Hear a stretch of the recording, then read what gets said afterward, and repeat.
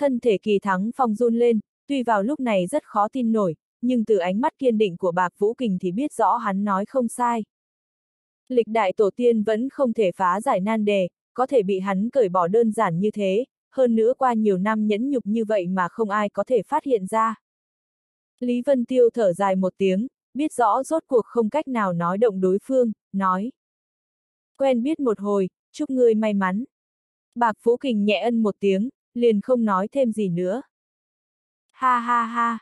Đột nhiên lỗ thông tử cười rộ lên, nói. Không thể ngờ ta có được sư đệ xuất sắc như vậy, cũng có tâm cư và nhẫn nhục, ta thật sự cao hứng đấy. Đồ đệ của sư tôn không ai tầm thường cả. Kỳ Thắng Phong lại nói.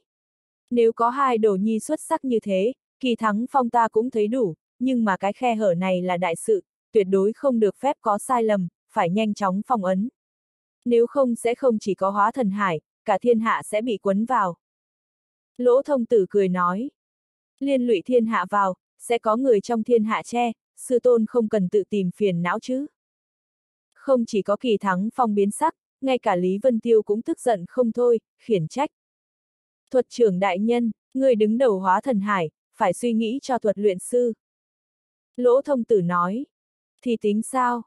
Sắc mặt Lý Vân Tiêu tái nhợt, mười ngón bóp răng rắc, hiển nhiên nộ khí bắt đầu khởi động, nói. Ta không rõ, người đã được thiên hạ kính ngưỡng, đỉnh phong thế giới, vì sao còn làm như vậy? Đôi mắt đục ngầu của lỗ thông tử lúc này trở nên rõ ràng, dường như lập tức tuổi trẻ hơn vài chục tuổi. Nếu thiên hạ này không thể thành thần, ta sẽ thành ma. Lý Vân Tiêu và Kỳ Thắng Phong chấn động. Bạc Phú Kình cũng hưng phấn ra mặt. Ha ha ha. Kỳ Thắng Phong cười to nói. Có thể có khí phách như vậy, vi sư cũng không nói nhiều. Trong mắt của hắn phát lạnh, nói. Vi sư muốn kiểm nghiệm thực lực của ngươi, nhìn xem phải chăng có xứng với dã tâm của ngươi hay không. Nội tâm Lý Vân Tiêu chấn động, biết rõ kỳ thắng phong hạ quyết tâm đánh một trận với lỗ thông tử. Mà chính mình là điểm mấu chốt, giúp kỳ thắng phong còn có cơ hội, nếu không dùng lực lượng lỗ thông tử tại hóa thần hải, kỳ thắng phong thua không nghi ngờ. Lỗ thông tử gật gật đầu, nhìn về phía Lý Vân Tiêu, nói. Sư đồ ta đánh một trận, không biết phi dương thái độ ra sao. Đúng rồi, nhớ rõ đoạn thời gian trước La Thiên tìm kiếm tung tích Dương Địch khắp nơi, ha ha, hắn lại không biết Dương Địch đã bị phái ra bên ngoài địa chấp hành nhiệm vụ, chuyện này ta đã quên nói cho Phi Dương. Lý Vân Tiêu biến sắc, khó mà quyết định. Kỳ Thắng Phong trầm giọng nói. Lý Vân Tiêu, nếu cái khe này tiếp tục tồn tại, hậu quả ngươi hiểu rõ. Lỗ thông tử nói. Cái khe này tồn tại vô số năm, cũng không thấy có hậu quả gì, ngẫu nhiên có một hai vị ma quân phá giới tới đây, loại chuyện này từ thượng cổ nhìn mãi thành quen, cũng không gặp cái gì không đúng. Ngược lại đồ đệ phi dương có sâu xa với hóa thần hải, phần nhân tình này khó bỏ qua được. Lý Vân Tiêu tức giận nói. Lỗ thông tử, người uy hiếp ta. Lỗ thông tử nói. Nếu ngươi không muốn, trên đời không ai có thể uy hiếp ngươi. Kỳ Thắng Phong trầm giọng nói. Chỉ cần bắt hắn, đồ đệ của ngươi sẽ được cứu, nếu không cũng không thể cứu đồ đệ của ngươi, còn bị hắn uy hiếp cả đời. Ngươi là người thông minh, không nên phạm hồ đồ như thế. Lý Vân Tiêu thở dài, nói. Kỳ đại nhân, thật có lỗi, ta không bỏ đệ tử được. Thần sắc của hắn kiên quyết, đi tới cửa thông đạo. Sắc mặt kỳ thắng phong cực kỳ khó coi, nguyên lực chấn động trên người, cảm xúc khó có thể bình tĩnh, dùng lực lượng của hắn khó mà ngăn cản lỗ thông tử. Ha ha, phi dương đại nhân quả nhiên thông minh, dương địch thật sự có sư phó tốt, làm cho những người như ta thật hâm mộ. Lỗ thông tử cười ha hả, đắc ý nhìn qua kỳ thắng phong, ánh mắt không ngừng lạnh lẽo. Đột nhiên hắn dừng cười, thân thể biến mất, xuất hiện cách đó mấy trăm trượng, một đạo kiếm khí như trường hồng quán nhật chém tới. Xuy! Kiếm quang bị hắn bắt lấy, máu tươi chảy ra ngoài sau đó bốc hơi, chỉ có một vết đỏ như tơ xuất hiện. Cổ phi dương, ngươi thực không thèm để ý tính mạng đồ đệ ngươi sao? Lỗ thông tử gào thét, gương mặt bắt đầu vặn vẹo, hai mắt phóng hỏa.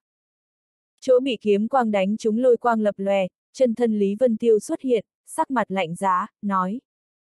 Thời điểm xác định ngươi lợi dụng khe hở không gian, ta cũng đã hạ quyết tâm muốn giết ngươi. Không chỉ vì dương địch, cũng vì người trong thiên hạ. Ha ha, người trong thiên hạ, ngươi xem mình là ai? Ta chính là người đứng đầu hóa thần hải, dường như có tư cách đại biểu thiên hạ hơn ngươi đấy. Lỗ thông tử nộ cười rộ lên. Lý Vân Tiêu cười lạnh một tiếng, nói. Người trong thiên hạ chưa bao giờ cần người đại biểu, mặc dù có, người hỏi qua bọn họ chưa? Lý Vân Tiêu ngoài mạnh trong yếu, nhưng trong nội tâm khiếp sợ càng ngày càng cao, kiếm thương chảm hồng bị lỗ thông tử nắm trong tay, vậy mà không thể dung chuyển mảy may. Không chỉ có như thế, hắn thúc giục ma khí, từng vòng băng sát tâm diễm sinh ra nhưng bị lỗ thông tử ngăn cản. Trên đời này còn có thứ chống lại băng sát tâm diễm. Nội tâm của hắn chấn động mãnh liệt, ý thức được phiền toái lớn, sợ là một trận chiến này gian khổ hơn tưởng tượng. Ha ha, nói hay lắm. Kỳ thắng phong lớn tiếng cười nói, cảm xúc tăng vào tới cực điểm, giơ cổ trần đại kiếm chém xuống, quát. Vi sư qua nhiều năm như vậy chưa bao giờ hảo hảo dạy bảo các ngươi, rốt cục để ngươi nhập ma, nội tâm vạn phần xấu hổ, hôm nay sẽ đền bù lại, dạy ngươi cách làm người thế nào. Đại kiếm sinh ra kiếm quang chém vào đầu lỗ thông tử. Hừ. Lỗ thông tử tức giận hừ một tiếng, tay cầm kiếm thương chảm hồng rốt cục buông ra, vỗ lên thân kiếm, tâm diễm hừng hực bị xua tan. Lý Vân Tiêu cảm thấy lực phản chấn từ cánh tay truyền tới, nội tâm của hắn vô cùng khiếp sợ. Lỗ thông tử đánh bay kiếm thương chảm hồng, thì triển thân pháp sinh ra vô số tàn ảnh, nhưng cả thân hình này không di động bao xa nhưng rất huyền diệu. Kỳ thắng phong nhướng mày, cũng hừ một tiếng, kiếm thế quét ngang, giống như du long bao phủ không gian. Lý Vân Tiêu dùng diệu pháp linh mục thấy bộ pháp lỗ thông tử rất huyền diệu, nhưng hắn vẫn nhìn thấy điểm dừng tiếp theo. Thân thể lỗ thông tử đột nhiên trì trệ, phát hiện chân của mình không thể di động, liền trực tiếp đưa ngực vào kiếm Lý Vân Tiêu đang chờ hắn, hắn cũng bị kiếm của kỳ thắng phong chém trúng. Phiền muộn hừ lạnh một tiếng, thân thể đổi phương vị, một cước nâng lên đá vào kiếm thương chảm hồng, mũi chân và tâm diễm tiếp xúc nhau, kiếm thương chảm hồng lại đâm chật. Nội tâm Lý Vân Tiêu thất kinh, lúc này có thể khẳng định, lỗ thông tử thật sự không sợ tâm diễm. Sau khi đá văng kiếm thương chảm hồng, lỗ thông tử bấm niệm pháp quyết, kép lấy kiếm của kỳ thắng phong sau đó mượn lực đẩy đi. Kiếm đảo vòng, kỳ thắng phong không tự giác bị dẫn đi, thân ảnh rời xa mấy trượng. Muốn giết ta, các ngươi chỉ có chút lực lượng này sao? Chẳng lẽ vừa rồi chiến đấu với Nguyên Đức và Thí Quân còn chưa làm sư tôn và phi dương nóng người? Lỗ thông tử bỏ qua hai người, phi thân lui ra xa vài chục trượng, lạnh lùng nhìn qua, khóe miệng giễu cợt.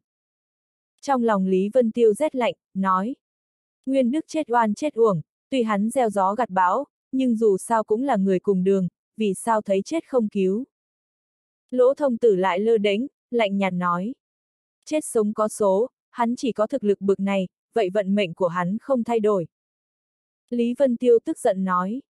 Hồ ngôn loạn ngữ, hắn hôm nay chết oan chết uổng, toàn bộ là vì người bảy bố làm bậy.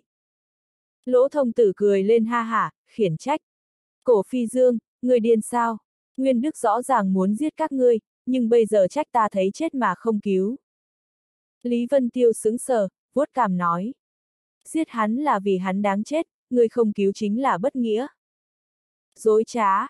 Lỗ thông tử giận dữ mắng mỏ một tiếng, đột nhiên mở hai tay ra, kim quang bắn ra bên ngoài, hóa thành vô số lệ mang bắn tới. Những lệ mang bay đi không chút tiếng động, chỉ có ánh mắt mới có thể bắt được, thần thức không nhìn ra là cái gì.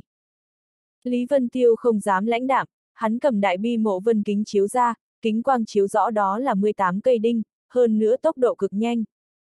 Cái gì, đại bi mộ vân kính? Lỗ thông tử sướng sờ một chút, sắc mặt trầm xuống.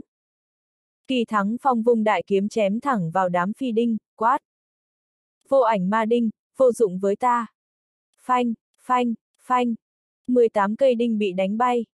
Kỳ thắng phong cầm kiếm đứng đó, cười lạnh nói. Nếu ngươi chỉ có trình độ như vậy, vậy thật sự làm vi sư thất vọng. Lỗ thông tử mỉm cười, nói. Đệ tử sẽ không làm sư tôn thất vọng. Mười ngón tay hắn kết ấn. Kỳ thắng phong cầm kiếm chém tới, đột nhiên cảnh sắc biến đổi, một cây trụ hiện ra, cây thứ hai, thứ ba. Trung quanh có nhiều cây trụ khốn trụ hắn vào trong.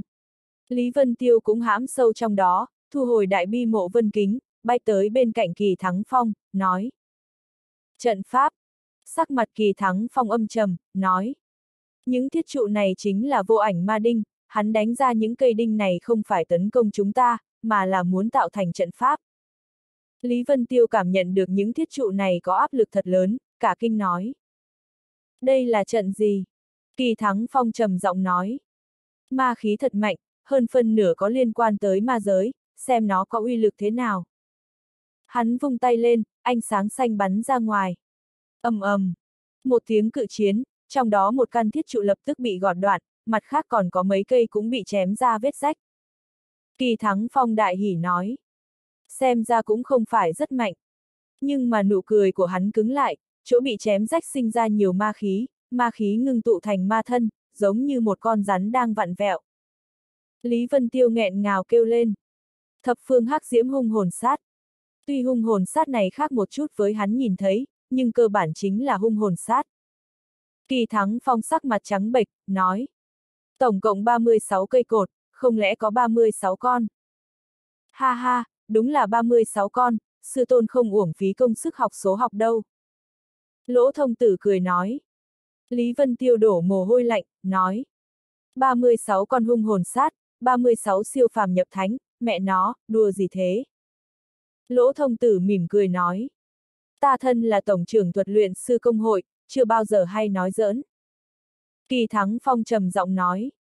Đừng nản chí, còn nhớ được thí quân không, hắn bị giói lực áp chế, lực lượng giảm nhiều, 36 con hung hồn sát này chắc chắn không có thực lực siêu phàm nhập thánh. Lỗ thông tử cười nói. Sư tôn phân tích có lý, nhưng có biết vì sao ta phòng ấn chúng lên vô ảnh đinh không? Thứ nhất xem như ám khí bắn ra ngoài, thứ hai là nhờ vào bích lân kim kháng giới lực. Lỗ thông tử nhìn hai người nghi hoặc, cười nhạt nói. Xem ra hai vị không hiểu nhiều chuyện vượt giới, bích lân kim đẳng cấp rất cao, mặc dù không phải thập giai nhưng vượt qua tài liệu cửu giai, như vậy hắn nó ẩn chứa quy tắc thiên địa rất sâu. Dùng nó phong ấn hung hồn sát, chính là vì giúp hung hồn sát áp chế giới lực thiên võ giới, cùng đạo lý với thí quân bám vào nguyên đức, những hung hồn sát này còn tới đây trước cả thí quân. Kỳ Thắng Phong khẽ nói. Người muốn nói cho chúng ta biết, những hung hồn sát này đã thích ứng quy tắc thiên võ giới, rất lợi hại rất trâu đúng không? Lỗ thông tử gật gật đầu, nói. Sư tôn minh xét, đại khái chính là ý tứ này. Cút! Kỳ Thắng Phong tức giận quát một tiếng, Minh Luân một chém thẳng xuống. Xuy! Lỗ thông tử bị chém thành hai nửa, nhưng chỉ là tàn ảnh, nửa người trên cười lạnh không dứt. Kỳ Thắng Phong cười khổ nói. Có quá nhiều hung hồn sát, đối phó thế nào? Lý Vân Tiêu nói. Người đối phó 18, ta đối phó 18. Kỳ Thắng Phong mặt mũi tràn đầy hắc tuyến, nói. Người định bảo ta chịu chết sao, thánh khí của ngươi có bao nhiêu cường giả, gọi ra cả đi. Tâm niệm Lý Vân Tiêu thay đổi thật nhanh, hỏi. Ngươi có thể đối phó bao nhiêu? Kỳ Thắng Phong trầm ngâm, vươn tay ra, nói. Những hung hồn sát này có lẽ không có thực lực siêu phàm nhập thánh, nhưng kém không bao nhiêu, ta tối đa chỉ có thể khiên trụ tám con. Lý Vân Tiêu giận tái mặt, cả giận nói. Tám con, ý của ngươi ta sẽ đối phó 28 con. Kỳ thắng phong lau mồ hôi, duỗi hai ngón tay ra, nói. Tối đa thêm hai con, không thể nhiều hơn.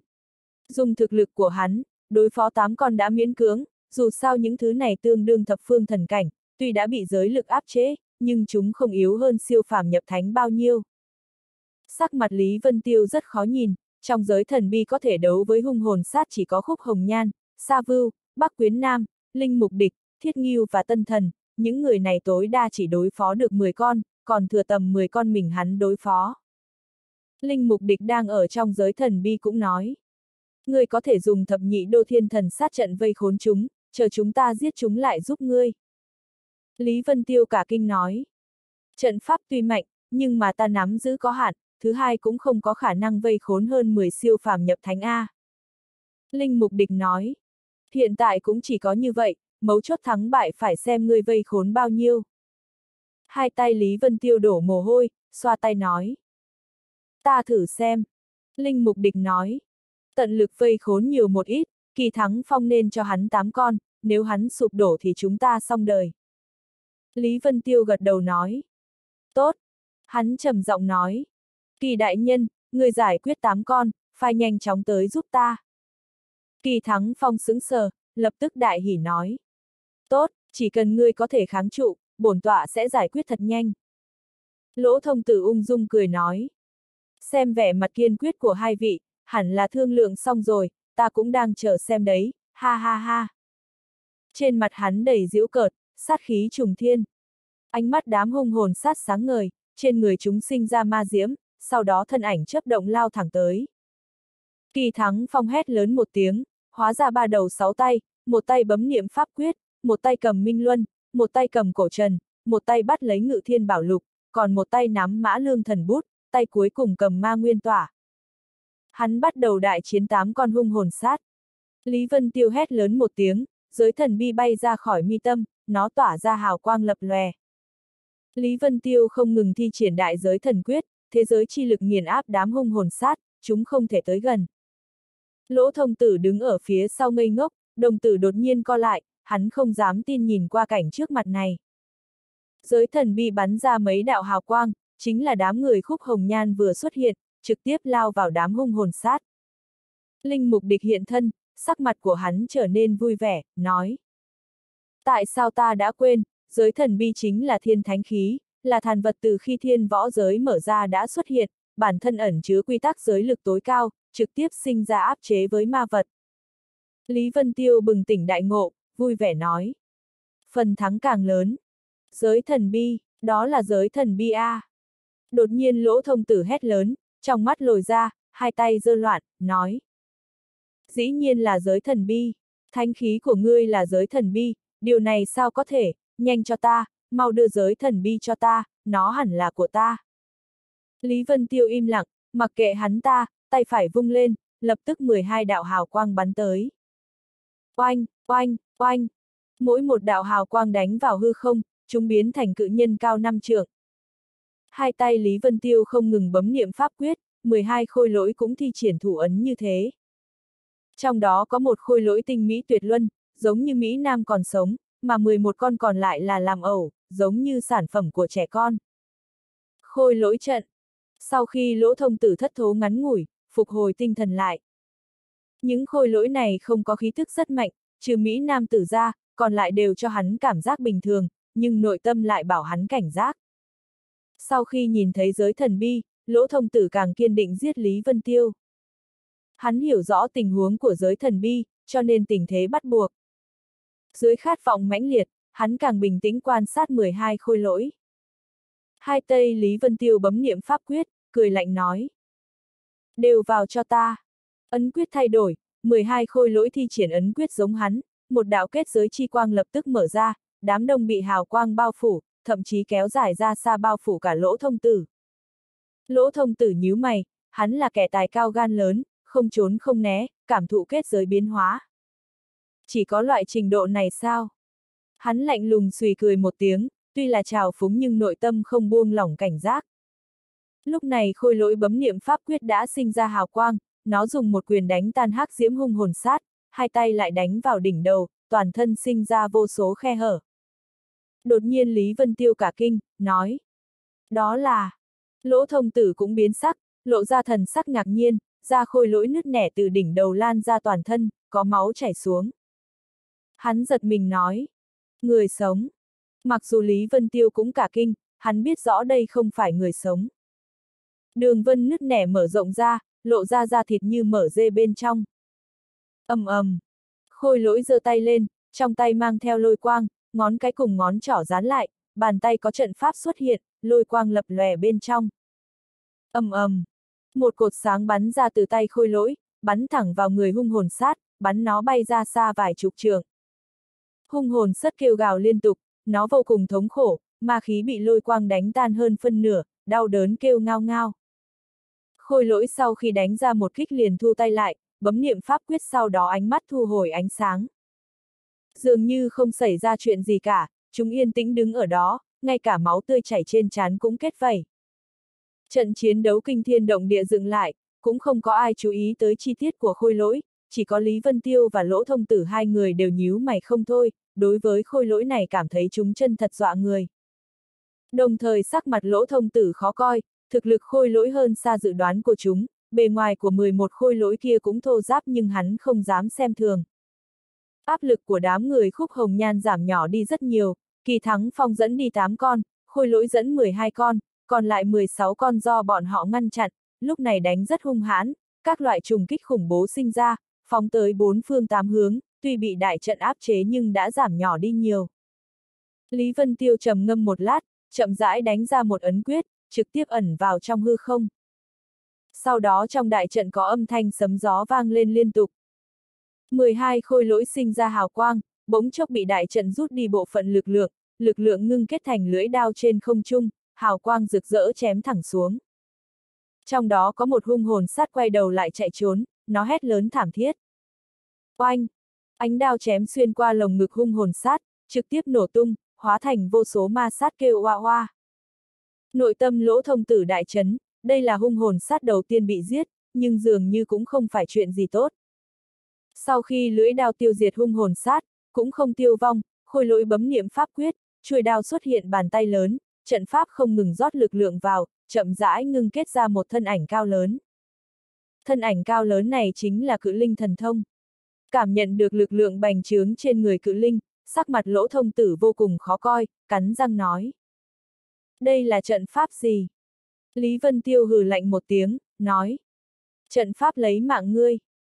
Cự linh một đao chém giết hung hồn sát, nếu ngưng tụ ra 12, đừng nói 36 hung hồn sát, cho dù là lỗ thông tử cũng giết luôn. Thi triển các ấn quyết đánh vào trận pháp, chợt lóe lên rồi biến mất, Lý Vân Tiêu nội tâm kích động, ngẫm lại trận pháp đồ sộ như thế, nhưng trận pháp đột nhiên lập lòe, những ấn quyết đánh vào biến mất không có tác dụng. Cái gì? Lý Vân Tiêu cả kinh, không rõ xảy ra vấn đề gì. Lỗ thông tử thấy rõ động tác của hắn, lập tức thở ra một hơi, quát lên. Bổn tọa giết ngươi trước. Hắn bất chấp chỉ huy hung hồn sát, tùy ý bọn chúng tự hành chém giết, thân ảnh lóe lên xuất hiện trước mặt Lý Vân Tiêu. Năm ngón tay phải mở ra, năm ngón tay trái nắm lại. Lúc này kim quang sáng ngời hiện ra, hóa thành một kim giản, nó có 12 tiết, mỗi tiết có trên phủ văn, hoàn hoàn đan sen, nó đánh vào đầu Lý Vân Tiêu. Lý Vân Tiêu kinh hãi, dưới một kích này, quy tắc chung quanh bị đánh nát, giống như thế giới sụp đổ, bản thân mình sẽ bị một giản này đánh chết. Không có khả năng. Hắn nổi giận gầm lên một tiếng, tay trái giơ lên, thiên trùy xuất hiện trong tay, phía trên có tia sáng tím lập lòe, nó ngăn cản giản đánh xuống. ầm ầm, hai kiện huyền khí va chạm với nhau, tử kim song sắc không ngừng thôn phệ lẫn nhau. ầm ầm, trùng kích lần thứ hai, Lý Vân Tiêu lập tức bị đánh lùi mấy trăm trượng, hắn phun ra một ngụm máu tươi sau đó hoảng sợ ngẩng đầu lên, hắn nhìn thấy lỗ thông tử lui nửa bước, trên mặt mang theo sát khí và mỉa mai. Người mang giới thần bi, luyện hóa tử lôi, vô số cường giả tương trợ, có được trận pháp khôi lỗi kinh khủng như thế, người không hổ là người ta xem trọng, hôm nay do ta tự mình ra tay diệt sát, xem như rất có ý nghĩa. Lỗ thông tử mang theo thần sắc ngạo mạn, tay cầm kim giản đi thẳng tới phía trước. Mỗi người bước đi thật chậm, nhưng lại dung hợp quy tắc, nội tâm Lý Vân Tiêu chấn động không cách nào tưởng tượng nổi. Ngũ tạng lục phủ của hắn hiện tại không ngừng nhộn nhạo khó chịu. Ngực buồn bực như sắp nổ tung, nhưng không gian lại bị phong bế, áp chế hắn không cách nào hét lên được. Gương mặt Lý Vân Tiêu đỏ bừng, hai tay bấn niệm ấn quyết, hé miệng, hắn phá vỡ áp chế sau đó giống to lên. Long khiếu cửu thiên. Một đạo long ngâm phóng ra ngoài, phóng thẳng lên trời cao, xé nát tần suất điều tiết thiên địa của lỗ thông tử. Lúc này Lý Vân Tiêu cảm thấy thân thể buông lỏng, cảm giác chấn động trong người biến mất, hắn phun ra một ngụm máu tươi, nhưng hắn không dám dừng lại, phá phong song đã lóe lên, biến mất tại chỗ. Sau một khắc liền xuất hiện bên cạnh thần sát cự linh, đừng chung với khôi lỗi, nhìn chằm chằm vào lỗ thông tử. Giờ phút này trong chàng chém giết khí thế hừng hực, sắc mặt lỗ thông tử âm trầm, trực tiếp tuấn di đến bên cạnh khúc hồng nhan, dùng kim giản đánh qua. Khóe mắt nhìn qua phía Lý Vân Tiêu, lộ ra vẻ mỉa mai, nói. Ta cho ngươi trốn, bổn tọa sẽ đánh chết toàn bộ người bên cạnh ngươi. Khúc hồng nhan đang chém giết hung hồn sát, hiện tại đang chiến đấu với hung hồn sát, trong giây cảm giác nguy hiểm cực độ, lập tức dùng mình. Luống cuống tay chân suýt nữa bị hung hồn sát đánh trúng, mà kim giản của lỗ thông tử cũng đánh tới. Hèn hạ! Lý Vân Tiêu lập tức tới, vẻ mặt đen lại, một kiếm chém thẳng vào kim giản, phanh một tiếng bắn ra vô số hào quang, thôn vệ hai người vào trong. Khúc hồng nhan cả kinh kêu một tiếng, nàng nhảy vào trong hào quang này, vừa cận thân mấy lần đã cảm thấy thân thể khô nóng dữ dội, làm cho làn da đau đớn, bắt đầu bị trưng khô. Nàng cả kinh lui ra sau, không dám tới gần nữa. Trong hào quang như đóa hen sen, tự thành thiên địa, chỉ có Lý Vân Tiêu và Lỗ Thông Tử hai người, mặc cho hỏa diễm thiêu đốt. Kiếm thương chạm hồng va chạm với kim giản, hoàn toàn không phân trên dưới. Trên kim giản phù văn lập lòe, quấn quanh thân giản, nó vừa đánh vừa suy yếu bởi băng sát tâm diễm, càng ngày càng yếu.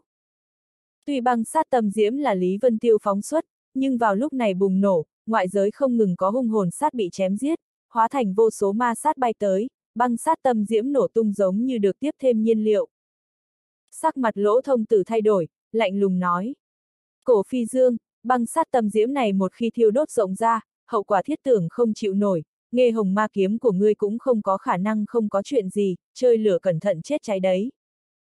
Lý Vân Tiêu nhe răng cười nói. a à, thuật trưởng đại nhân cũng sợ sao? Băng sát tâm diễm này không làm gì được ngươi, ta còn tưởng rằng ngươi không sợ, thì ra là lửa không đủ lớn. Lỗ thông tử nhìn qua kiếm giản, những phù văn kia không thể ngăn cản được tâm diễm, không bao lâu sẽ bị phá vỡ, lúc này kim giản đang ảm đạm, hắn tức giận nói. Băng sát tâm diễm có thể đốt vạn vật, nhưng mà ta kháng tâm diễm hơn xa ngươi, nếu thật muốn làm bị thương bổn tọa, như vậy kẻ chết trước là ngươi đấy. Lý Vân Tiêu cười lạnh nói. Chết liền chết, có thể để thiên hạ đệ nhất thuật luyện sư chôn cùng cũng là vinh hạnh đấy. Hắn không chỉ có không có thu liếm nửa phần, ngược lại rót thêm ma khí vào thân kiếm, ngọn lửa càng trong suốt vài phần, đã mất đi hắn khống chế, không ngừng thôn vệ ma khí chung quanh làm lớn mạnh chính mình. Muốn hắn chết chung với lỗ thông tử tự nhiên là không vui, nhưng hắn không tin lỗ thông tử không có biện pháp. Bên ngoài hào quang, băng sát tâm diễm không ngừng mở rộng, những hung hồn sát đều hoảng sợ chạy thục mạng, tuôn ra bốn phía, chiến trường lúc này hỗn loạn. Rất nhiều hung hồn sát chạy loạn bị đám người khúc hồng nhan diệt sát, hoặc là trực tiếp bị tâm diễm thôn phệ. Phi dương. Khúc hồng nhan kinh hãi, băng sát tâm diễm còn thôn phệ thần thức, không cách nào dò xét tình huống trong đó. Linh mục địch trầm giọng nói.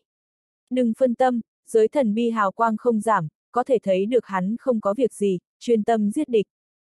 Khúc hồng nhan lúc này mới kịp phản ứng, liếc mắt nhìn giới thần bi, giới lực không có giảm xuống, nó vẫn chiếu sáng như nhật nguyệt, nội tâm của nàng an ổn lại. Nàng vội vàng quay người rút kiếm, trên mặt đầy lửa giận và sát ý, lại chém giết đám hung hồn sát chung quanh. Trong hỏa diễm hừng hực, Lý Vân Tiêu và Lỗ Thông Tử bị hỏa diễm bao phủ, đốt cháy thân hình, nhưng Lý Vân Tiêu hiển nhiên chiếm cứ thượng phong, mà Lỗ Thông Tử đang từ từ suy thoái. Muốn cùng chết với bổn tọa, người không có tư cách này đâu. Lỗ Thông Tử giận dữ mắng một tiếng, rốt cục không dám ngạnh kháng tâm diễm, kiếm giản đã bị đốt cháy, đang không ngừng kêu ông ông. Đột nhiên nội tâm Lý Vân Tiêu run lên, một cảm giác bị tập kích chạy lên đầu. Chỉ thấy sắc mặt lỗ thông tử dường như sinh ra biến hóa, không ngừng sơ cứng, da mặt tái nhợt như xác chết, lại biến thành một bên trắng, một bên đen, một cái mặt nạ thái cực xuất hiện, chỉ còn lại hai mắt đang tỏa sáng.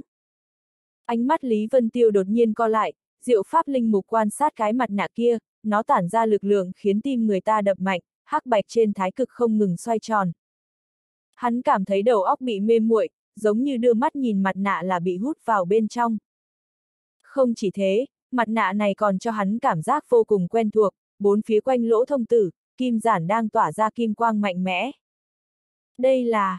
Nội tâm Lý Vân Tiêu lập tức hoảng hốt, lập tức hiểu được vì sao đối phương không sợ tâm diễm, thì ra mặt nạ này dùng nghe hồng song thạch luyện thành. Đã biết rõ thì ngươi cũng không thể sống sót được. Ánh mắt lỗ thông tử phát lạnh, kim giản hóa thành kim quang đánh thẳng xuống. Lý Vân Tiêu vội vàng niệm động đại diễn thần quyết, xoa tan hoảng hốt trong nội tâm, không dám nhìn vào mặt nạ nữa, giơ kiếm lên ngăn cản kim giản. Phanh! Hào quang cực lớn bị đánh sơ sát, kiếm thương chảm hồng lại bị ép dán trước ngực, sức mạng to lớn mênh mông đánh lên người Lý Vân Tiêu, hắn thổ huyết bay ra ngoài. Trong đầu hắn cảm giác kinh ngạc, lỗ thông tử sau khi mang mặt nạ vào, thực lực dường như tăng lên mấy lần mạnh, bản thân mình không cách nào chống lại. Sau khi hắn bị đánh bay, hỏa diễm chung quanh từ từ suy yếu. Đột nhiên một đạo tia sáng bạc từ trên trời quét xuống, nó mở hỏa diễm ra hai bên. Lý Vân Tiêu đứng vững thân hình, lại quá sợ hãi, ngân quan kia là một cái giản dài, toàn thân tỏa sáng màu bạc, hoàn toàn giống như kim giản, chỉ có màu sắc khác nhau mà thôi. Trong đầu hắn xuất hiện hai cái tên này. Đế đồ, gì thế? Nhưng đã không có thời gian suy nghĩ, ngân giản bắn ra khí thế kinh thiên đông địa, lực lượng có thể đánh nát thiên địa. Lý Vân Tiêu nhanh chóng bấm niệm pháp quyết, mấy đạo ấn quyết đánh vào trong hư không. Một đạo linh quang ngăn cản trước mặt Lý Vân Tiêu, chính là thần sát cự linh, trận quang đầy trời đang khởi động, rất nhiều linh khí rơi xuống rót vào thân thể Lý Vân Tiêu. Thần sát cự linh chém xuống một đao, trực tiếp chém nát bầu trời, chém vào trên ngân giản sinh ra ánh sáng chói mắt bắn ra bốn phía. Lỗ thông tử kinh sợ không thôi, nội tâm đã sinh ra một tia sợ hãi với thần sát cự linh, hắn lăng không thuấn di, ngân giản bị đánh bay, hắn bay đi tiếp lấy ngân giản, song giản hợp lại với nhau. Một kim một ngân song sắc quang tỏa sáng. ầm ầm, thần sát cự linh lại động đao chém một cái, thần đao lại vỡ ra, hóa thành vô số lực lượng thuần túy, hào quang cũng quay trở về đại trận. Thân thể cự linh bị song giản áp chế, nó vỡ ra như một ngọn núi cao, cuối cùng phanh một tiếng không còn tồn tại. Hai mắt Lý Vân Tiêu sáng như đuốc, chỉ thấy cự linh hóa thành khôi lỗi đang run lên, nó phát ra âm thanh nghiền nát rất nhỏ, trên thân thể xuất hiện khe hở khó phát hiện ra. Nội tâm của hắn khẩn trương, trong đầu đau khổ nhớ tới tất cả những gì quan hệ tới khô lỗi thuật, không ngừng đánh ra các loại linh quyết vào trong trận pháp. Chỉ thấy hư không trận quang lóe lên, khôi lỗi chậm rãi ngưng tụ thành cự linh, hình thái hoàn toàn khác với lúc trước, lúc này nó càng uy vũ hơn trước, cầm kiếm quang trong tay giống như thần thủ hộ. Cái gì? Tất cả mọi người cả kinh, không rõ trận pháp xảy ra chuyện gì. Bản thân Lý Vân Tiêu càng sửng sốt, hắn thi triển ấn quyết giống như lúc trước, nhưng không cách nào đồng thời ngưng tụ ra hai cự linh, nếu không 12 thần sát đồng thời xuất hiện, cho dù có hai lỗ thông tử cũng phải chết. Nhưng tiêu vong một lại xuất hiện một, như vậy cũng không tệ. Lý Vân Tiêu sờ cầm trầm tư, nhưng hắn không cách nào nắm giữ mấu chốt trong đó, vắt hết óc cũng khó có thể nghĩ thông suốt. Buồn bực nhất chính là lỗ thông tử, những thần sát cự linh này thực lực rất mạnh, nếu không giải quyết thì hắn sẽ thua không nghi ngờ. Hắn giơ ngón tay lên phía trước, điểm xuống ba cái, ma vân cuồn cuộn che khuất bầu trời, ngăn cản thế giới lực của giới thần bi. Cái gì? Lý Vân tiêu cả kinh, những ma vân này cuồn cuộn, ngừng tụ cách ly hắn và giới thần bi. Mất đi thế giới chi lực chấn áp, những hung hồn sát cũng không còn luống cuống nữa. Linh mục địch cả kinh nói. Nhanh xua tan ma vân. Giới thần bi lúc này là mấu chốt trong chiến đấu, nếu không có nó chấn áp những hung hồn sát này, một khi đột phá trình độ siêu phàm nhập thánh, bọn họ sẽ nguy hiểm. Mấy người đang lâm vào chiến đấu, Linh Mục Địch, Bắc Quyến Nam, Thiết Nghiêu và Cá Sấu còn tốt, dù sao cũng là một số gần như bất tử, mà Tân Thần, Khúc Hồng Nhan, đặc biệt là Kỳ Thắng Phong đang thương thế trồng chất, hơn nữa một cây chẳng chống vững nhà. Một mình Kỳ Thắng Phong độc chiến tám hung hồn sát, đã chém giết một nửa, nhưng mà hắn đã trọng thương, vẫn chiến đấu hăng hái. Vào lúc này ma vân đầy trời, đám hung hồn sát còn lại thoát khỏi giới lực áp chế, thực lực lập tức tăng vọt, đánh mấy người bọn họ thổ huyết.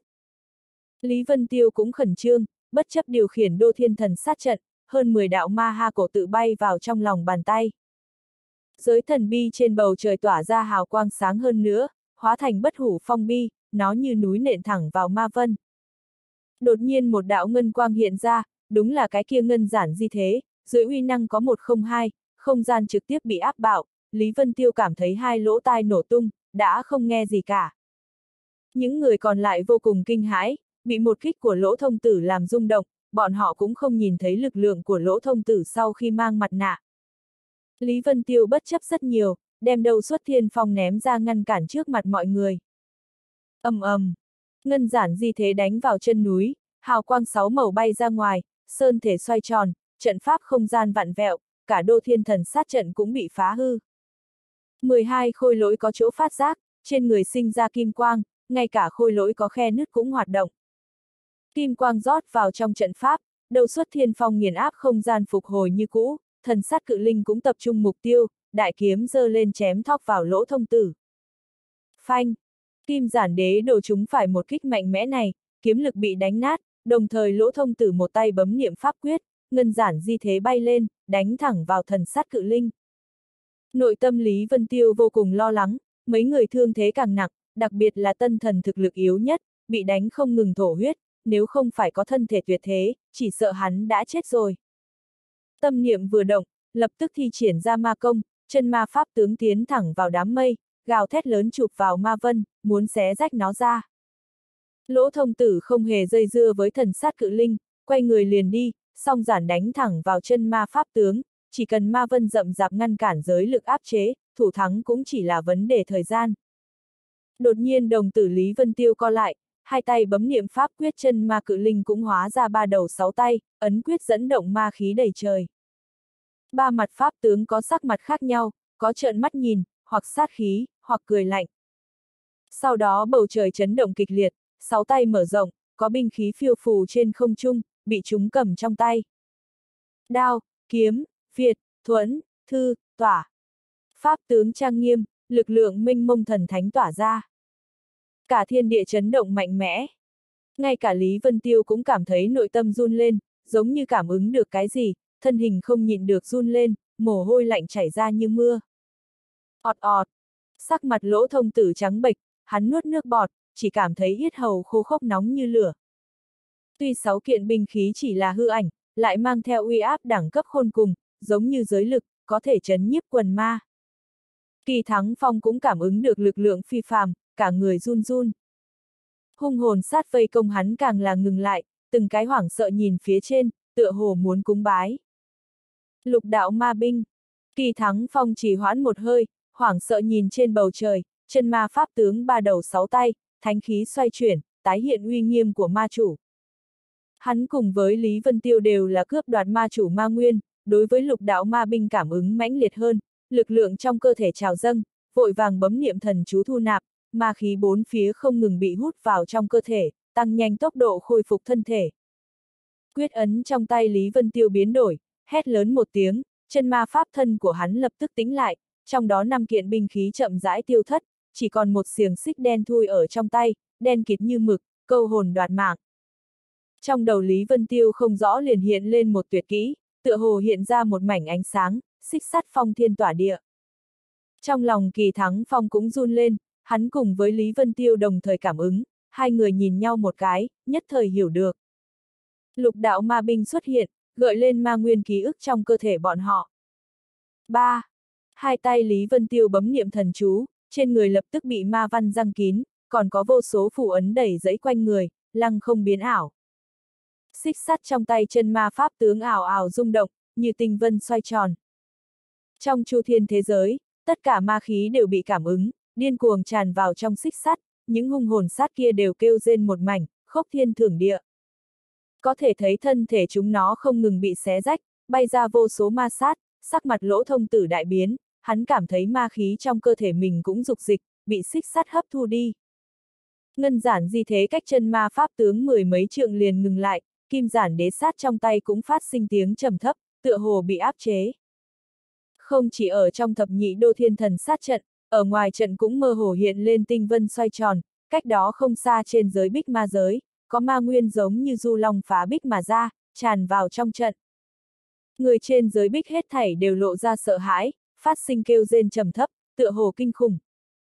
Bạc Phú Kình ở cửa thông đạo là một mảnh tâm kinh đảm hàn, lo lắng không thôi. Sắc mặt Lý Vân Tiêu trở nên khó coi, lần này lực lượng của lục đạo ma binh không giống tầm thường, hoàn toàn vượt ra dự tính cùng lý giải của hắn, trong phương viên vạn dặm, ma khí cơ hồ bị thu nạp không còn. Có lẽ là cảm ứng được ma giới tồn tại, cũng có lẽ là thu nạp đầy đủ ma nguyên, trên xích sắt phát sinh tiếng kêu to vui sướng, tựa hồ có tiếng cười yếu ớt. Lý Vân Tiêu biết mình đã đạt đến cực hạn, tuy rằng xích sắt vẫn đang thu nạp lực lượng, nhưng nếu tiếp tục nữa mà nói, liền triệt để mất khống chế, sợ là thi triển ra chiêu này xong, mình cũng khó giữ được tánh mạng. Lúc này hắn quả quyết bấm niệm thần chú, ngăn cản xích sắt thu nạp, thì triển ra chiêu thức hiện lên trong đầu. A Ma La Phật, ba nghìn thế giới. Tinh vân xiềng xích thoáng cái động, khắp bầu trời chỉ nghe thấy thanh âm ảo ảo, theo xiềng xích bắt đầu khởi động còn có vô số sấm gió, như là vạn đạo lôi đỉnh kéo tới, muốn tiêu diệt hết thảy. Toàn bộ trận pháp như mờ đi, những thiên cương kỳ hóa thành mây đen kia, ở dưới xiềng xích chuyển động chấn tán, giới thần bia phảng phất bị cảm ứng, cũng phát sinh quang mang mãnh liệt, chống lại ma lực. Toàn bộ thân bia như là hải đăng, sừng sững bất động trong thiên địa, mặc cho ma nguyên cuồn cuộn, vẫn soi sáng cổ kim như trước. Nhưng trừ giới thần bia, tất cả lực lượng khác lại dị thường nhỏ bé, toàn bộ mai một ở trong ma khí. Tốc độ xích sắt di động càng lúc càng nhanh, sau đó như mũi tên ở trên không trung xuyên toa, nơi đi qua hóa thành hư vô, mảng lớn ma sát cùng hung hồn sát đều ở dưới lực lượng của xích sắt bị đánh nát bấy, thiên địa văng tung tóe. 12 khôi lỗi lẳng lặng đứng ở đó, khí thức hoàn toàn không có, trận quang cũng bị phân tán. Duy chỉ có thần sát cự linh còn hóa thành ánh sáng nhạt mông lung, như một tầng xương bao trùm ở trên người khôi lỗi, chống lại áp lực. Mấy người linh mục địch từ lâu hội tụ vào một chỗ, cộng đồng thi triển ra tuyệt kỹ phòng ngự, ngừng tụ thành kết giới, đây đó chiếu ứng. Cách chân ma pháp tướng xa nhất là bạc vũ kình, không chỉ có lực lượng 3.000 thế giới kia làm hắn cuộn trào mãnh liệt, càng có lực lượng từ trên giới bích ma giới trào ra, như là giang hà rít gào, không ngừng nhảy vào trong xích sắt. Nương theo những ma khí tuôn ra giới bích kia, còn có ma sát đếm không hết, thậm chí hung hồn sát cũng bị rút ra. Bạc Phú Kình hầu như bị dọa ngốc, cố phục hồi tinh thần lại, quyết định thật nhanh lui về phía sau, để tránh bị lan đến. Lúc này trên 3.000 thế giới, tất cả mọi người là khổ không thể tả. Mặc dù là Lý Vân Tiêu, cũng cảm thấy tất cả lực lượng trong cơ thể bị rút ra, từ từ mất đi chế ngự đối với chân ma pháp tướng, theo vòng xoáy càng lúc càng lớn, mình cũng sắp bị thôn phệ vào. Linh mục địch không ngừng giống to. Dừng lại, mau dừng lại. Hắn làm sao không muốn dừng lại, nhưng sao có thể a? À, không chỉ vậy, lực lượng của chân ma pháp tướng vẫn còn đang gia tăng, phảng phất cuồn cuộn không ngừng bổ sung đến, hắn triệt để mất đi lực trưởng khống. Đột nhiên giới thần bia sáng lên, toàn bộ không gian cũng theo tia sáng lóe lên mà xoay chuyển, thế giới chi lực kia tựa hồ bị ngăn lại. Lực lượng của ma giới như là bị lấp kín, trong nháy mắt khôi phục bình thường. Đồng thời trong giới thần bia không ngừng bạo dũng ra sức mạnh cuồn cuộn, cuối cùng từ không trung hạ xuống, nghiền ép tất cả, phảng phất như một thanh lợi kiếm sen vào giữa tinh vân. Ung um um, thanh âm sấm gió càng thêm cuồng bạo, tựa hồ A-ma-la Phật bị trùng kích, không ngừng lắc lư, bắn ra phù văn đếm không hết, sau đó mai một ở trên trời cao. Tất cả mọi người ở dưới kích động thổ huyết, Lý Vân Tiêu cũng không khỏi thở hắt ra, ma khí trong cơ thể từ lâu khô kiệt, chỉ còn lại có ngọc lưu ly thần quang cùng bất diệt kim thân, nhưng cũng bị xé ra vô số lỗ hổng, từ lâu biến thành huyết nhân. May mắn là sau khi giới thần bia có tác dụng, lực lượng của A-ma-la Phật bắt đầu tiêu giảm, cơn lốc từ từ bình thường lại. Chân ma pháp tướng ở trên không trung chậm rãi hóa nhạt, cùng A-ma-la Phật tiêu thất. Đám người lỗ thông tử đứng trên không trung, không động một cái, song giản trong tay triệt để mất đi quang thải. Nhưng mặt nạ thái cực ngư quỷ dị kia vẫn như cũ mang theo quang mang thu hút tâm hồn. Đồng tử của Lý Vân Tiêu co lại, nhìn thẳng hắn một cái, dưới tình huống không có bất kỳ phòng bị nào, nhất thời đem trạng thái của hắn xem thấu. Trong mắt lỗ thông tử tiết lộ ra tin tức, tất nhiên cũng là bị thương không nhẹ, sau khi bị Lý Vân Tiêu nhìn thấu, nhất thời xoay chuyển ánh mắt, trở nên lăng lệ, thần quang trước đó không chút nào che giấu triệt để biến mất. Đi! Lý Vân Tiêu hét lớn một tiếng, trong cơ thể tích lũy một chút thần dịch lực như là cam lộ chảy qua kinh mạch, tẩy rửa toàn thân. Bằng vào một cổ lực lượng cuối cùng này, lăng không bấm niệm thần chú, đem giới thần bia, đầu xuất thiên phong, còn có lục đinh lục giáp thu vào. Đám người linh mục địch cũng trong nháy mắt tỉnh ngộ, hiện tại tuy rằng người người trọng thương, nhưng bọn hắn căn bản mất đi lực tái chiến, nơi đây là hóa thần hải, đại bản doanh của lỗ thông tử, lưu lại tất chỉ có một con đường chết. Tất cả mọi người vừa nghe Lý Vân Tiêu quát, liền bay nhanh về phía thông đạo. Trong đó tân thần thụ thương nặng nhất, cả người ghé vào trên thân tuần thiên đấu nghiêu. Trong mắt lỗ thông tử tuôn ra lửa giận, nhưng dưới chiêu 3.000 thế giới vừa rồi, hắn cũng thụ thương rất nặng, lửa giận công tâm, liền phun ra một búng máu, theo hai bên mặt nạ chảy xuống. Hơn nữa mặt nạ mạnh mẽ để thăng lực lượng của hắn, hiển nhiên có tác dụng phụ, khiến hắn kêu thảm một tiếng, ném xong giản xuống, hai tay ôm đầu. Mặt nạ biến mất, lúc này mới khôi phục một chút, tức giận nhìn đám người Lý Vân Tiêu rời đi. Hôm nay đánh một trận, để hắn kinh hãi cùng kiêng kỵ rất nhiều, nếu để cho bọn họ chạy, tất thành mối họa, rất khó tuyệt sát. Ngăn bọn họ lại, nhanh ngăn bọn họ lại. Lỗ thông tử giống to, nhìn chằm chằm chỗ lối đi kia, bạc Vũ Kình đang nghiêm nghị mà đứng. Sắc mặt bọn người kỳ thắng phong cùng Lý Vân Tiêu đại biến. Bạc Vũ Kình có khả năng không bị thương chút nào, thực lực siêu phàm nhập thánh đỉnh phong, hắn chậm rãi rút kiếm ra, ngăn ở cửa thông đạo. Kỳ Thắng Phong trầm giọng nói. Vũ Kình. Thầy trò hai người nhìn nhau một cái, tựa hồ đã vượt qua trăm năm. Chuyện cũ ở trong đầu bốc lên, như là phi điệp không ngừng xuyên toa. Suy. Kiếm ảnh lóe lên, nhắm thẳng vào yết hầu của Kỳ Thắng Phong, tay của bạc Vũ Kình hơi run một chút, liền ngừng trên không trung. Kỳ Thắng Phong nhìn hắn nói. Người quả thực đi ra con đường của mình, lúc này vi sư không cảm giác được trên thân kiếm có bất kỳ nguyên lực ba động nào, tâm tình đã không ảnh hưởng được tâm tính của ngươi, lúc này ngươi đã băng lãnh như nghe thạch. Bạc Vũ Kình rốt cục khó nhịn được nữa, rung giọng nói. Nếu cuộc đời này có thể lựa chọn lần nữa, ta ngươi còn sẽ đi tới bước này không? Kỳ Thắng Phong than thở. Vi sư đã thấy sai rồi, tự nhiên sẽ không. Suy. Kiếm từ trước hít hầu của Kỳ Thắng Phong xẹt qua, bị bám một chút tiên huyết, nhưng chỉ là đâm rách da thịt. Các ngươi đi thôi.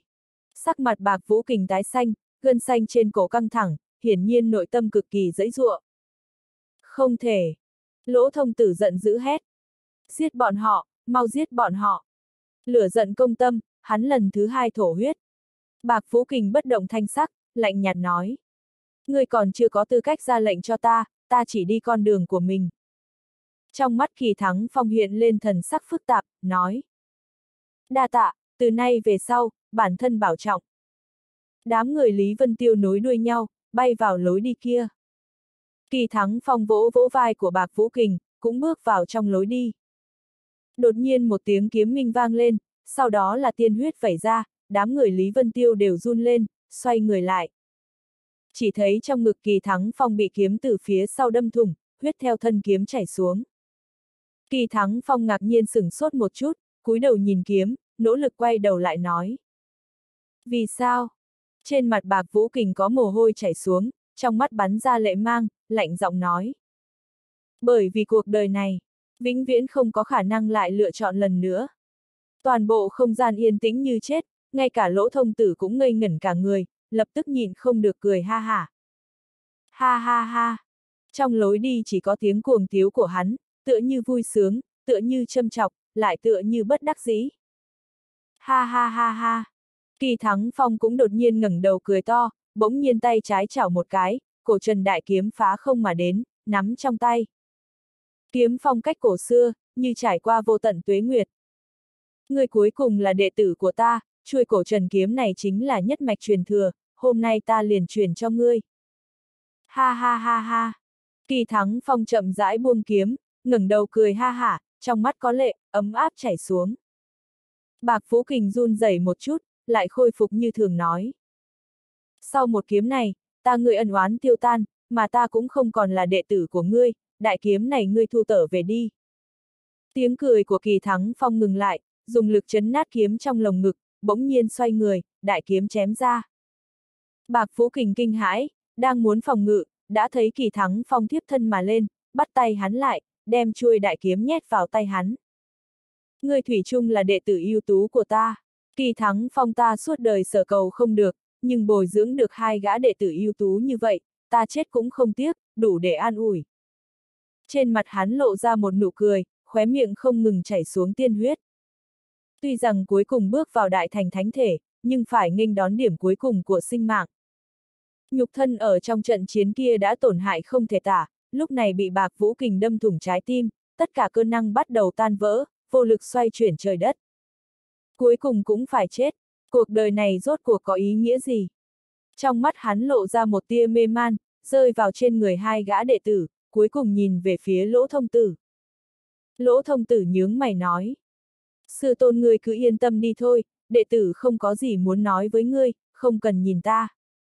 Kỳ Thắng Phong cười khổ một tiếng, gật đầu nói.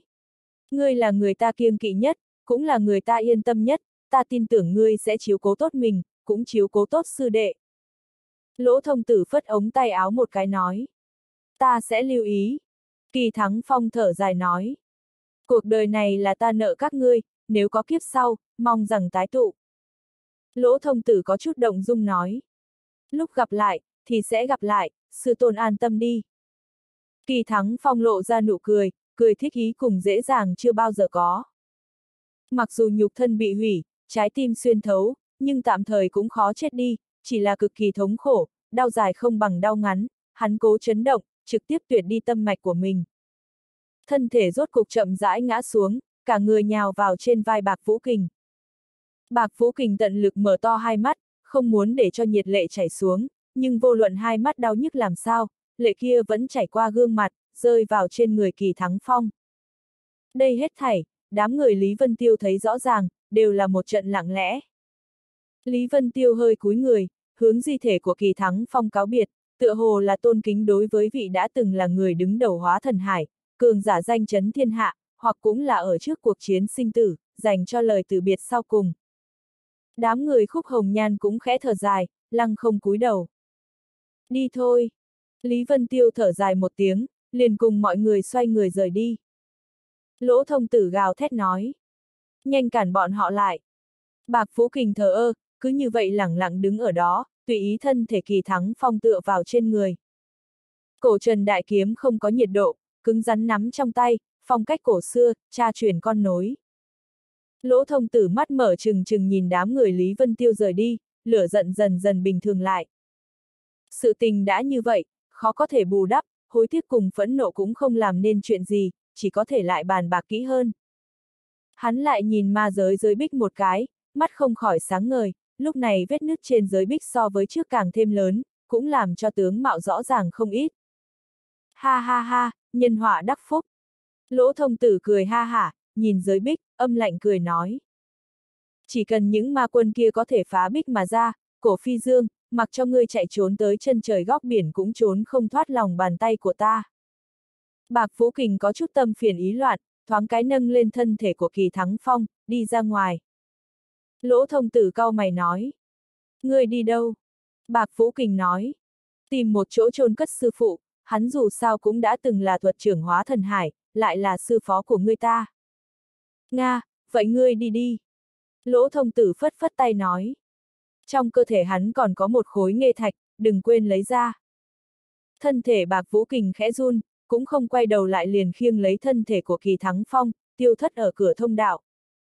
Đám người Lý Vân Tiêu từ trong cổ ma tỉnh đi ra, tuy thương thế đầy người, nguyên lực ba động thập phần hỗn loạn, nhưng những người thủ hộ kia không dám ngăn cản, kinh hãi ngắm nhìn, chẳng biết trong đó đã xảy ra chuyện gì. Khúc Hồng Nhan nói, bây giờ đi đâu? Lý Vân Tiêu lắc đầu nói, chẳng biết, trước rời hóa thần hải cái đã. Khúc Hồng Nhan nói, thiên hạ to lớn, nhưng triệt để đắc tội hóa thần hải, mặc dù chưa đến mức không đất dung thân, nhưng chỉ sợ cũng phiền phức lớn, không bằng theo ta lên thần tiêu cung ẩn một đoạn thời gian, đợi vĩnh sinh chi giới mở ra. Lý Vân Tiêu hơi trầm tư một chút nói. Được, trước mắt đi thần tiêu cung. Tất cả mọi người tiến nhập giới thần bia bắt đầu chữa thương, Lý Vân Tiêu tới khu vực truyền tống, muốn mở ra trận pháp đi thông bắc vực. Bởi vì thần tiêu cung phong sơn nhiều năm, truyền tống trận cũng phong bế rất lâu, muốn cùng các nơi trên đại lục một lần nữa liên tiếp, chỉ có thể tuyển trạch một điểm truyền tống gần đây.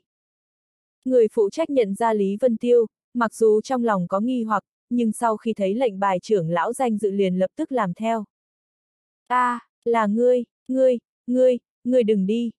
Đột nhiên một tiếng gầm lên giận dữ truyền đến, chỉ thấy một đạo quang mang chạy như bay xuống. Lý Vân Tiêu cả kinh, thầm nghĩ tốc độ nào có nhanh như vậy, vậy mà bắt đầu hạ lệnh truy kích bọn họ.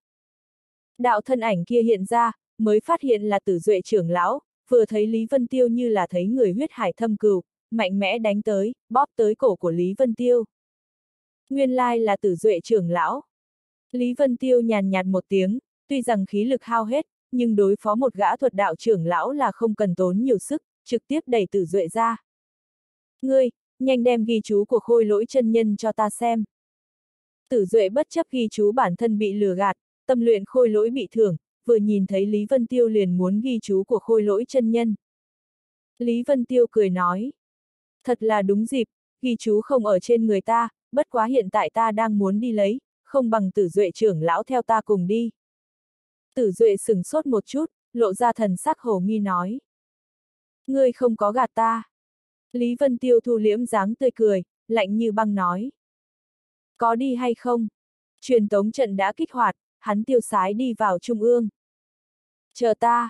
Tử Duệ khẩn trương, rất sợ trận pháp kia khởi động, Lý Vân Tiêu liền đi, vậy đời này liền không còn được gặp lại, hắn thoáng cái liền thuấn di đi qua. Truyền tống trận rất nhanh mở ra, hai người từ từ tiêu thất ở bên trong. Sau chiến dịch ở thông đạo cổ ma tỉnh, lỗ thông tử không có khoa trương, cũng không có phát lệnh truy nã Lý Vân Tiêu, ngay cả thân phận trưởng lão danh dự hóa thần hải của hắn cũng không thu hồi, thật giống như chuyện gì cũng không có phát sinh qua. Biến hóa duy nhất là Bạc Vũ Kình thành phó hội trưởng, mà Thái Thượng trưởng lão Kỳ Thắng Phong lại không có xuất hiện qua.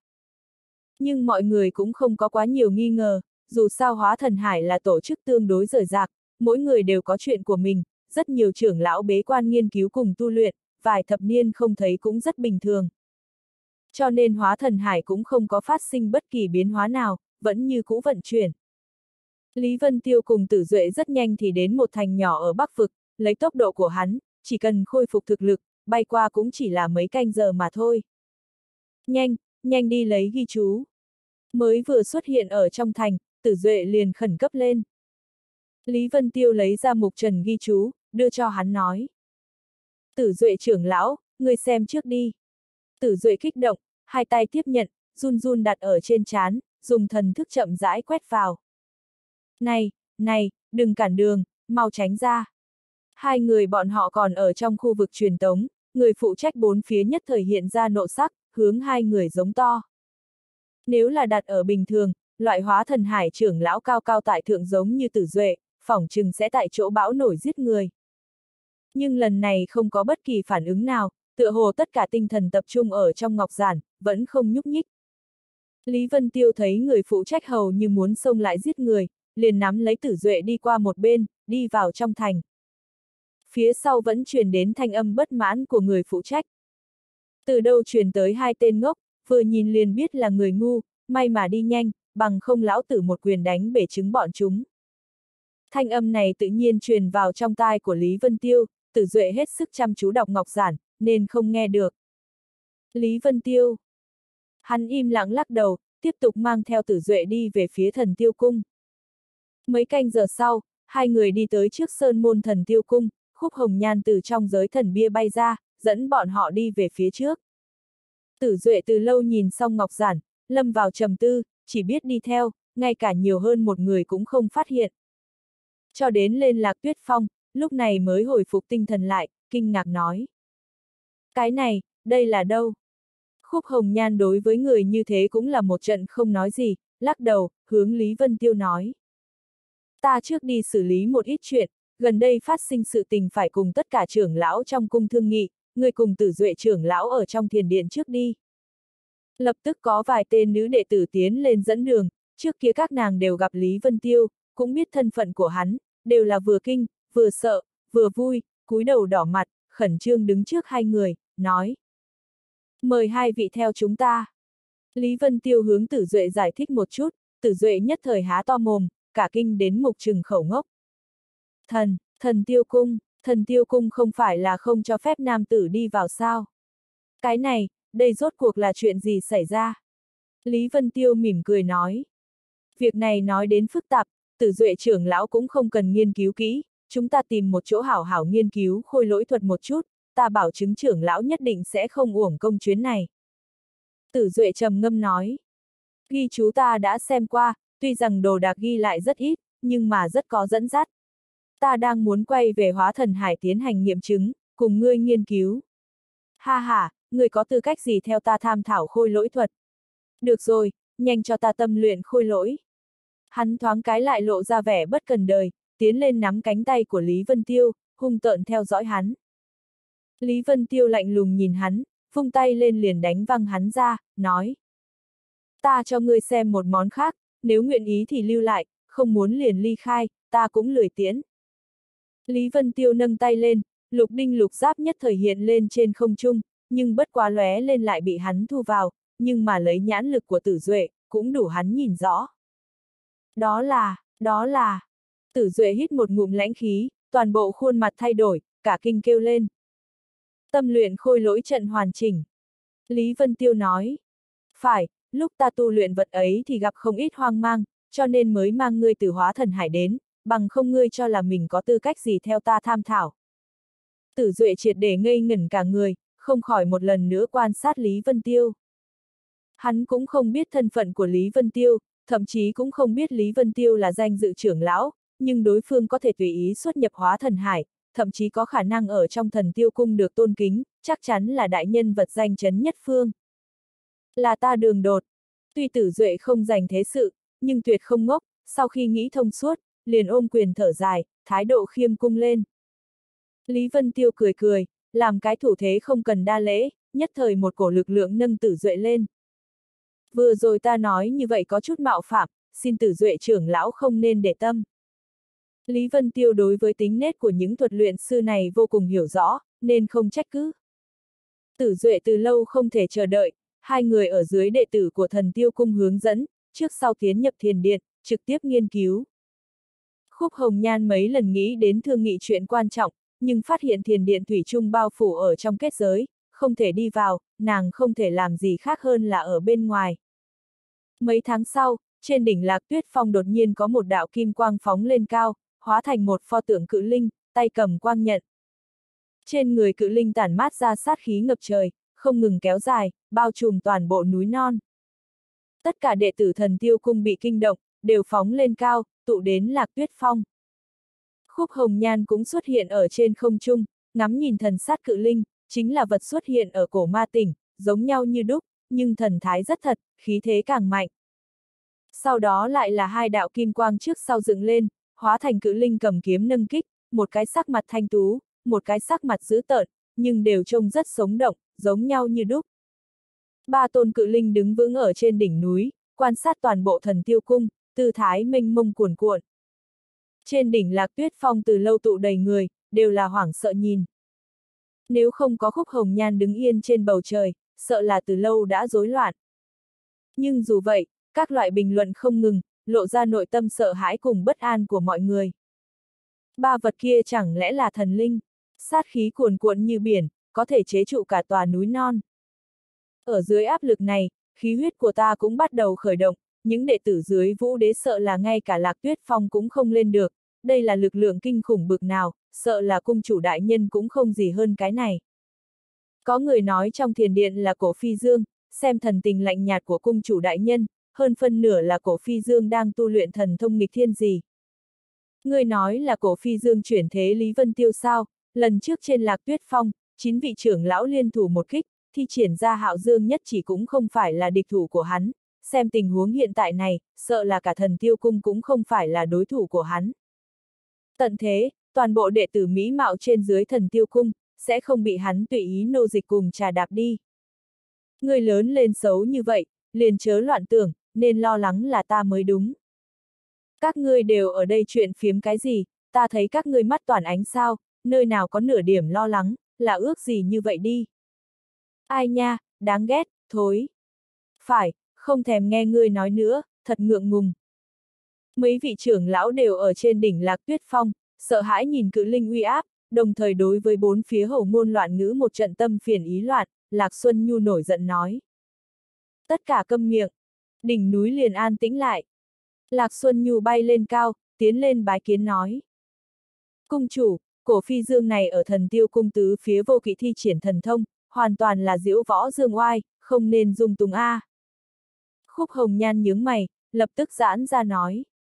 Xuân Nhu trưởng lão nói phải, bản cung cũng phi thường tán thành.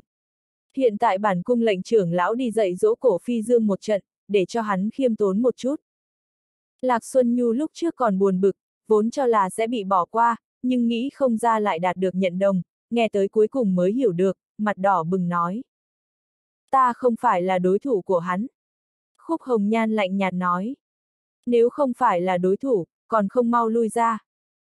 Trong lời nói mang theo một tia khó chịu, Lạc Xuân Nhu lập tức cảm thấy có chút hàn ý, xấu hổ lại tức giận hừ một tiếng, xoay người muốn đi, trong mắt lại đột nhiên sáng ngời, chỉ thấy một lão ẩu lăng không mà đến.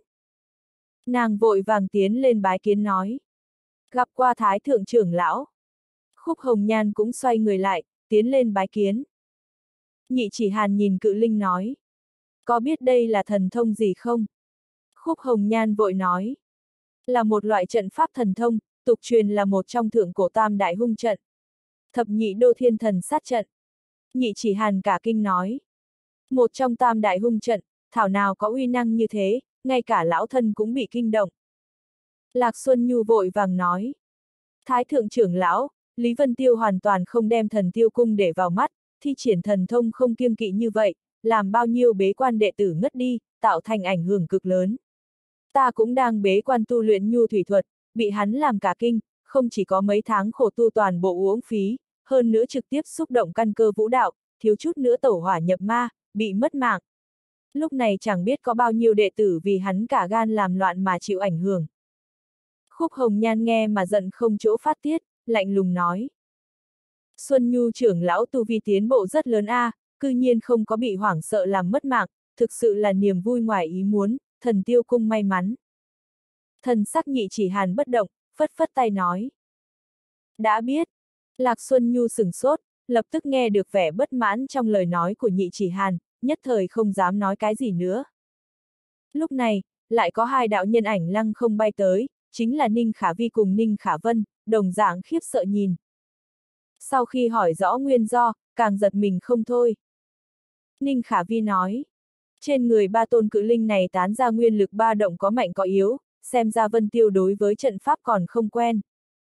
Khúc Hồng Nhan nói, so với thời điểm ở hóa thần hải đã mạnh hơn, khi đó chỉ có thể hiện ra một pho tượng. Đang nói chuyện, ba cự linh đột nhiên nát bấy, hóa thành vô số kim mang, như là hoa tuyết bay xuống, sái hướng toàn bộ núi non. Wow, thật xinh đẹp a! À. Tràng cảnh xa hoa, giống như trong mộng. Tất cả đệ tử thần tiêu cung đều mở to hai mắt, vui mừng nhìn mỹ cảnh, không ít người đưa tay ra đoán kim mang. Đột nhiên một tiếng cười sang sáng từ trong điện truyền ra nói. Ha ha ha, quấy nhiễu chư vị, có chỗ đắc tội. Hai đạo thân ảnh lóe lên, liền xuất hiện ở trước mặt đám người khúc hồng nhan, Lý Vân Tiêu hướng mọi người thi lễ, mặc dù sắc mặt tử duệ cứng ngắc, nhưng cũng hướng về mọi người gật đầu ý bảo. Nhị chỉ hàn cười nói. Chúc mừng phi dương đại nhân, thực lực lần thứ hai để thăng. Lý Vân Tiêu mỉm cười nói. Chút tài mọn mà thôi. Hắn vốn là khiêm tốn mới nói như vậy, nghe vào trong tai tử duệ lại không có tư vị, tức giận hừ nói. Chút tài mọn, hừ. Lý Vân Tiêu đầu đầy hắc tuyến, nhất thời đem tử duệ giới thiệu cho mọi người, nói. Nếu không có tử duệ trưởng lão tương trợ, ta cũng không có khả năng đơn giản nắm những khôi lỗi kia trong tay. Tử duệ hừ nói. Nắm trong tay, người cách triệt để nắm trong tay còn kém xa lắm. Mọi người vừa nghe là trưởng lão hóa thần hải tới, liền bay lên tôn kính, đối với thái độ băng lãnh ngạo mạn của hắn liền không để trong lòng, người hóa thần hải đều như thế, cơ hồ là chuyện thiên hạ đều biết. Nhị chỉ hàn còn theo lễ phép, cùng hắn khách sáo hai câu. Đột nhiên trên bầu trời hiện ra một đoàn hồng vân, từ xa đến gần, trong khoảnh khắc liền đến trên đỉnh núi. Trong mây chậm rãi đi xuống một lão giả, cười nói. Bỉ nhân không mời mà tới, chưa từng thông báo, mong hồng nhan cung chủ thứ lỗi. Lý Vân Tiêu sửng sốt, người tới chính là Nam Khâu Vũ. Khúc Hồng Nhan cũng nhận ra, trong lòng đoán được vài phần, vui vẻ nói. Nguyên lai là Nam Khâu Vũ đại nhân, không có từ xa tiếp đón, mong rằng chớ trách. Nam Khâu Vũ cười nói. Nguyên lai là Vân Tiêu Công Tử cùng Ninh Khả Vi đại nhân cũng ở đây. Vừa rồi ta vốn là muốn thông báo Sơn Môn, nhưng đột nhiên nhận thấy trong núi có uy áp khác thường, thập phần cường đại, còn tưởng rằng đã xảy ra chuyện gì. Cho nên bất chấp thông báo liền bay tới, thật sự là có chút đường đột. Khúc Hồng Nhan mỉm cười nói. Đại nhân đã đến, mời vào trong điện nói chuyện. Nam Khâu Vũ lắc đầu nói. Ai, lão phu không có thời gian, sẽ không nói chuyện phiếm. Lần này đến, là vì nghe nói thần tiêu cung một lần nữa xuất thế, đặc biệt đến đưa thiên tiệm lệnh, muốn mời chư vị đại nhân đi lang hoàn thiên một chuyến. Khúc Hồng Nhan vui vẻ nói. Đa tạ đại nhân. Nam Khâu Vũ nói. Nếu Ninh Khả Vi đại nhân cũng ở đây, vậy thì càng tiện. Hắn phất ống tay áo, bốn đạo quang mang chạy như bay xuống, ba đạo rơi ở trước người khúc hồng nhan, một đạo rơi vào trước người Ninh Khả Vi. Hai người đều tự lấy lệnh bài, Ninh Khả Vi vội hỏi. Đại nhân, thiên tiệm lệnh này có chút quá ít đi. Có thể cho thêm mấy cái hay không? Hắn muốn vì Ninh Khả Vân tranh thủ một khối. Nam Khâu Vũ cười nói. Không ít, không ít. Cũng không đợi hắn trả lời, liền ôm quyền nói. Chư vị tạm biệt. Dứt lời, thân thể liền ẩn vào mây, hà quang lóe lên liền vô ảnh vô tung. Khúc Hồng Nhan nhìn lệnh bài trong tay, xoay người nói. Thái thượng trưởng lão, ba khối thiên tiệm lệnh này làm sao phân phối? Những lời này nhất thời làm tất cả thần tiêu cung trưởng lão động tâm, tất cả ánh mắt đều nhìn sang. Bắc vực tiên cảnh, chính là chỗ thần bí nhất trong tứ đại tiên cảnh, tương truyền là linh sơn bảo địa của thần giới rơi xuống, không chỉ linh khí kinh người, cũng có không ít thượng cổ huyền khí cùng công pháp rơi ở bên trong, nếu như có thể tìm ra, tiền lời cực lớn. Năm đó cổ phi dương đạt được Nguyệt Đồng, tâm tính bắt đầu bạo lệ, tính tình thay đổi thất thường, là Nguyệt Đồng ảnh hưởng hắn, về sau ở trong lang hoàn thiên thu được khuy thiên nhãn thuật, nên đem Nguyệt Đồng trấn áp, để cho mình sử dụng. Võ giả đứng ở đỉnh đại lục, đều hiểu ngoại trừ khổ tu, cơ duyên còn trọng yếu hơn. Cho nên danh ngạch lang hoàn thiên, lập tức làm thần tiêu cung trưởng lão động tâm, hơn 10 ánh mắt nóng rực tụ vào trên ba lệnh bài. Di chỉ hàn nói, Hồng Nhan thân là cung chủ, tự nhiên phải có một danh ngạch. Còn dư lại hai. Một bên Lạc Xuân Nhu liếm môi đỏ mọng một cái, cẩn thận nói. Thái thượng trưởng lão thực lực thông thiên, chính là tư lịch tối cao của bản phái, thực lực mạnh nhất, tự nhiên cũng phải có một danh ngạch. Di chỉ hàn trầm ngâm một chút nói. Ta đối với lang hoàn thiên không có hứng thú, nhưng lần này quan hệ vĩnh sinh chi giới mở ra. Khúc hồng nhan vội nói. Thái thượng trưởng lão tự nhiên nên đi. Di chỉ hàn cũng không chối từ, nhân tiện nói. Còn dư một danh ngạch. Lạc Xuân Nhu vội hỏi. Cái danh ngạch này phải cho người có đức, đối với thần tiêu cung cống hiến không nhỏ, có thể đủ phục chúng trưởng lão. Nga, Xuân Nhu trưởng lão nghĩ người nào thích hợp nhất?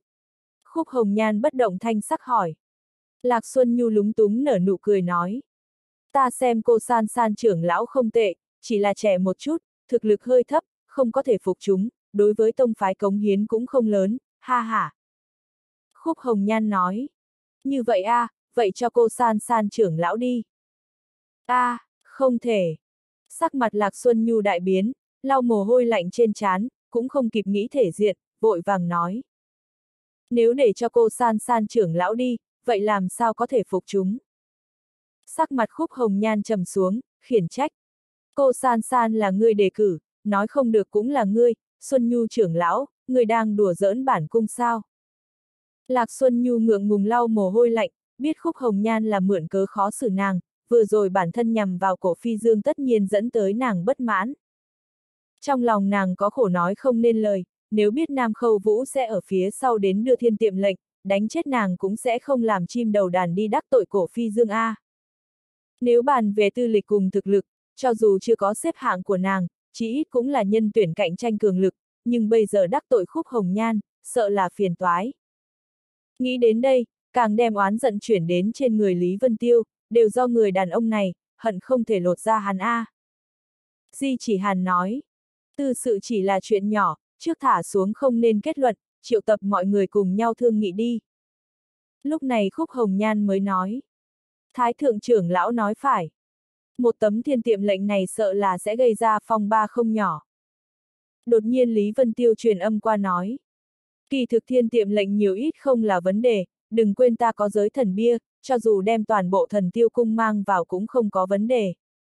Khúc hồng nhan đại hỉ, nhìn hắn, chớp mắt một cái, khuynh quốc khuynh thành. Lý Vân Tiêu bị nàng xem cho tâm thần rung động, cười khổ một tiếng, cũng không biết là khổ hay sướng. Lạc Xuân Nhu thấy phân phối lệnh bài còn chưa kết thúc, lúc này mới thở phào nhẹ nhõm, bắt đầu âm thầm tự định giá, làm sao mới có thể đem lệnh bài kia thu vào tay. Nam Khâu Vũ xuất hiện, làm cho cả đỉnh núi yên tĩnh lại, tựa hồ có tâm tư khác. Lý Vân Tiêu nói, tử duệ trưởng lão muốn về hóa thần hải, hồng nhan người phái mấy cường giả bảo hộ hắn trở về đi. Khúc hồng nhan gật đầu, liền lập tức an bài. Tử duệ trầm ngâm chốc lát nói. Lần trước nghiên cứu ta cũng thu hoạch rất nhiều, nguyên bản định quay về hóa thần hải bế quan tìm hiểu.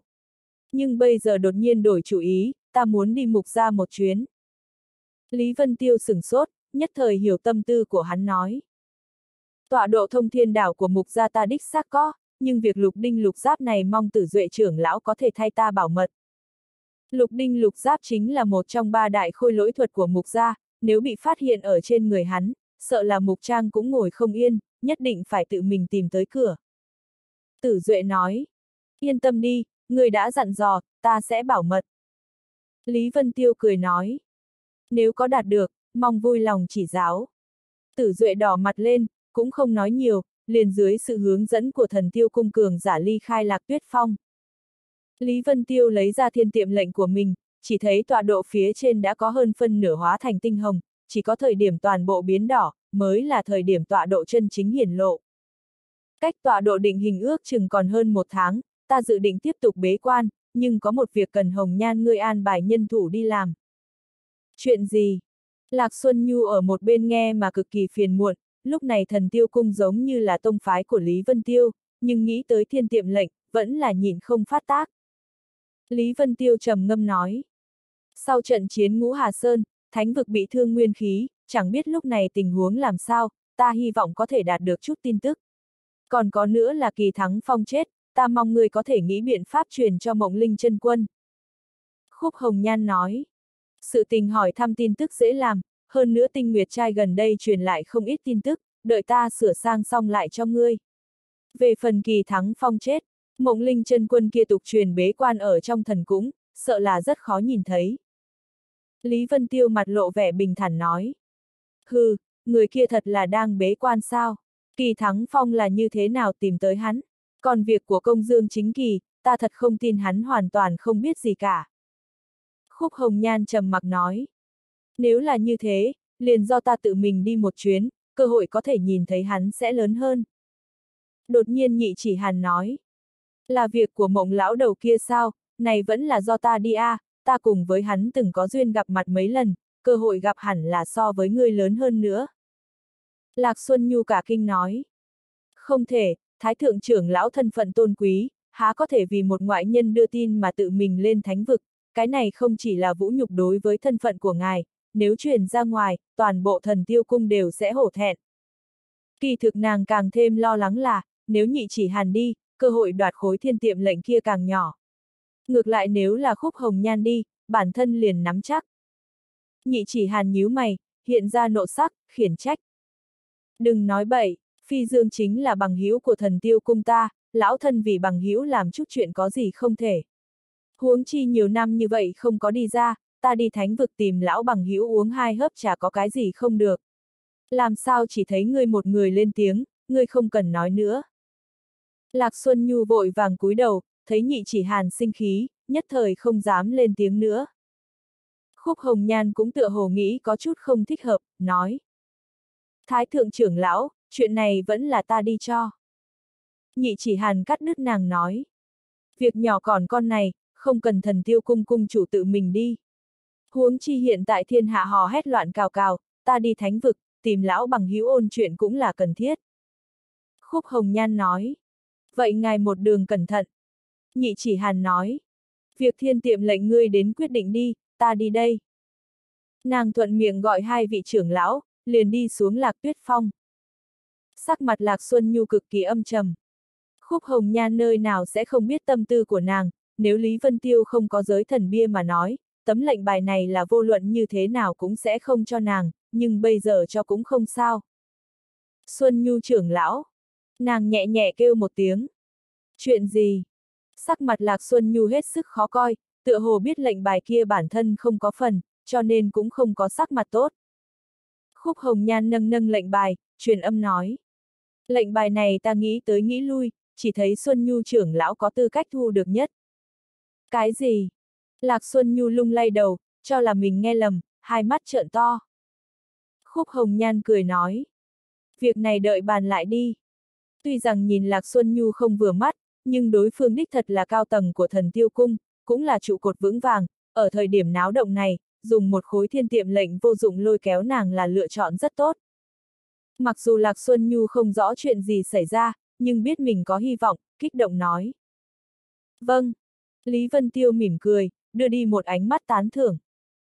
Khúc Hồng Nhan an bài công việc, để cho mọi người ly khai lạc tuyết phong, chỉ còn hai người ở đỉnh núi, xem Vân Hải khắp bầu trời. Lý Vân Tiêu lòng sinh cảm khái, than thở. Có đôi khi thật muốn dừng lại, nhàn vân dã hạc, xem hoa nở hoa tàn, sóng lên sóng xuống. Khúc Hồng Nhan mỉm cười, ỉ ôi ở bên cạnh nói. Tốt, chỉ cần ngươi nguyện ý, ta liền theo ngươi xem mặt trời lên xuống, mặc thế sự tang thương, thời gian trôi qua. Lý Vân Tiêu liếc nhìn lại, chỉ thấy Giang Sơn đại địa vô hạn. Trong lòng khúc hồng nhan nở hoa, ỉ ôi ở bên thân Lý Vân Tiêu. Chỉ mong giờ này khắc này, có thể thiên trường địa cửu. Lý Vân Tiêu ôm nàng vào lòng, nhìn kỹ Nga mi. Lúc này gió núi xe xe, mang theo mùi thơm ngát, thiên địa mở mang, chỉ còn hai người gắn bó. Lý Vân Tiêu nói, nhân sinh trên đời, như phù du chấp ảnh, như phi hồng sương sớm, không cầu vương bá chi đồ, chỉ cầu đạo tâm kiên định, chưa từng có từ trước đến nay, cũng đã đủ rồi. Kiếp này, ta dắt tay ngươi, đi hướng cuối cùng. Trong lòng khúc hồng nhàn ấm áp, nhẹ giọng nói.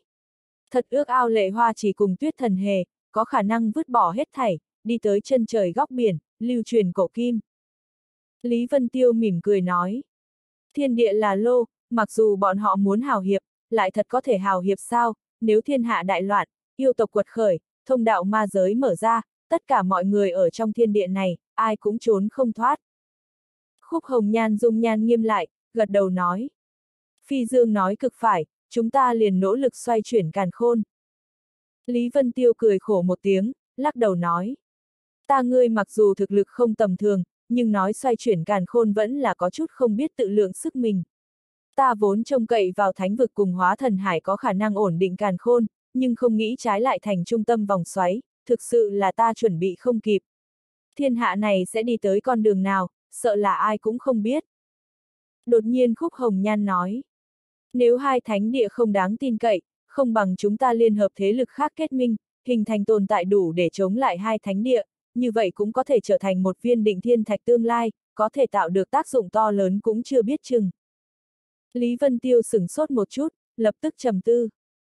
Hắn cho tới bây giờ đều là cô độc, chẳng bao giờ nghĩ tới khai tông lập phái, bây giờ được khúc hồng nhan chỉ điểm thoáng cái, nghĩ cái này cũng có thể xem là một biện pháp tốt. Nhưng mà khai tông lập phái, công việc rất nhiều, cùng tính tình của hắn hoàn toàn không hợp, nhất thời lắc đầu liên tục. Khúc hồng nhan tự nhiên biết tâm tính của hắn, cười nói. Lại không phải muốn người khai tông lập phái, ý của ta là liên hợp chút tông môn, cấu thành kết minh, giống như thương minh vậy. Đến lúc đó lấy phi dương dẫn đầu, hiệu lệnh thiên hạ. Lý Vân Tiêu nói, nếu kết minh, việc này đích xác có khả năng tính được, nhưng hiệu lệnh thiên hạ là không thể làm, cũng không biết kết minh bắt đầu từ đâu. Khúc hồng nhan trầm ngâm, kéo tay nâng cầm, ở trên đỉnh núi bước chậm. Vân Hải chiết xạ quang mang, đem hai người chiếu rọi, như thơ như họa. Lý Vân Tiêu cũng bắt đầu suy nghĩ tỉ mỉ các loại khả năng. Khúc Hồng Nhan nói, toàn bộ thiên hạ, cách cục vẫn là lấy hai thánh địa dẫn đầu, bảy đại tông môn làm căn cơ.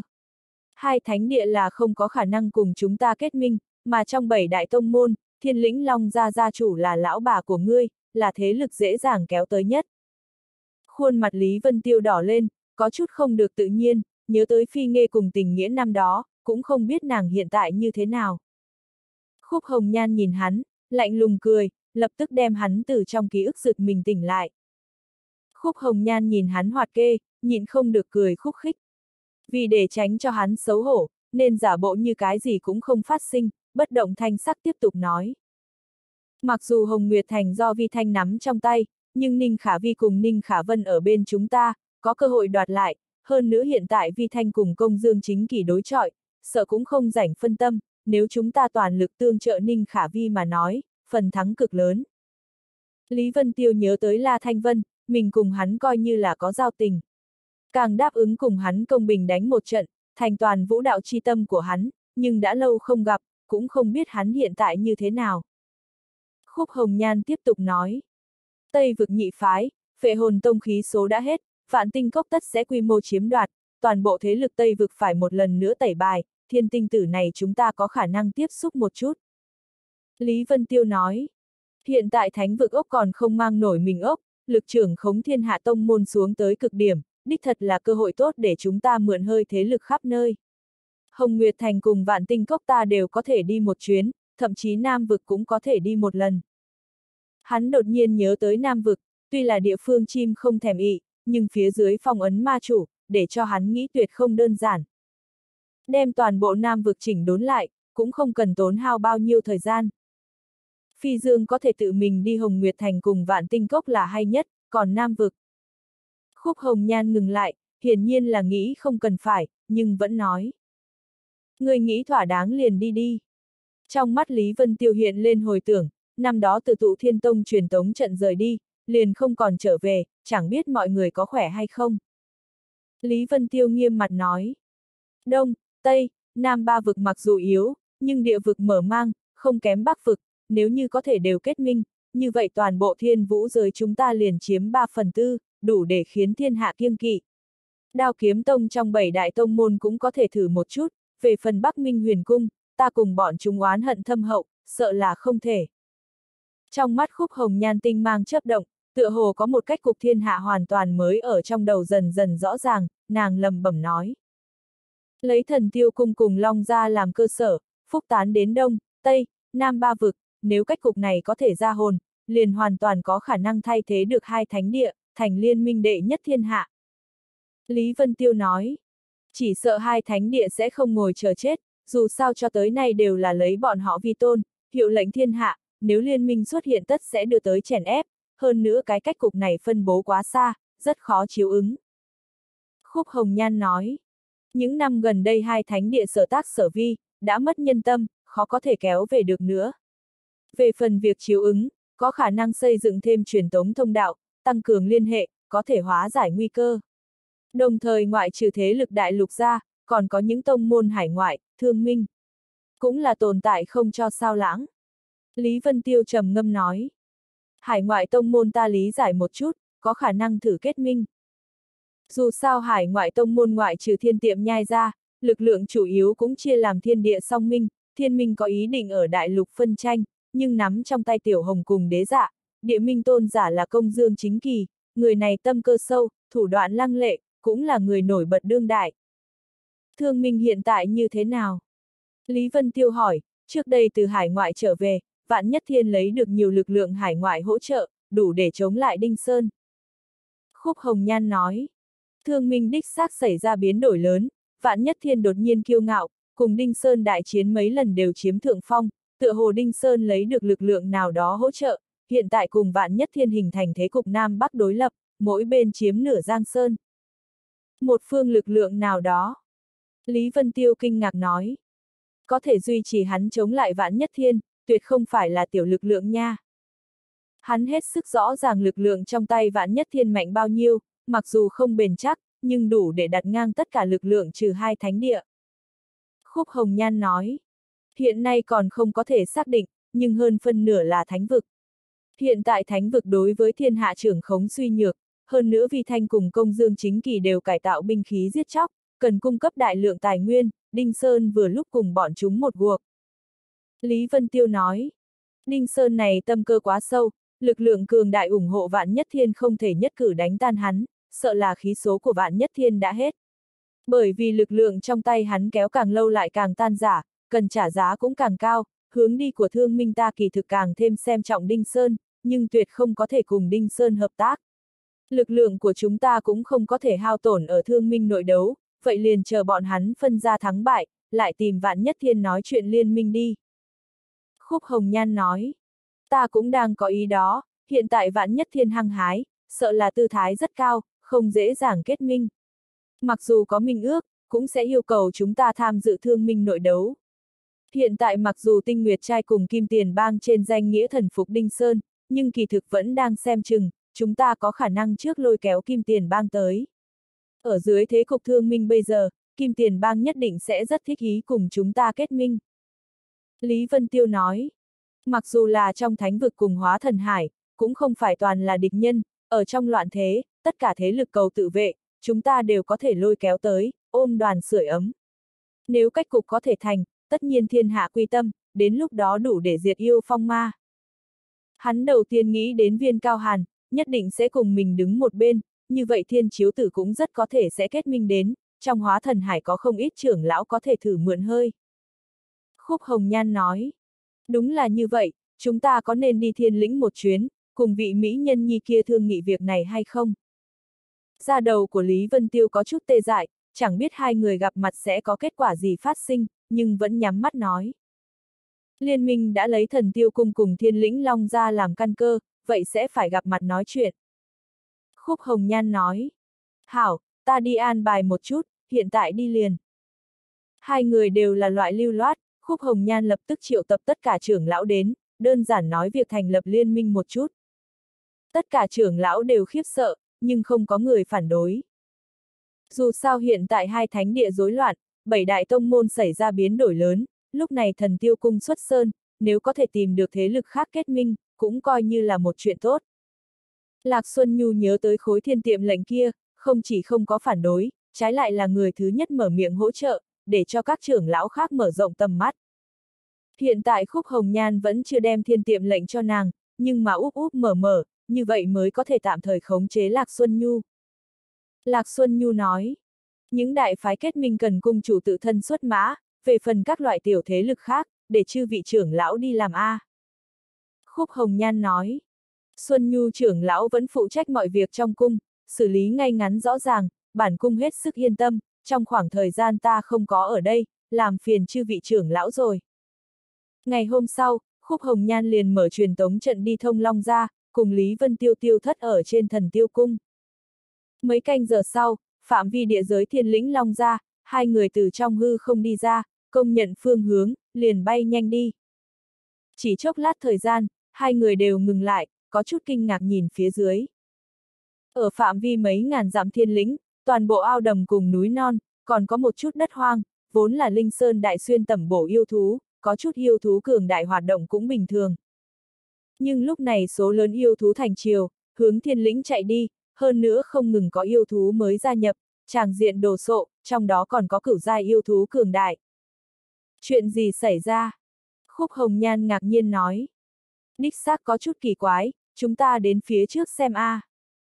Không chỉ có tẩu thú phi nhanh, còn có số lớn phi cầm ở trên không trung bay lượn, nhưng mà độ cao phi hành không cao. Thân ảnh hai người lóe lên, hóa thành hồng quang, như thải hồng lăng không mà đi. Trong sát na liền bay ra mấy trăm dặm, cảnh tượng phía trước càng làm bọn hắn thất kinh. Trong mây, thiên lĩnh liền ở phía xa có thể thấy được, mà trong trăm dặm bốn phía, rậm rạp chẳng chịt đều là yêu thú, chừng hơn 10 vạn con, chỉ là chàng diện liền làm ra đầu tê dại, miễn bản yêu khí ngập trời, trực tiếp xông lên Vân Tiêu. Lý Vân Tiêu cả kinh nói. Yêu thú vây công thiên lĩnh, cái này, tại sao có thể như vậy? Khúc hồng nhan cũng là hoa dung thất sắc, loại tràng diện này mặc kệ người nào thấy cũng sẽ sợ. Kết giới phòng ngự của thiên lĩnh từ lâu mở đến cực hạn, đem tất cả yêu thú ngăn ở bên ngoài, nhưng dưới công kích không ngừng, không gian kết giới hoảng động, sợ là khó tồn tại lâu. Lý Vân Tiêu tỉ mỉ nhìn lại, những yêu thú này đủ loại, còn có nhiều loại không nhận biết cũng ở bên trong, tựa hồ có tổ chức vọt tới, không ít đê dai trực tiếp bị đạp chết. Hả? Hắn đột nhiên sửng sốt một chút, đồng tử co lại, ở trong đàn yêu thú kia, địa phương cách thiên lĩnh hơn 10 dặm, lại có vài tên nhân loại kết trận, đang cùng yêu thú chiến đấu. Đồng thời trong những người kia có một vị hắn vẫn nhận thức. Những yêu thú kia tựa hồ không có ý cùng bọn chúng tranh đấu, đại thể là thời điểm đi ngang qua tiện thể công kích vài cái, bằng không mấy người kia sớm bị đạp thành thịt nát, nhưng dù vậy, cũng đã nỏ mạnh hết đà, chống đỡ không được bao lâu. Lần này thực sự phải chết ở nơi đây a, à, thân là võ giả, chết trong tay yêu thú, thực sự là không cam lòng. Trong trận một gã nam tử bận huyền bào vẻ mặt cười khổ, trên người đều là huyết.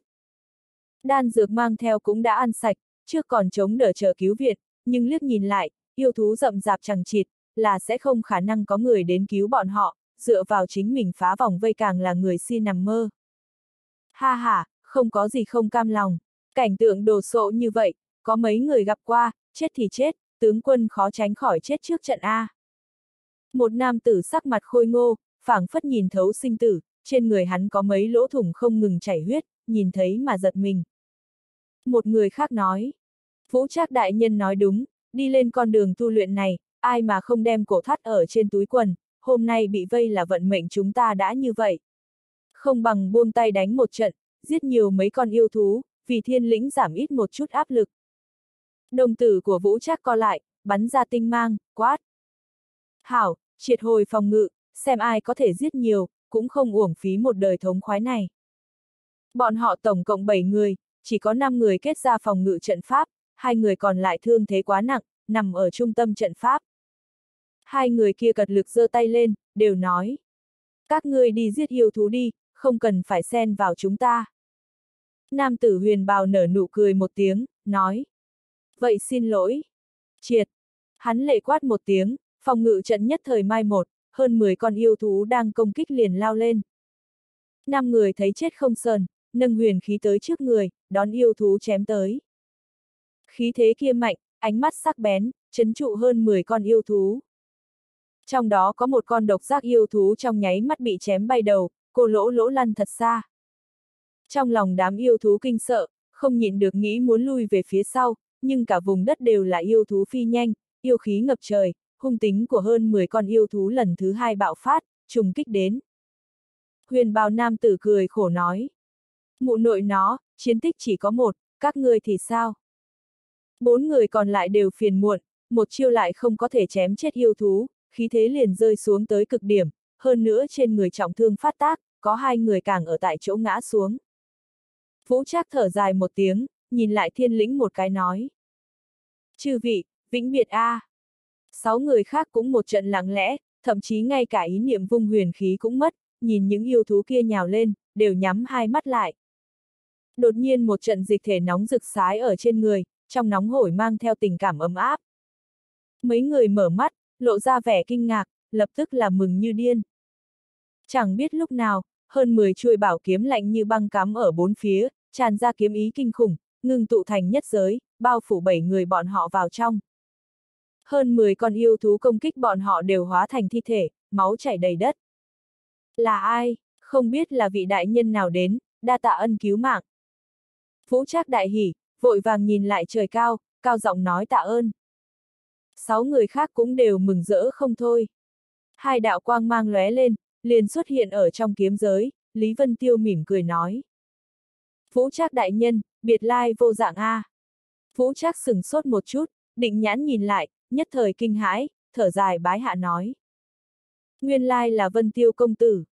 Trong lòng hắn dâng lên cơn sóng gió động trời, nghĩ không ra người xuất thủ sẽ là Lý Vân Tiêu. Năm đó tiên cảnh của đông vực tiên cảnh mở ra, hắn lần đầu tiên tiếp xúc Lý Vân Tiêu, hai người ở trong tiên cảnh nhiều lần tiếp xúc, có thể nói không phải địch không phải bạn, không có giao tình gì, nhưng cũng không có kết thành hận thù. Về sau Lý Vân Tiêu danh tiếng đại thịnh, truyền khắp thiên hạ, rất nhiều sự tích truyền vô cùng kỳ diệu, hắn đều là ôm thái độ bán tín bán nghi. Thậm chí về sau Long ra biến đổi, Phi Nghê trở thành gia chủ, có người nói cũng là người này xuất lực rất nhiều. Vũ Trác vẫn luôn rất khó đem Lý Vân Tiêu năm đó cùng Lý Vân Tiêu danh khắp thiên hạ liên hệ với nhau, lúc này vừa thấy, một cổ khí tức khó lường cùng tư thái phong khinh vân đạm, nhất thời để cho hắn hiểu được, hai Lý Vân Tiêu đích xác là một người. Sáu người khác sau khi ngắn ngủi suy ngẫm, cũng nhất thời nhớ ra, vội vàng tiến lên bái kiến. Lý Vân vung tay lên, nhất thời có một cổ lực lượng như nước đáng xuất, nâng mấy người dậy, lúc này mới nói. Đây là có chuyện gì? Vũ Trác trầm tư, trên mặt lộ ra ngượng nghịu, nhìn mấy đồng bạn một cái. Huyền bào nam tử nói. Ta từng nghe nói Vân Tiêu công tử cùng gia chủ quan hệ không cạn, việc này cũng có thể cho biết. Lúc này Vũ Trác mới nói. Ai, căn nguyên việc này đều là do một hồi thí nghiệm A. Trong lòng Lý Vân Tiêu khẽ động, tựa hồ nghĩ tới điều gì, sắc mặt nhất thời trầm xuống. Vũ Trác nói. Sau khi phi nghe tộc trưởng kế vị, tùy ý không mục kiệt tiến hành huyết mạch khai phá cùng nghiên cứu, trong ngắn hạn đem thực lực toàn bộ long ra để thăng mạnh, nhưng đối với rất nhiều võ giả tạo thành tổn thương không thể bù đắp. Trên mặt bảy người đều lộ ra thần sắc vừa thương vừa sợ. Vũ trác tiếp tục nói. Phàm là huyết mạch cô động thành công, trong ngắn hạn thực lực bạo tăng, mà thất bại, nhẹ thì đoạn tiền đồ, không tiến thêm tấc nào nữa, nặng thì thực lực rơi xuống, vĩnh viễn không có ngày trở lại.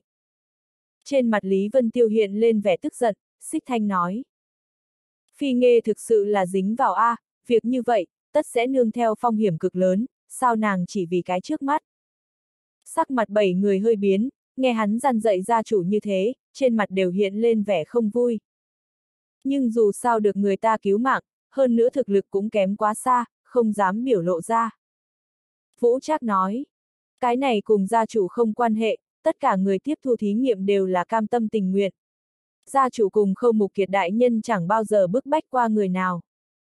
Lý Vân Tiêu cười lạnh nói. Có thể không cần tốn nhiều sức bạo tăng lực lượng, đối với con sấy người mê hoặc có thể thấy được lốm đốm, có bao nhiêu người có thể kháng trụ nội tâm tham lam. Vũ Trác cũng có chút không hài lòng nói. Mọi người đều là người trưởng thành, phải đối với hành vi của mình phụ trách, chỉ cần không có người bức bách, bản thân phải gánh lấy hậu quả. Sáu người khác cũng gật đầu nói phải, lên tiếng ủng hộ Vũ Trác. Lý Vân Tiêu thấy thế, liền không có hứng thú cho ý kiến, để cho hắn nói tiếp.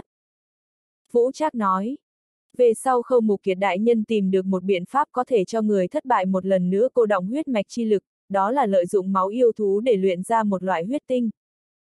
Huyền bào nam tử nói, đây không thể nghi ngờ là tin vui lớn, đối với toàn bộ long gia thậm chí thiên hạ đều có tác dụng cực kỳ trọng yếu. Lý Vân Tiêu bất động thần sắc nói, Nga, thành công không? Hai mắt phú Trác tỏa sáng, có chút kích động nói. Tự nhiên thành công, nhưng mà tinh luyện loại huyết tinh này xác suất thất bại rất cao, cần rất nhiều yêu thú, cho nên toàn bộ Long Gia cũng bắt đầu xuất động tấn công yêu thú. Lý Vân Tiêu kinh ngạc nói. Nói như vậy, những yêu thú này là tới trả thù. Vũ Trác lắc đầu nói.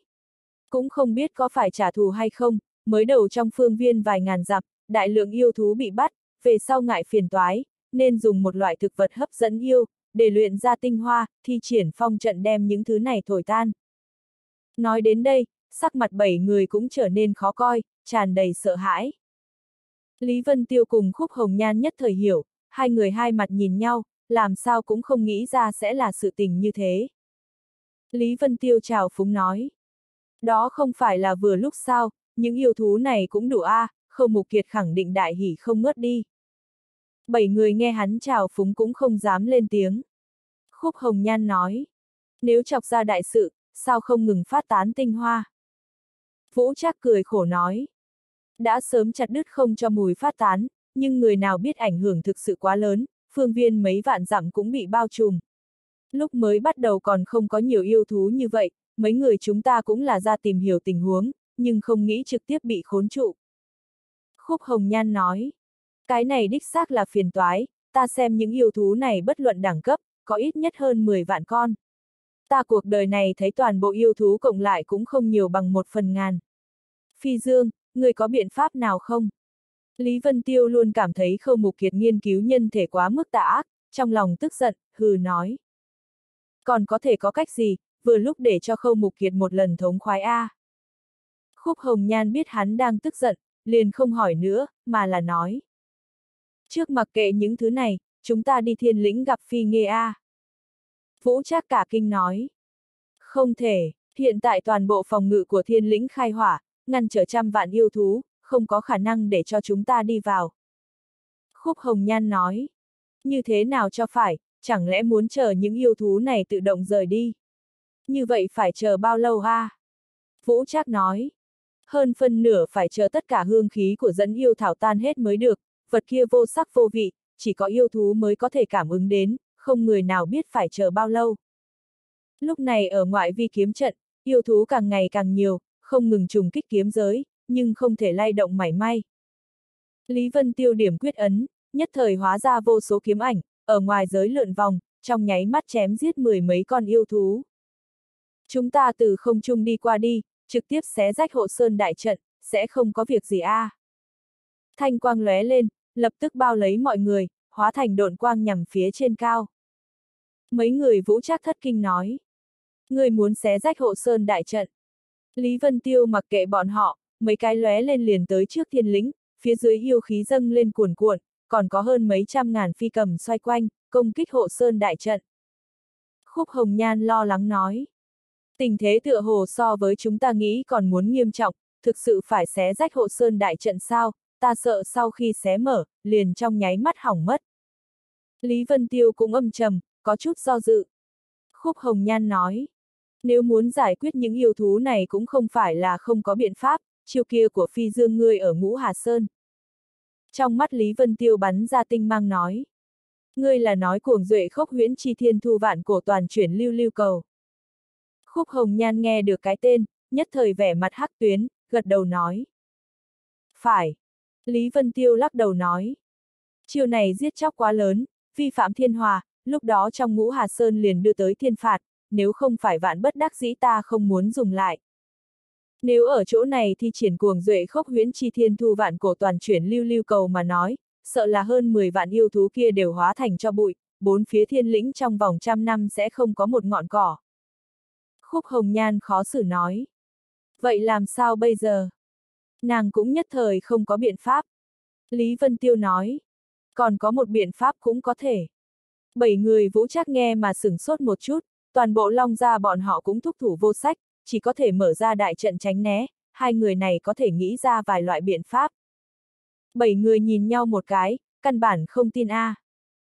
Đột nhiên một đạo nhân ảnh từ trong cơ thể Lý Vân Tiêu vọt ra, khí thức cường đại tản ra, chấn đến bảy người sắc mặt đại biến, kinh hãi không ngớt. Khúc Hồng Nhan cũng nghe Lý Vân Tiêu nói qua việc yêu long, biết người trước mắt này là Sa Vưu. Sa Vưu cùng Lý Vân Tiêu tâm ý tương thông, lập tức minh bạch ý tứ của hắn, lông mày nhướn lên nói. Ngươi là nói Long Uy. Lý Vân Tiêu nói. Phải, nhưng mà những yêu thú này nhiều lắm, chỉ là Long Uy sợ còn chưa đủ. Bằng không trong thiên lĩnh người mang Long chi huyết mạch khá nhiều, sao lại bó tay, ngươi có nhớ lúc ở Tống Nguyệt Dương Thành, chiêu mà nhuận tường dùng để áp chế mọi người không? Trong mắt Sa Vưu chấp động tinh quang nói. Hiểu rồi. Hai tay hắn ở trước người kết ấn, mười ngón tay xòe ra, như là một long thủ hàm chứa long châu, long uy minh mông ở trên người Sa Vưu nổ lên, như là đá lớn đập vào trong nước, sóng gợn trào ra đại địa. Chân long thán tức, long uy như mưa sái hướng đại địa, như là hải dương cuồn cuộn, điên cuồng chút xuống, toàn bộ bầu trời phát sinh xoay chuyển, như là có vạn long phi nhanh. Bảy người vũ trác đứng mũi chịu sào, sắc mặt đại biến. Vài tên thụ thương nghiêm trọng đầu óc ông ông, tại chỗ chấn thổ huyết ngất đi. Lý Vân Tiêu vỗ một cái, một đạo phòng ngự bao bọn họ lại, tránh bị Long Uy tập kích. Yêu thú ở phía dưới phát sinh tiếng kêu rên kinh thiên, các loại tiếng kêu thảm thiết không ngừng, tất cả đều phủ phục xuống. Ở dưới Long Uy chấn áp, tất cả yêu khí không còn sót lại chút gì, liếc nhìn lại, toàn bộ yêu thú phủ phục trên đất, thân thể lạnh run. Hộ sơn đại trận của thiên lĩnh giảm bớt áp lực, từ trạng thái vặn vẹo thoáng cái khôi phục nguyên trạng. Trong lúc nhất thời bầu trời yên tĩnh trở lại, chỉ còn lại có thanh âm yêu thú run lẩy bẩy, tràng diện cực kỳ chấn động. Sau đó Lý Vân Tiêu mở miệng, bật hơi ra, một đạo long ngâm chấn cửu thiên, hóa thành vô số âm ba sái hướng đại địa. Sa vưu thu hồi long uy, nhất thời ùng ùng vang dội, cả vùng đất run rẩy, hơn 10 vạn yêu thú sợ hãi bôn đào. Nửa nén hương thời gian, cả vùng đất một mảnh hỗn độn, toàn bộ yêu thú chỉ lưu lại dấu chân, ngoại trừ mấy nghìn con bị đạp chết, thì không có bất luận yêu thú nào còn sống. Tràng diện này để cho mấy người vũ chắc nhìn trợn mắt hốc mồm, giống như trong mộng, mấy người đều vỗ vỗ đầu của mình, xác nhận có phải thật hay không. Lý Vân Tiêu nói, đi thôi, không để cho bọn họ phục hồi tinh thần lại, một đạo thanh quang bao lấy mọi người, hướng hộ sơn đại trận bay đi. Ngoại giới là người phương nào? Trong hộ sơn đại trận cũng phát hiện tình huống của yêu thú, hơn 10 đạo quang mang bay tới, người cầm đầu Lý Vân Tiêu đã từng thấy qua, là một gã trưởng lão gọi Sư Khang Thừa. Sư Khang Thừa thoáng cái liền nhận ra Lý Vân Tiêu, còn có mấy người vũ trác, vui vẻ nói. Vân Tiêu công tử. Lý Vân Tiêu cười nói. Chính là kẻ hèn này, mong mở hộ sơn đại trận, để cho chúng ta đi vào. Trong lòng sư Khang Thừa khiếp sợ không thôi, hơn 10 vạn yêu thú đã lui, hắn vội vàng hạ lệnh thu hồi hộ sơn đại trận, mời đám người Lý Vân Tiêu vào bên trong. Rất nhanh liền có người thông báo, yêu thú chiều rút lui, toàn bộ thiên lĩnh đều là các loại nghị luận, đặc biệt là ngoại vi đệ tử cùng các gia quyến ở sườn núi, cũng thở phào nhẹ nhõm. Nếu hậu sơn đại trận bị công phá, bọn họ là trước hết tài ương. Mấy người vũ trác ở dưới an bài được mang đi chữa thương, Lý Vân Tiêu cùng Khúc Hồng Nhan thì theo sư Khang Thừa lên thiên lĩnh. Trong lòng sư Khang Thừa thất kinh không ngớt, tuy Khúc Hồng Nhan có khăn che mặt, cũng khó giấu tuyệt thế phong tư. Hắn tất nhiên là biết quan hệ của Lý Vân Tiêu cùng Phi Nghê, lần trước mang Thủy Tiên tới, long lanh trong sáng, không nhiễm bụi trần, cũng là nhân gian tuyệt sắc, lần này tựa hồ còn trên Thủy Tiên. Sư Khang Thừa nhất thời lo lắng, dù sao Phi Nghê cũng là đứng đầu long gia, nếu cùng nữ tử khác chung chồng mà nói, đối với thanh uy của long gia tất tạo thành ảnh hưởng vô cùng lớn. Phu quân, mấy người mới vừa bước lên đỉnh núi, Còn chưa tới Long Điện, liền nghe một thanh âm dễ thương, sau đó hồng quang lóe lên, hóa thành hình thái thiên phượng, lần thứ hai hóa ra hình người. Một nữ tử duyên dáng yêu kiều, lung linh như ngọc hiện lên, quần dài như lửa, trước ngực có một cây linh vũ màu đỏ, mình diễm động nhân. Một khi phi nghe hiện thân, liền nhịn không được muốn thân thiết một phen, nhưng bỗng nhiên phát hiện khúc hồng nhan ở một bên, nội tâm không khỏi run lên, khúc hồng nhan cho nàng cảm giác là thanh nhã cao quý, mặc dù có khăn che mặt, cũng khiến nàng tự ti mặc cảm. Phu quân, vị này là... Trong mắt phi nghê ngưng lại, kinh hãi không thôi. Phu quân, chật chật, tên này, phi dương ngươi họ phu sao? Sắc mặt khúc hồng nhan cũng thay đổi, ánh mắt như nước, hàm chứa hàn khí cười hỏi. Trên trán Lý Vân Tiêu chảy ra mồ hôi lạnh, ngượng ngùng nói. Đây là phi Nghe gọi lung tung a. À. Nga, nguyên lai là gọi lung tung. Khúc hồng nhan cười cười, tiến lên dắt tay phi Nghe, tỉ mỉ đánh giá nói. Vị này là Long Gia Gia chủ, hồng nhan chi kỷ phi Nghe của phi dương đi. Quả nhiên là nhân trung Long Phượng, ta nhiều lần nghe nhắc qua ngươi. Khanh khách, tỷ tỷ thật biết đùa muội tử hài lòng.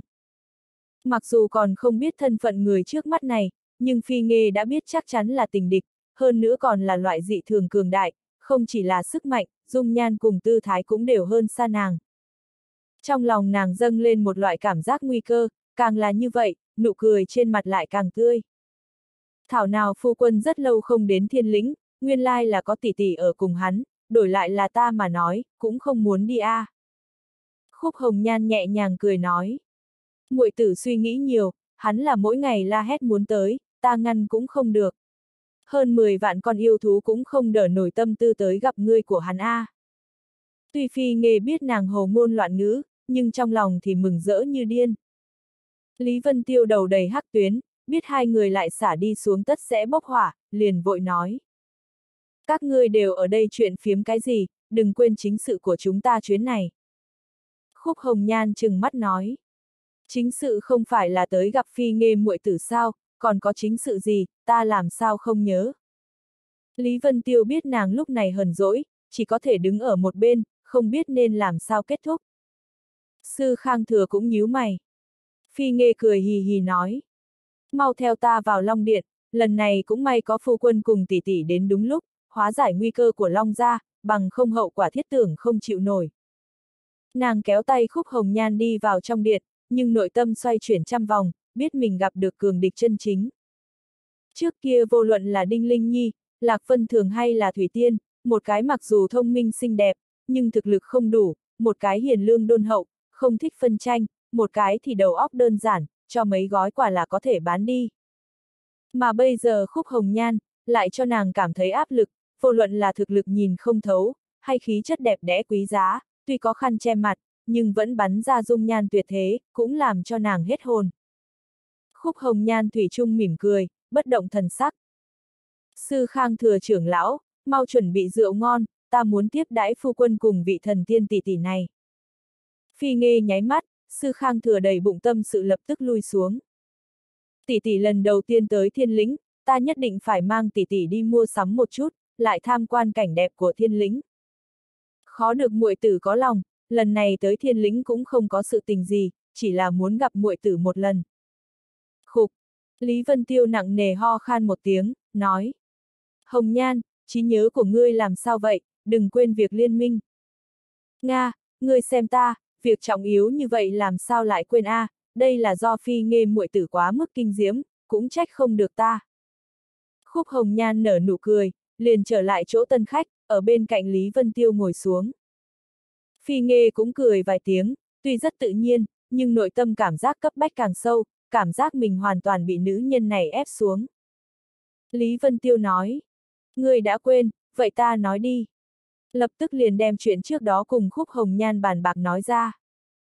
Phi Nghê nghe mà kinh hãi không thôi, mà càng làm cho nàng giật mình là, cô gái trước mắt này là mỹ nữ đệ nhất thiên hạ, thần tiêu cung cung chủ khúc hồng nhan.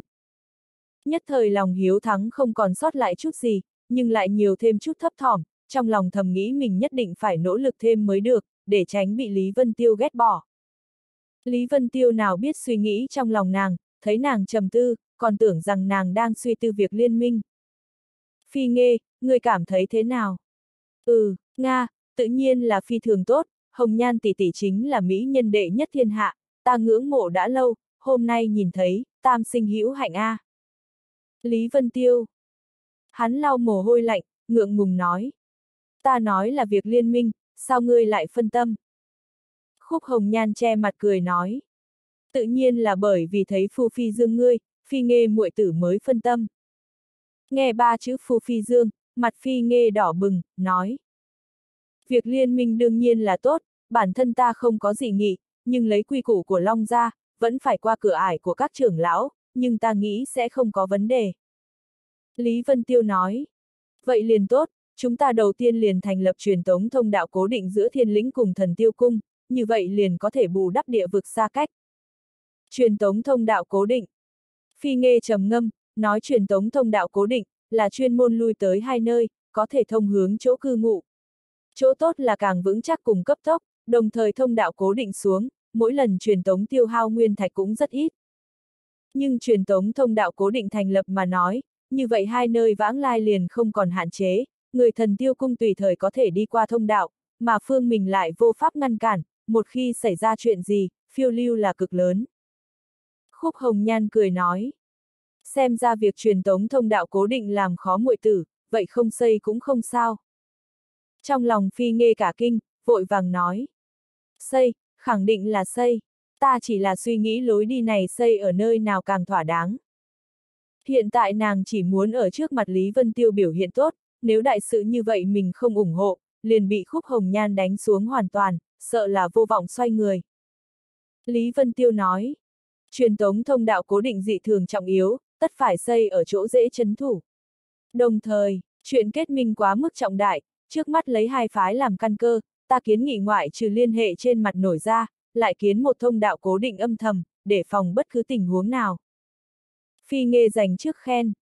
Phu quân lời ấy cực kỳ hữu lý, phải nên như vậy. Khúc Hồng Nhan nhìn nàng một cái, cười cười nói.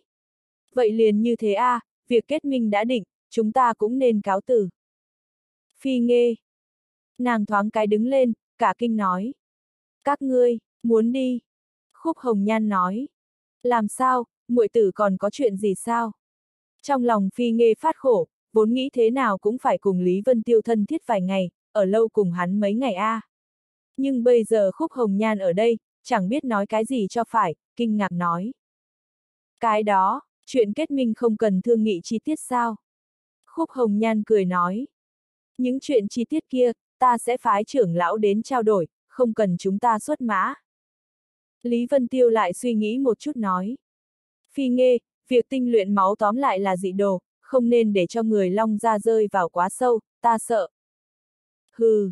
Đột nhiên một thanh âm sẳng giọng truyền đến, đem lời nói của Lý Vân Tiêu cắt đứt.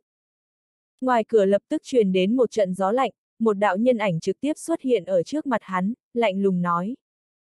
Lý Vân Tiêu, ta biết ngươi sẽ chỉ trích phá hư nghiên cứu của ta. Lý Vân Tiêu cười khổ nói. Chỉ trích thì chưa nói tới, nhưng mà mong ngươi có thể thu liễm một chút, cái gì cũng nên đi vào chính đồ. Hừ, ngươi nói cho ta biết, như thế nào mới là chính đồ. Khâu Mục Kiệt trợn mắt nhìn hắn nói. Ngươi cũng là thuật luyện sư, lại xem nghiên cứu nhân thể là tà đạo, so với ngoại nhân càng ghê tởm. Lý Vân Tiêu ngượng ngùng nói. Đạo không phân chính tà, chỉ có người mới có chính tà. Mà ngươi nghiên cứu để cho bao nhiêu sinh linh bị chết, đã là tà. Ha ha, ấu chỉ. Khâu Mục Kiệt khiển trách. Loại nghiên cứu vĩ đại nào, không phải là kèm theo hy sinh, thậm chí có những thuật luyện sư ngay cả mình cũng hy sinh, ta dùng chút yêu thú có cái gì không được. Lý Vân Tiêu nói, việc này ta không cùng ngươi tranh cãi, đạo bất đồng bất tương vi mưu, chỉ cần ngươi đừng mang long ra vào vực sâu là được. Ha ha, vực sâu. Khâu Mục Kiệt châm chọc nói. Long gia được sự giúp đỡ của ta, thực lực tăng lên không chỉ gấp mấy lần, sợ là trừ hai thánh địa ra, chính là đệ nhất. Lý Vân Tiêu nhíu mi, không hề cải cọ. Ánh mắt khâu mục kiệt lạnh như băng theo dõi hắn, trên dưới quan sát vài lần, con người chấp động lục quang, thoáng cái cả kinh nói. Siêu phàm nhập thánh, ngươi, ngươi đã đột phá tầng gông cùng xiềng xích kia. Lý Vân Tiêu gật đầu nói.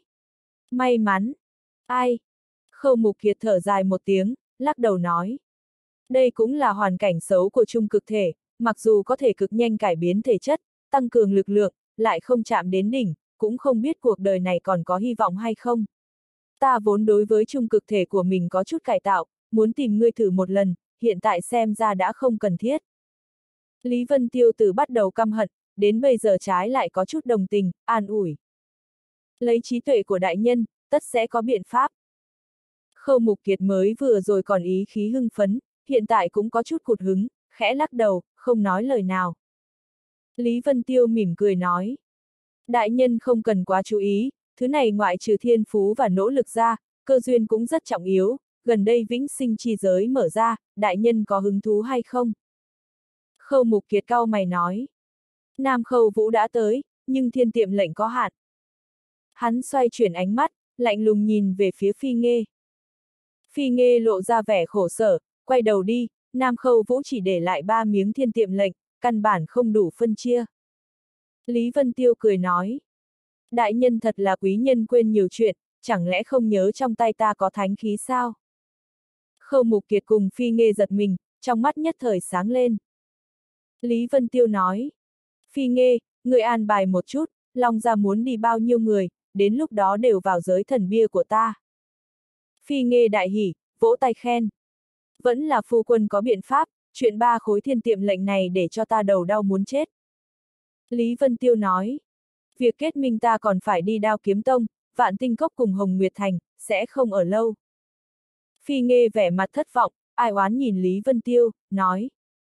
Không thể ở lâu mấy ngày sao, đại sự kết minh cũng không thiếu mấy ngày thời gian a. À. Khúc Hồng Nhan cười nói. Chính là bởi vì đại sự, cho nên mới phải sớm chiều tranh thủ, một chút cũng lãng phí không được. Trong lòng Phi Nghê dâng lên cảm giác vô lực, Khúc Hồng Nhan cho nàng áp lực quá lớn, bản thân tựa hồ từng bước mất đi trận doanh, hoàn toàn không cách nào phản kháng.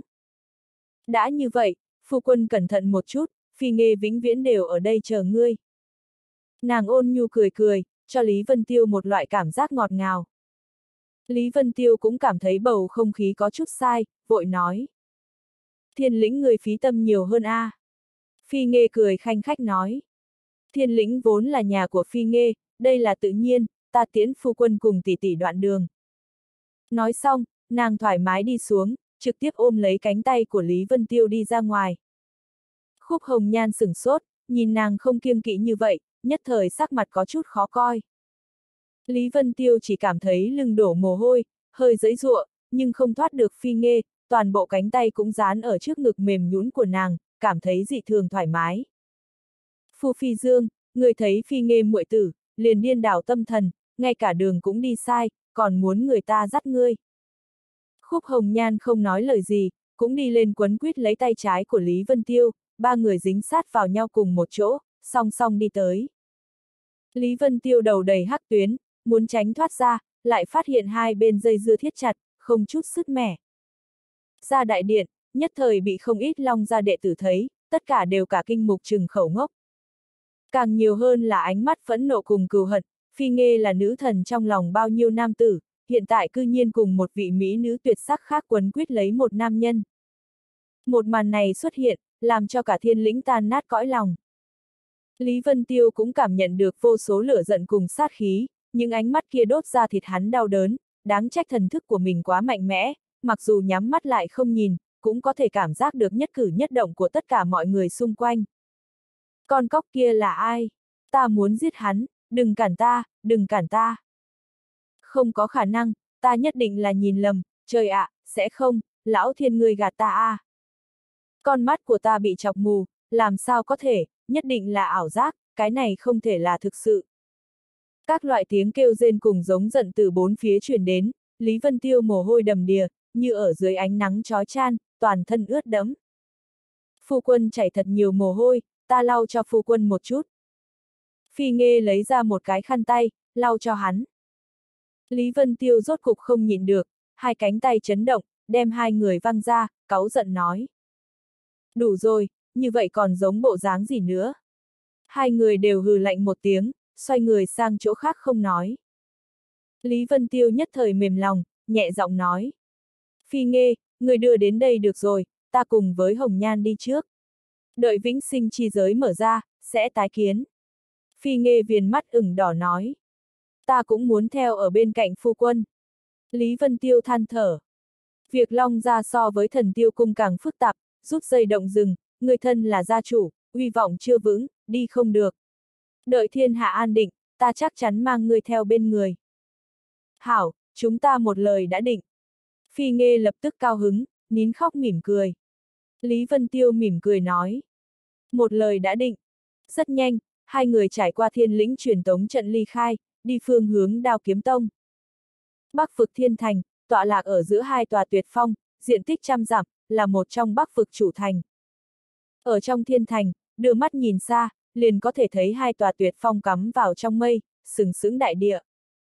Một tòa thon gầy, như thiên kiếm sáp vào đại địa, chính là kiếm phong. Một tòa to lớn hùng vĩ, kéo dài đại khí, giống như thiên đao chỉ thương khung phía xa, chính là đao lĩnh. Kiếm phong đao lĩnh, chính là chỗ đao kiếm tông khai sơn lập phái, bắt nguồn xa xưa, dòng chảy dài, có thể ngược dòng mấy vạn năm, kéo dài không suy. Vị trí địa lý thiên thành dựa vào nó mà kiến, theo núi non hướng bốn phía trải ra, đi lên càng kéo dài đến giữa sườn núi, toàn bộ thành chỉ giống như là cái váy của kiếm phong đao lĩnh, phô khai ở dưới thắt lưng. Hàng năm thiên thành cung phụng cho đao kiếm tông rất nhiều, nhưng mà ở dưới đao kiếm tông che chở, cũng trở thành thành thị yên ổn bình hòa nhất thiên vũ đại lục, trên đường rất khó nhìn thấy dấu hiệu loạn đấu, một mảnh thịnh thế thái bình. Lý Vân Tiêu cùng Khúc Hồng Nhan đi tới thiên thành, liền trực tiếp đi tới kiếm phong. Tên đao kiếm tông ngoại trừ địa hình quỷ phủ thần công ra, cũng bởi vì trong môn phái phân nửa người tập đao, phân nửa người tập kiếm, hôm nay tông chủ Trần Đoạn Thiên là cao thủ trong kiếm, cho nên kiếm phong thành chủ phong đương thời của đao kiếm tông, mà nhân số kiếm tu nhất phái cũng chiếm ưu thế. Hai vị dừng lại, đây là Sơn Môn đao kiếm tông, không được tùy ý đi vào. Ở chỗ chấn thủ Sơn Môn, lập tức có đệ tử của đao kiếm tông ngăn hai người lại, nếu người tầm thường mà nói, đã sớm quát chạy. Nhưng Lý Vân Tiêu cùng Khúc Hồng Nhan đều là khí chất phi phàm, để cho vài tên đệ tử kia không dám chậm trễ. Lý Vân Tiêu nói, vậy làm phiền thông truyền một tiếng, Lý Vân Tiêu tới bái phỏng trưởng môn quý phái. Cái gì, trưởng môn? Vài tên đệ tử cả kinh, càng bắt đầu cẩn thận, một người trong đó nói. Vậy có bái thiếp không? Lý Vân Tiêu nói. Tới vội vội vàng vàng, không có bái thiếp. Đệ tử kia lắc đầu nói. Cái này thì phiền toái, dù sao đao kiếm tông cũng là đại phái danh khắp thiên hạ, không có bái thiếp rất khó thông hành. Đột nhiên trong lòng Lý Vân Tiêu khẽ động, thân thể lung lay, Sa Vưu lập tức xuất hiện ở bên cạnh, mắt nghi ngờ nhìn kiếm phong trong mây. A! À, vài tên đệ tử thấy đột nhiên nhiều hơn một người dọa sợ, hoảng sợ lui về phía sau mấy bước, cũng rút kiếm ra cảnh giác. Sa Vưu đầy mắt đều là vẻ nghi hoặc, nhìn chằm chằm ngọn núi kia nói. Hốt hoảng, gián đoạn, rốt cuộc có phải hay không a? À? Lý Vân Tiêu nói. Ngươi cảm ứng được cái gì? Là sơn thế này tạo hình kỳ lạ sao? Sa Vưu nói. Núi này đích xác kỳ quái, nhưng mà không có gì đáng miệt mài theo đuổi, hơn phân nửa là năm đó hai kiện thần binh lợi khí thất lạc nơi đây, trải qua tuế nguyệt mà diễn biến thành đại địa, loại diễn biến này đã không thể đảo nghịch. Lý Vân Tiêu cười nói. Ta cũng nghĩ như vậy, năm đó ta còn cố ý lén khảo cứu qua một trận, muốn đào ra thần binh lợi khí, nhưng cuối cùng thất bại. Khúc Hồng Nhan nói. Vậy Sa Vưu đại nhân cảm ứng được cái gì, lại để ngươi hoang mang như vậy? Sa Vưu nhìn Lý Vân Tiêu nói.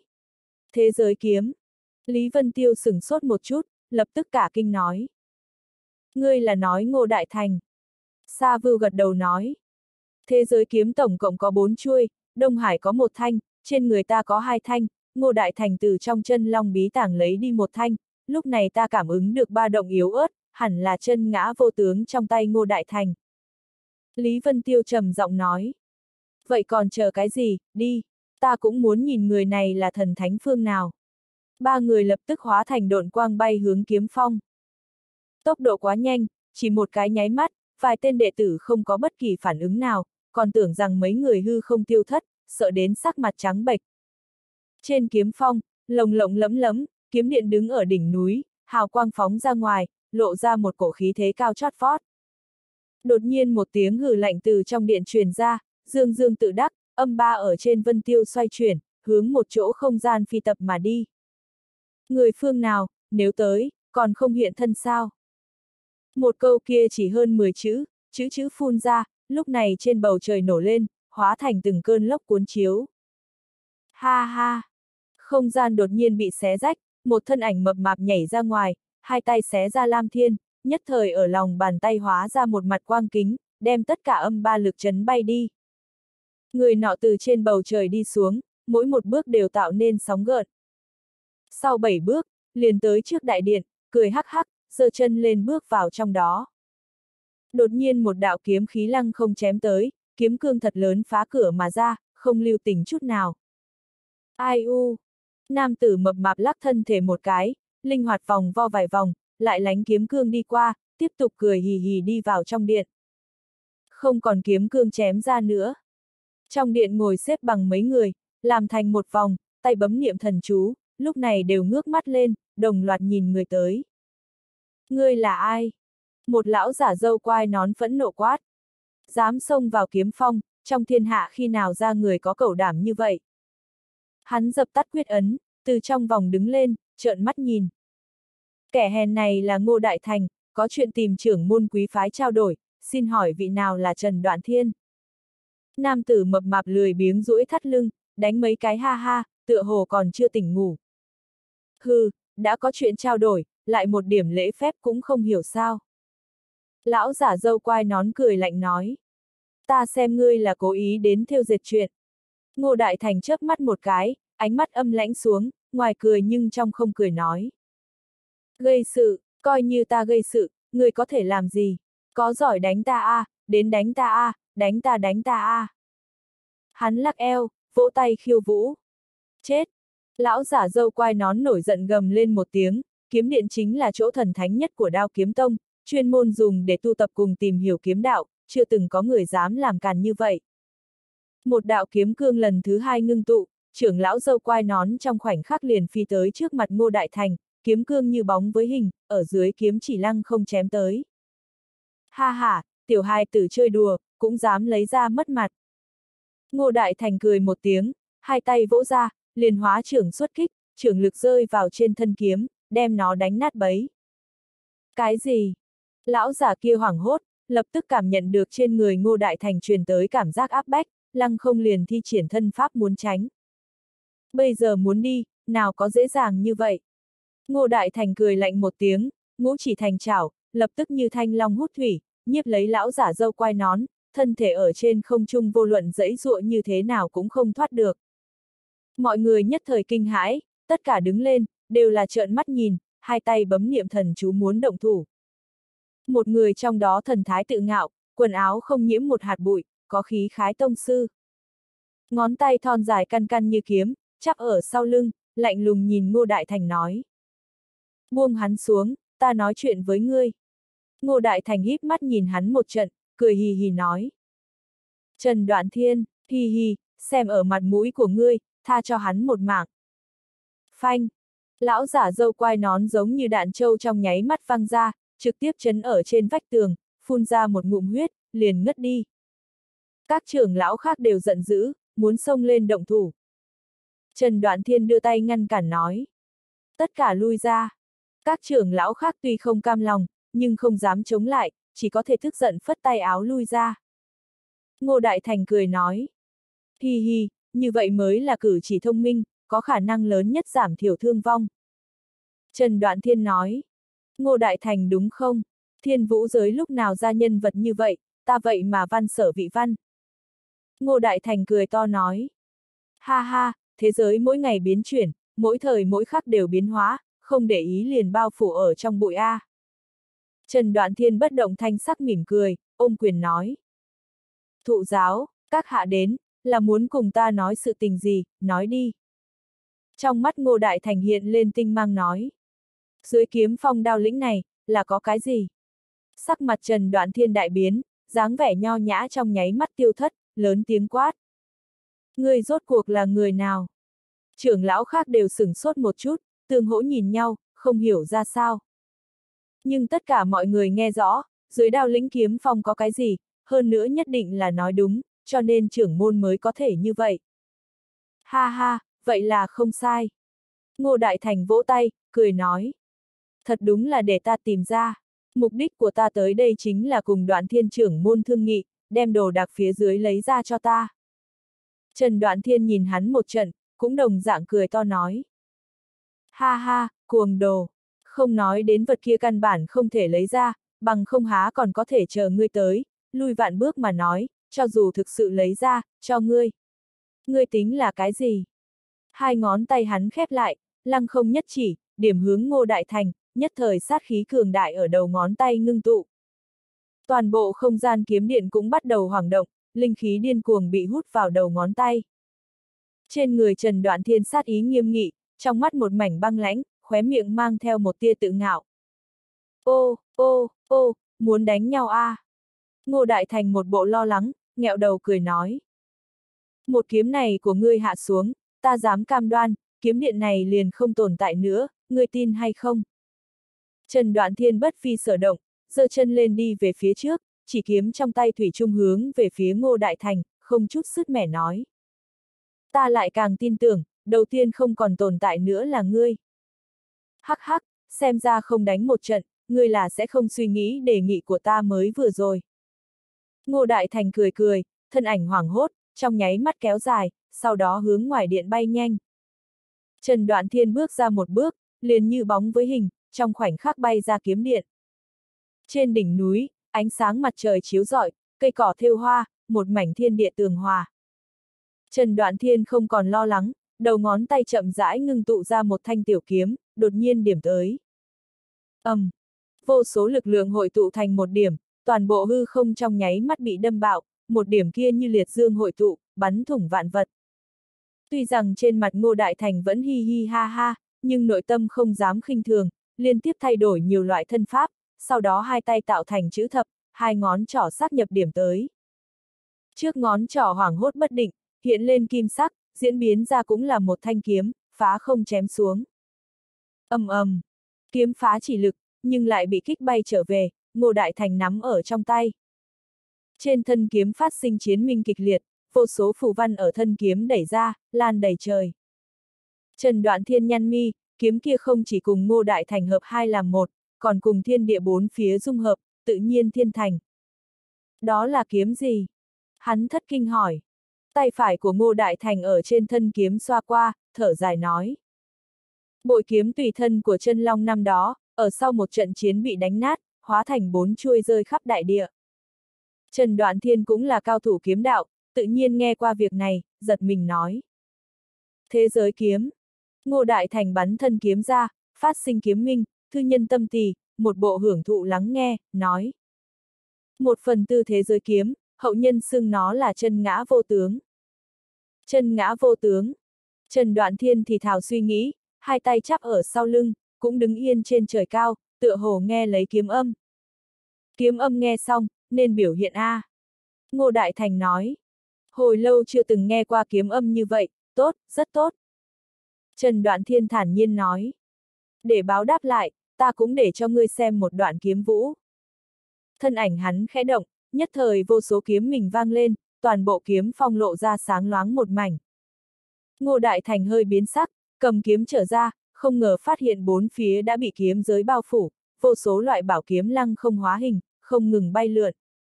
Kiếm vũ phong huy. Thanh âm của Trần Đoạn Thiên lạnh như băng truyền đến, trong thanh âm còn mang theo một tia kích động cùng chờ mong. Hư không không thấy bóng dáng, chỉ có bảo kiếm vô tận bay múa, như là lá rụng, theo gió bay khắp bầu trời. Ngô Đại Thành cầm kiếm quét ngang một vòng, nhất thời hóa ra hai đạo thân ảnh, sau đó ba đạo, bốn đạo. Tổng cộng chín đạo nhân ảnh, mỗi người đều cầm kiếm, múa ra một đạo kiếm quyết. Cửu kiếm đấu hàng vạn hàng nghìn kiếm phong. Vô số kiếm ảnh lộn xộn bắn ra, phát sinh thanh âm kịch đấu thình thịch phanh, kéo dài không dứt. Toàn bộ hư không chỉ nhìn thấy kiếm vũ cùng chín đạo phân thân của Ngô Đại Thành, hầu như ngưng tụ thành nhất thể, bắn ra vô số kiếm khí cùng kiếm quang, đầy dẫy thiên địa. Tất cả trưởng lão trên kiếm phong cũng nhìn mục trừng khẩu ngốc, khiếp sợ không thôi. Kiếm ý của hai người đánh vào nhau, nhất thời diễn hóa ra hàng vạn hàng nghìn ý cảnh, ảo diệu vô cùng. Trong kiếm không chỉ có sâm la vạn tượng, còn có long ngâm hổ gầm, hạc vũ viên hí. Có thể đem kiếm vận chuyển như vậy, cũng chỉ có chiêu kiếm vũ phong huy này. Chỉnh đoạn kiếm vũ rằng có thời gian uống cạn chun trà, mới dần dần suy yếu xuống, phía trước trăm trượng hóa ra thân ảnh của Trần Đoạn Thiên. Sa vưu cuồng tiếu mấy tiếng, ánh mắt trở nên lạnh như băng, từ bên cạnh Lý Vân Tiêu ly khai, Thuấn di tới đối diện Ngô Đại Thành, vây hắn vào giữa, lúc này mới nói. Lần này thật tốt, đem ngươi lột ra đánh cốt, tỉ mỉ nghiên cứu một phen, thật nên mang khâu mục kiệt theo bên người, hắn khẳng định rất thích làm việc này. Ngô Đại Thành nhìn mấy người một cái nói. Xem ra hôm nay muốn lấy vật kia là không thể nào, bất quá bổn tọa đã biết, sớm muộn là vật trong túi ta. Hôm nay đến đây, cáo từ, ha ha. Thân ảnh hắn hoảng động một cái, liền tiêu thất ở tại chỗ. Cáo từ, thiên vũ giới thật không thiếu người hài hước a, loại ngu ngốc nào cũng có. Sa vưu châm chọc một tiếng, một đạo kiếm khí ngang trời quét tới, như cây rừng trùng điệp xanh mướt, sơn ảnh trọng trọng, đem ngô đại thành đè ép thành một điểm. Nhưng hư ảnh này không bị ảnh hưởng chút nào, trái lại lộ ra vẻ cổ quái, muốn biến mất ở trước mắt. Cái gì? Sa Vưu, Lý Vân Tiêu, Khúc Hồng Nhan, Trần Đoạn Thiên đều kinh hãi, kiếm khí kia mạnh, còn mang theo long vực lực, còn áp chế không được người này phá không.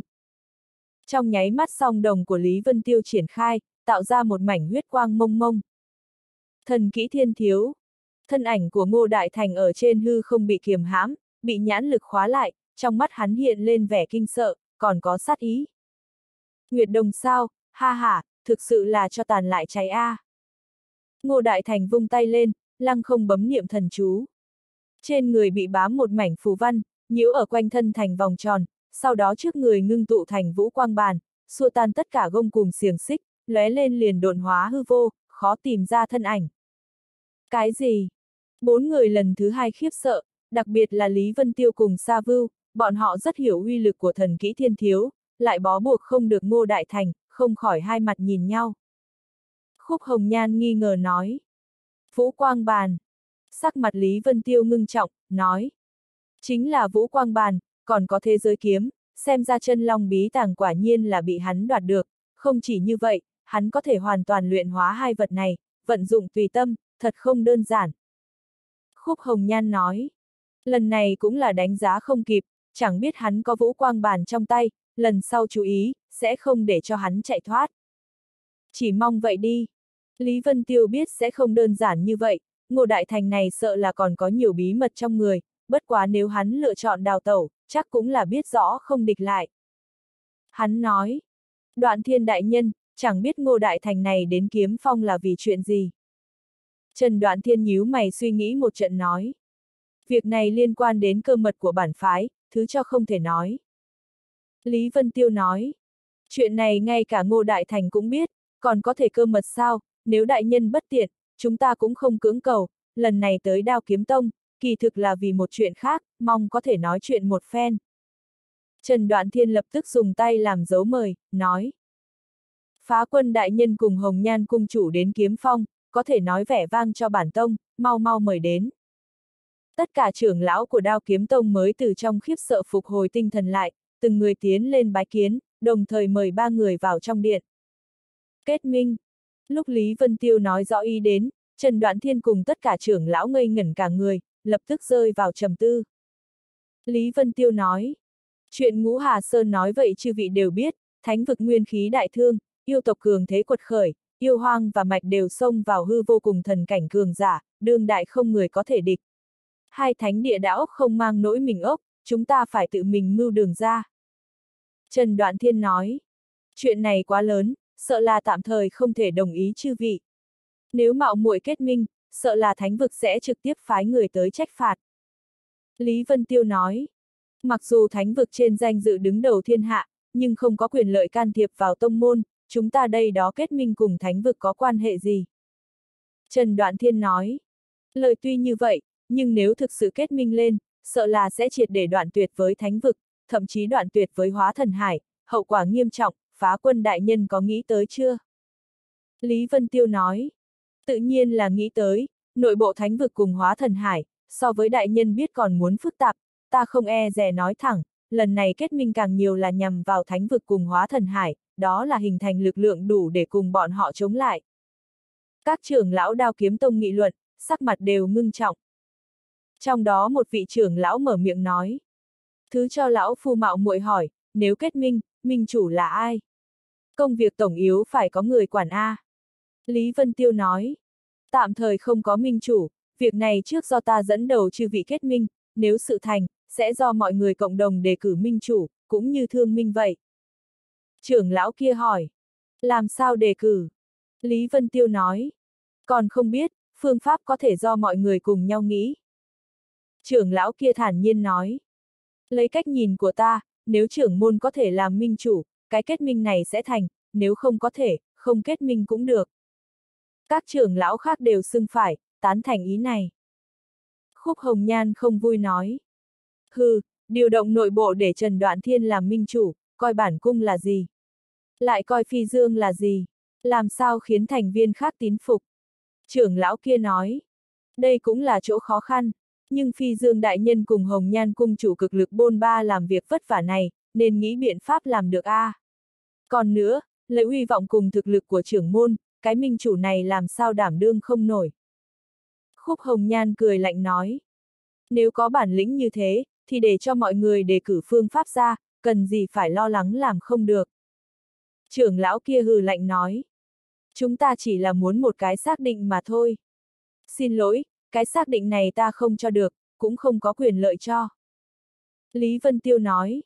Kết minh tôn chỉ là ôm đoàn sưởi ấm, cứu nguy thiên hạ, nếu say mê quyền thế, minh hữu như vậy không có cũng được, quấy giày, xin cáo từ. Lý Vân Tiêu chắp tay, liền xoay người rời đi. Khúc Hồng Nhan cùng Sa Vưu theo phía sau, hiển nhiên là tan rã trong không vui. Trần Đoạn Thiên vội nói. Ba vị dừng lại, vừa rồi đều là chút hồ ngôn loạn ngữ, ba vị đừng để trong lòng, việc kết minh này ta nhất định sẽ thận trọng suy tính. Lý Vân Tiêu nhìn lại nói.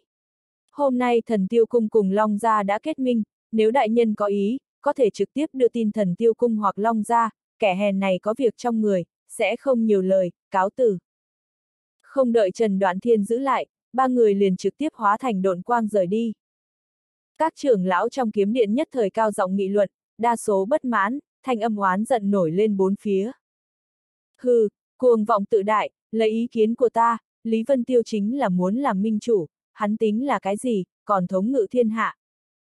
Người nào không biết khúc hồng nhan cùng phi nghê đều là tình nhân cũ của hắn, có thần tiêu cung cùng long ra hỗ trợ, chắc chắn đẩy hắn lên làm minh chủ, cái kết minh này không thể làm, bằng không đao kiếm tông chúng ta sẽ bị nuốt vào. Nhưng phương pháp minh kết này ngược lại không sai, đường kim thiên hạ hỗn loạn không thể tả, không bằng chúng ta cũng lập bang kết phái, tìm những tông môn khác liên hợp lại, nhất định có thể sừng sững không ngã. Việc này nói thì dễ, tìm chút nhị lưu môn phái ý nghĩa không lớn, còn nếu là thất đại phái mà nói, minh chủ vị tất gây ra phân tranh. Các loại nghị luận truyền vào trong tai Trần Đoạn Thiên, làm cho hắn tâm phiền ý loạn, quát. Im miệng hết đi. Toàn bộ kiếm điện an tĩnh lại, tất cả ánh mắt đều nhìn hắn. Một gã trưởng lão lấy dũng khí nói. Trưởng môn nhìn như không vui, chẳng lẽ vì chuyện này phiền não. Cùng lắm thì không kết minh, coi như bọn hắn chưa từng tới, không cần phiền não. Đúng vậy đúng vậy. Người còn lại cũng đều phụ họa.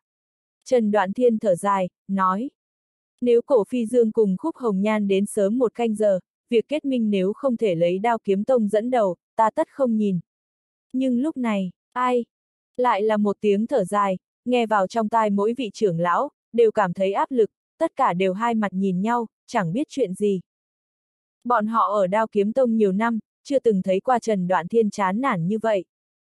Một vị trưởng lão cau mày nói. Chẳng lẽ là vì Ngô Đại Thành? Mọi người nhớ tới Ngô Đại Thành, thất kinh hỏi. Ngô Đại Thành rốt cuộc là người phương nào, trong hệ thống tình báo của phái ta, chưa từng thấy qua tên người này. Ngô Đại Thành nói vật dưới kiếm phong rốt cuộc là vật gì? Sao chúng ta chưa từng nghe qua dưới kiếm phong có cái gì? Trần Đoạn Thiên nói. Chư vị đều cho rằng linh khí của đao lĩnh kiếm phong là nhờ vào thiên địa, cùng với năm đó rơi xuống hai kiện thần binh diễn biến, cái này cũng không sai, nhưng còn có vật bị áp chế ở dưới hai phong, là một long rác trên người chân long năm đó. Chi? Trong kiếm điện yên tĩnh lại, sau một lúc mới nghe các loại ồ lên. Một trưởng lão kinh hãi nói. Chân long di hài, thứ này sao có thể vẫn tồn tại hậu thế? Trần Đoạn Thiên lắc đầu nói. Vô số năm qua, lịch đại trưởng môn đều có suy đoán, nhưng chỉ là suy đoán, năm đó rốt cuộc tại sao lại có long giác chân áp xuống, ai cũng không biết, có khi là bị hai kiện thần binh lợi khí chém xuống cũng có thể. Bây giờ vấn đề là, chân long chi giác đích xác ở dưới ngọn núi này. Những trưởng lão kia thật lâu không phản ứng kịp, hồi lâu mới nói. Việc cơ mật như vậy, sao Ngô Đại Thành lại biết được? Trần Đoạn Thiên nói. Việc này ta cũng rất muốn biết, nhưng việc cấp bách là bảo trụ long giác như thế nào, tuy rằng ta không cho là Ngô Đại Thành có thể lấy vật ấy đi, nhưng gần đây ta tâm thần không yên, vốn tưởng rằng là tu luyện mắc kẹt ở bình cảnh sinh ra tâm ma, hiện tại xem ra hơn phân nửa cùng việc này có quan hệ. Một gã trưởng lão nói, thực lực của ngô đại thành tối đa cũng chỉ tương đương với tông chủ, chúng ta nắm lấy địa lợi, sợ hắn làm chi. Ha ha, nói rất hay, nói thật khiến cho người ta nhiệt huyết dâng trào a. Thanh âm của ngô đại thành đột nhiên ở trong kiếm điện vang lên. Giữa đại điện, vô số phù văn kim sắc bay lên, hóa thành vũ quang bàn, ngô đại thành thình lình ngồi xếp bằng trên đó, trong tay bấm niệm thần chú, vẻ mặt tươi cười. Trong điện, tất cả thanh âm đều ngừng lại, mọi người nhất thời dựng lên, thành trận thế đem hắn vây vào giữa. Trần Đoạn Thiên cũng ngũ chỉ thành chảo, bảo kiếm lam sắc tràn ra hàn mang lăng liệt, nhắm thẳng vào ngô đại thành. Tất cả sát khí đều tập trung hắn, bầu không khí trong đại điện áp chế tới cực điểm, hết sức căng thẳng. Đao kiếm tông không có hữu hảo như vậy sao, muốn đánh vừa rồi cũng đã đánh, chúng ta tới nói chuyện chính sự đi. Ngô Đại Thành thu liễm dáng tươi cười. Trần Đoạn Thiên lạnh giọng nói. Chính sự chính là mời ly khai, đao kiếm tông không cho ngoại nhân dương oai, huống chi là muốn đánh cắp vật tổ tiên di lưu. Tổ tiên di lưu, ha ha. Ngô Đại Thành cười như điên nói. Nếu biết đó là chân long chi giác, cũng nên là tổ tiên long duệ, cùng nhân tộc các ngươi có can hệ gì. Trần Đoạn Thiên, đừng trách ta chưa cho ngươi tuyển chọn, trong tay bổn tọa có rất nhiều trí bảo, ngươi nhìn rồi tùy tiện chọn một cái trao đổi đi. Hắn vung tay lên, nhất thời một cái duy băng lăng không hiện lên, phía trên có hơn 10 kiện bảo vật, tản ra linh áp cường đại. Tất cả trưởng lão đều trợn to mắt, nhìn chằm chằm những bảo vật kia. Có mấy người trầm tư suy nghĩ, tựa hồ vài vật ở trong truyền thuyết nghe qua, nhưng không nhớ ra được, gấp đến gãi đầu gãi cổ. Trần Đoạn Thiên cũng ngây ngẩn cả người, tính hạ tâm lai nhìn sang từng món, càng kinh hãi không thôi. Trời ạ, à, đó là bảo sa như ý. Ngân Vũ Bình, món đó là Ngân Vũ Bình. Hai trưởng lão phân biệt kêu lên, đều là dị thường kích động, trong mắt phun ra ánh sáng tham lam. Bảo vật còn lại mặc dù tạm thời không nhận ra, nhưng nghĩ đến cũng là vật đồng cấp, tất cả mọi người tâm cũng cuồng nhiệt, đây chính là hơn 10 kiện A. Ngô Đại Thành đắc ý nhìn mọi người nói. Nhanh chọn đi, bổn tọa cho tới bây giờ đều là giao dịch công bình, những bảo vật này mỗi một kiện luận giá trị, cũng không kém long giác. Một gã trưởng lão đứng lên, kích động nói. Trưởng môn, người này phải lưu lại, giết hắn, những bảo vật này chính là của chúng ta. Trần Đoạn Thiên vẫn như cũ kiếm chỉ ngô đại thành, nội tâm kịch liệt dẫy ruộng. Đổi long giác, hắn tuyệt sẽ không đáp ứng, trừ khi đối phương lấy ra thánh khí, còn có thể suy nghĩ một chút. Trước mắt những bảo vật này giá trị to lớn, rất mê người, hắn quấn quyết là có nên động thủ sát nhân hay không. Ngô Đại Thành Thủy Trung cười nhạt nhìn hắn, đột nhiên nói. Nếu bổn tọa dám lấy ra mấy thứ này, dĩ nhiên là sẽ không sợ ngươi, ngươi vẫn là thông minh một chút sẽ tốt hơn. Trong lòng Trần Đoạn Thiên cả kinh, vội tỉnh ngộ lại, mồ hôi lạnh lã chã theo lưng chảy xuống, tranh một tiếng thu hồi kiếm trong tay, nói. Ngươi đi đi, long giác không đổi. Hừ, đổi hay không cũng không phải do ngươi. Sắc mặt ngô đại thành trầm xuống, lập tức thu hồi bảo vật trên không trung, hóa thành một đạo độn quang chạy ra khỏi kiếm điện, hướng trung ương đao lĩnh kiếm phong bay ép đi. Trần Đoạn Thiên bỗng nhiên cả kinh, quát. Ngăn hắn lại. Hơn 10 đạo quang mang lập tức bay ra, đuổi theo. Đột nhiên phát hiện Ngô Đại Thành ngừng lại, sắc mặt âm trầm nhìn về phía trước. Ở địa phương cách hắn mấy trăm trượng, ba người Lý Vân Tiêu ôm ngực mà đứng, mặt mang nụ cười nhìn hắn. Đám người Trần Đoạn Thiên đều giật mình, bất chấp cùng Lý Vân Tiêu chào hỏi, vội vàng đem Ngô Đại Thành vây lại. Lý Vân Tiêu cười nói. Ngô Đại Thành, trước ngươi nói chúng ta rất có duyên, hiện tại ta tin. Ngô Đại Thành mặt âm trầm nói. Ngươi biết ta sẽ đến, nên cố ý ở chỗ này chờ ta. Lý Vân Tiêu nói. Tuy rằng ta không biết ngươi muốn làm cái gì, nhưng nếu không đạt được mục đích, ngươi khẳng định sẽ trở lại, huống chi ngươi có vũ quang bàn, đến đi rất tiện a. À. Vì vậy ta liền nghĩ, có nên thử vận khí một chút không, cũng thử xem duyên phận giữa ta và ngươi ra sao. Sa vưu cười lạnh nói.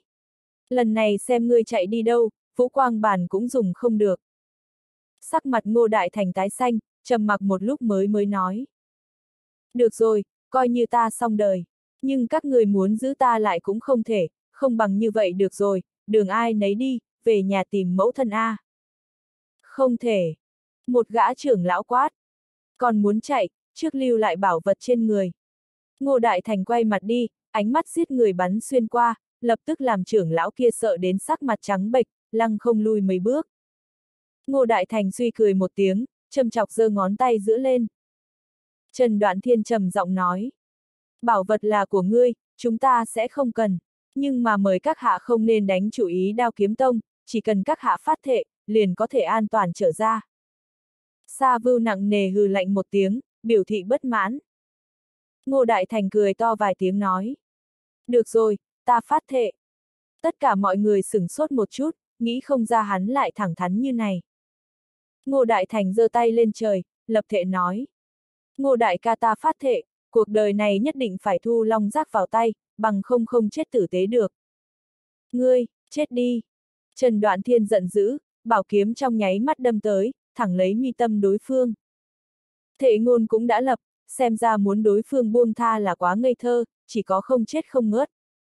Cái gì, long giác? Sa vưu cũng cả kinh, nghi ngờ nhìn phía dưới. Ngô Đại Thành cuồng thiếu mấy tiếng, thân sắc cực kỳ tự phụ, khinh miệt liếc mọi người một cái. Chân ngã vô tướng đâm ra, cùng bảo kiếm lam sắc đụng vào nhau, tạo nên quyển quyển kiếm quang tản ra. Trưởng lão đao kiếm tông đều bị kiếm quang ảnh hưởng, bay ngược ra trăm trượng.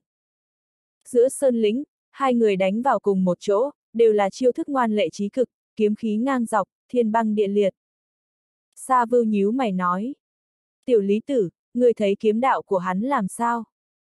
Sắc mặt của Lý Vân Tiêu cũng trầm ngưng, Thủy Trung chưa từng bỏ qua một chi tiết, nói.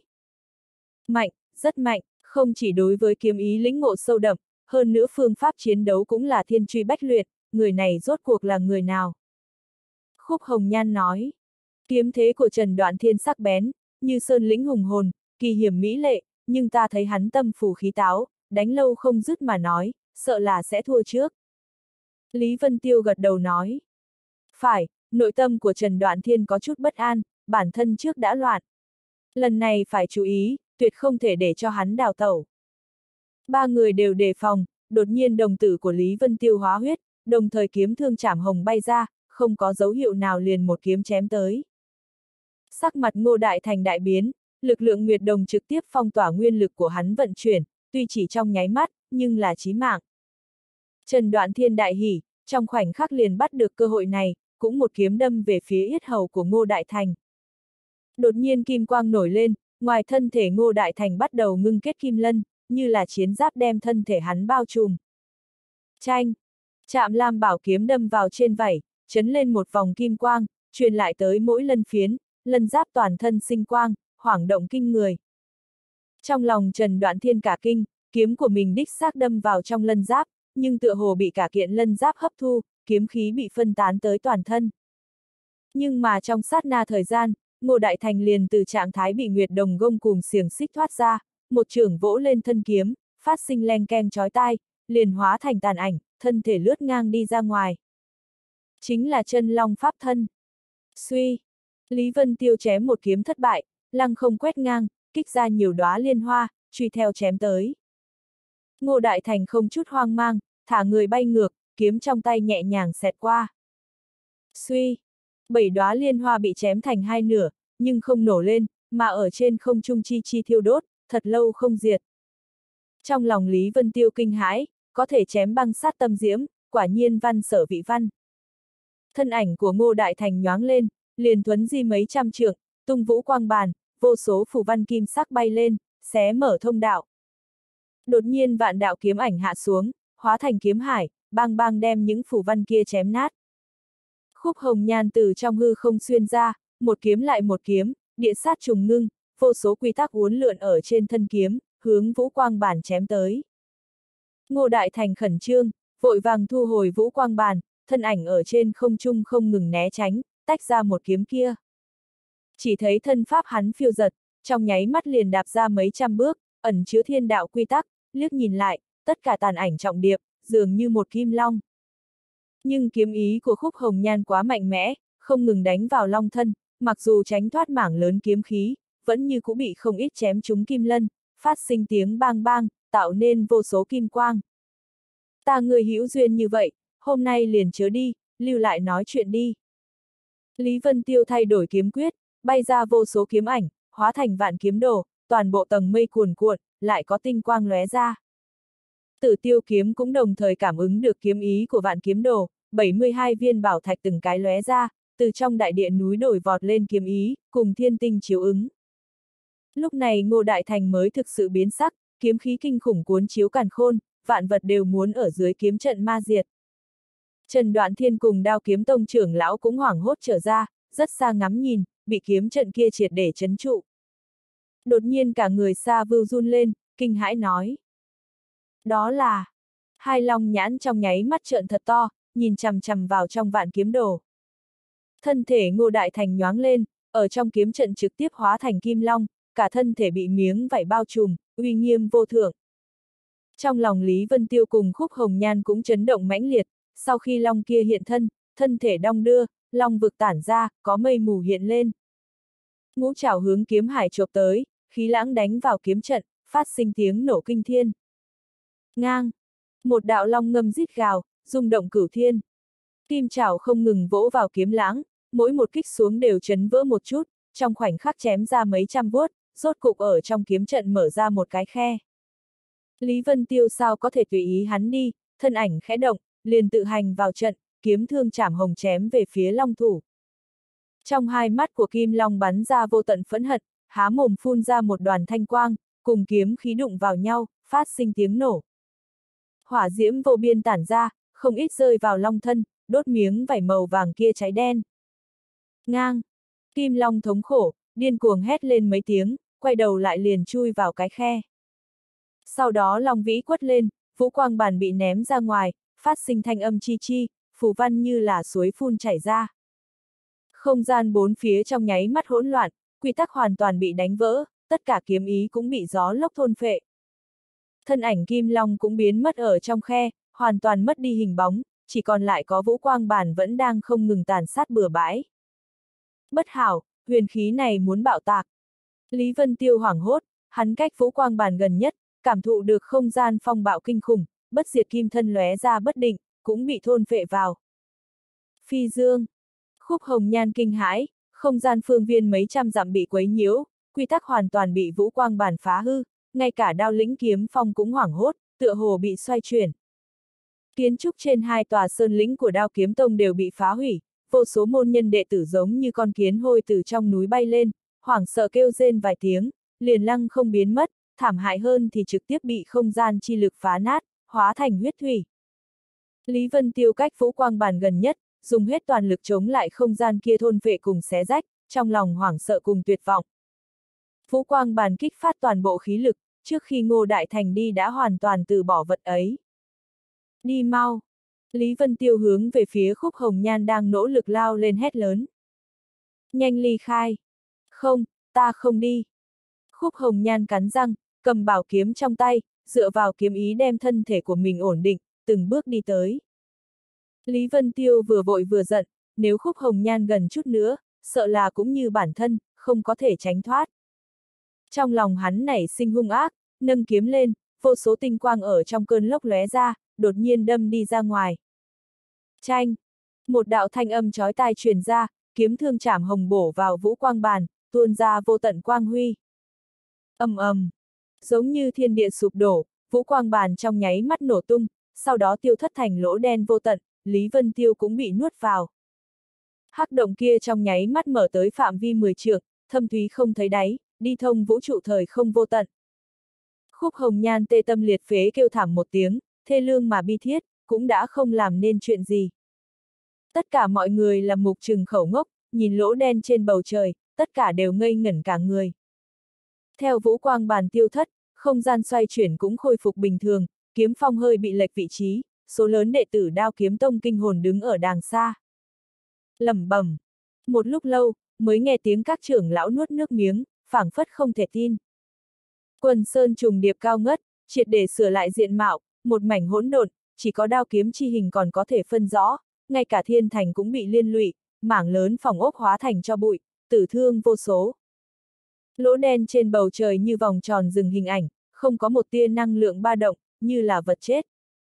Khúc hồng nhan kinh ngạc nhìn nửa ngày, dại ra ở đó, vẫn chưa tỉnh hồn lại, cho đến xa vưu tới, thoải mái nói. Yên tâm đi, tiểu lý tử không chết được, bao nhiêu sóng to gió lớn cũng qua rồi, bị lỗ đen này nuốt trọn cũng không phải không thể trở về. Thế nhưng, Khúc Hồng Nhan vẫn rất khó tiếp thu chuyện Lý Vân Tiêu bị nuốt. Lỗ đen này trực tiếp thông hướng vũ trụ hư không, rất khó trở về a. À. Sa vưu cao mày nói. Lời tuy như vậy, nhưng trên người hắn mang theo giới thần bia, chính là thiên thánh khí của giới này, dù bị hất đi xa cũng có thể tìm trở về. Thân thể khúc hồng nhan khẽ run, sắc mặt có chút trắng bệch, không dám tưởng tượng. Đột nhiên một giọng nói truyền đến, kinh hô. Đó là cái gì? Mọi người nhìn xuống dưới, chỉ thấy trong đao lĩnh kiếm phong, có quang mang ôn nhuận như ngọc lan tràn, đem núi non cháo vào trong đó. Ánh sáng tinh xảo đặc sắc, bên trong có vật hiện ra, giống như ngọc trong suốt. Long giác. Sa vưu hét lớn một tiếng, cả người rung động không ngớt, hai mắt bắn ra lệ mang, mạnh mẽ lao xuống. Trần Đoạn Thiên cũng biến sắc, theo sát phóng đi, phẫn nộ quát. Dừng tay, đó là vật của đao kiếm tông ta, mơ tưởng nhìn trộm. Sa vưu hừ lạnh một tiếng, nói. Rõ ràng là vật của long tộc ta, lại nói là của đao kiếm tông ngươi, ngươi còn có mặt mũi sao? Hắn mới mặc kệ Trần Đoạn Thiên, trong lòng giác tản ra linh khí, tuyệt đối là sừng chân long, bất luận một vị long tộc nào cũng sẽ phát cuồng, huống chi là hắn. Audio điện tử võ tấn bền. Pháp thân chấp động vài cái, liền nhảy vào trong tia sáng kia, chụp lấy long giác. Tay kia mới vừa đưa ra, liền bị một cổ long uy tập kích, cả người hơi run lên, rụt trở về. Trần Đoạn Thiên mượn cơ hội này vượt qua hắn, mừng như điên chụp vào long giác. Ha ha, còn nói cái gì long duệ, bảo vật tự chọn chủ, người chỉ là kẻ trộm. Mới vừa nói xong, thanh quang hoảng hốt thoáng cái, hóa thành kết giới lực chấn ra, đánh vào trên tay Trần Đoạn Thiên, cả người hắn như bị điện giật, thân thể kịch liệt run rẩy, dưới kinh sợ vội vàng thu tay về, nhưng kết giới lực này tựa hồ không buông tha, tùy theo đánh văng ra. Phanh! Cả người Trần Đoạn Thiên bị chấn ra thanh quang, bay xa mấy trăm trượng, đã bị nội thương. Tất cả mọi người ngây ngẩn cả người, các trưởng lão đang chuẩn bị lao xuống vội vàng dừng lại thân thể. Khúc Hồng Nhan vẫn đắm chìm trong chuyện Lý Vân Tiêu biến mất, nhìn bảo vật thờ ơ, nhưng mà khuôn mặt đờ đẫn nhìn. Ha ha! Sa Vưu cười ha hả, hướng Trần Đoạn Thiên lộ ra vẻ khinh bỉ, thân thể bắt đầu biến hóa, trong khoảnh khắc liền hóa thành hình rồng, đưa ra ngũ trảo thận trọng chộp tới. Long giác tựa hồ run nhẹ một cái, từng vòng thanh quang đẩy ra, từ trên long khu của Sa Vưu đảo qua. Sa Vưu run run vài cái, liền ổn định lại, tiếp tục đưa tay về phía trước, rốt cục nắm long giác vào tay. Ha ha! Sa Vưu kích động cười như điên, nhưng mới vừa cười vài tiếng, long giác liền bộc phát ra cường quang kịch liệt, làm người chói mắt. Trong dãy núi giống như là sinh ra một vòng thái dương, chói mắt thấy không rõ cảnh tượng bên trong. Lúc này khúc hồng nhan mới hồi phục tinh thần lại, kinh nghi nhìn, thần thức lại bị lực lượng kia ngăn trở, không thể tra rõ tình hình cụ thể. Cường quang rằng có một chén trà nhỏ thời gian, rốt cục mới dần dần yếu xuống. Đợi lúc tất cả quang mang tan hết, chỉ thấy trung tâm dãy núi có một cái đại động, chính là chỗ long rác cắm vào, thần thức mọi người quét tới, trong động giống tuếch, không có thân ảnh của Sa Vưu. Cái này, người đâu? Tất cả mọi người ngạc nhiên, vừa rồi Lý Vân Tiêu biến mất, hiện tại lại biến mất một cái. Trần Đoạn Thiên nhìn động trống không, khuôn mặt âm trầm, lạnh giọng nói. Hồng Nhan cung chủ, mong ngươi cho ta một lời giải thích. Giải thích. Khúc Hồng Nhan sửng sốt một chút, trong mắt lập tức lộ ra thần sắc cười nhạo, vuốt mái tóc, lạnh nhạt nói. Thần tiêu cung tùy thời hoan nghênh các ngươi tới đòi giải thích. Nói xong, cũng không quay đầu lại, liền hóa thành lưu quang bay đi, chỉ để lại người đao kiếm tông hai mặt nhìn nhau. Lý Vân Tiêu bị vũ quang bàn bạo tạc cuốn sạch, trong nháy mắt liền ngã vào hư không, đồng thời trên vũ quang bàn bạo ra linh áp kinh khủng, đánh hắn trọng thương, phá vỡ bất diệt kim thân, hầu như ngất đi.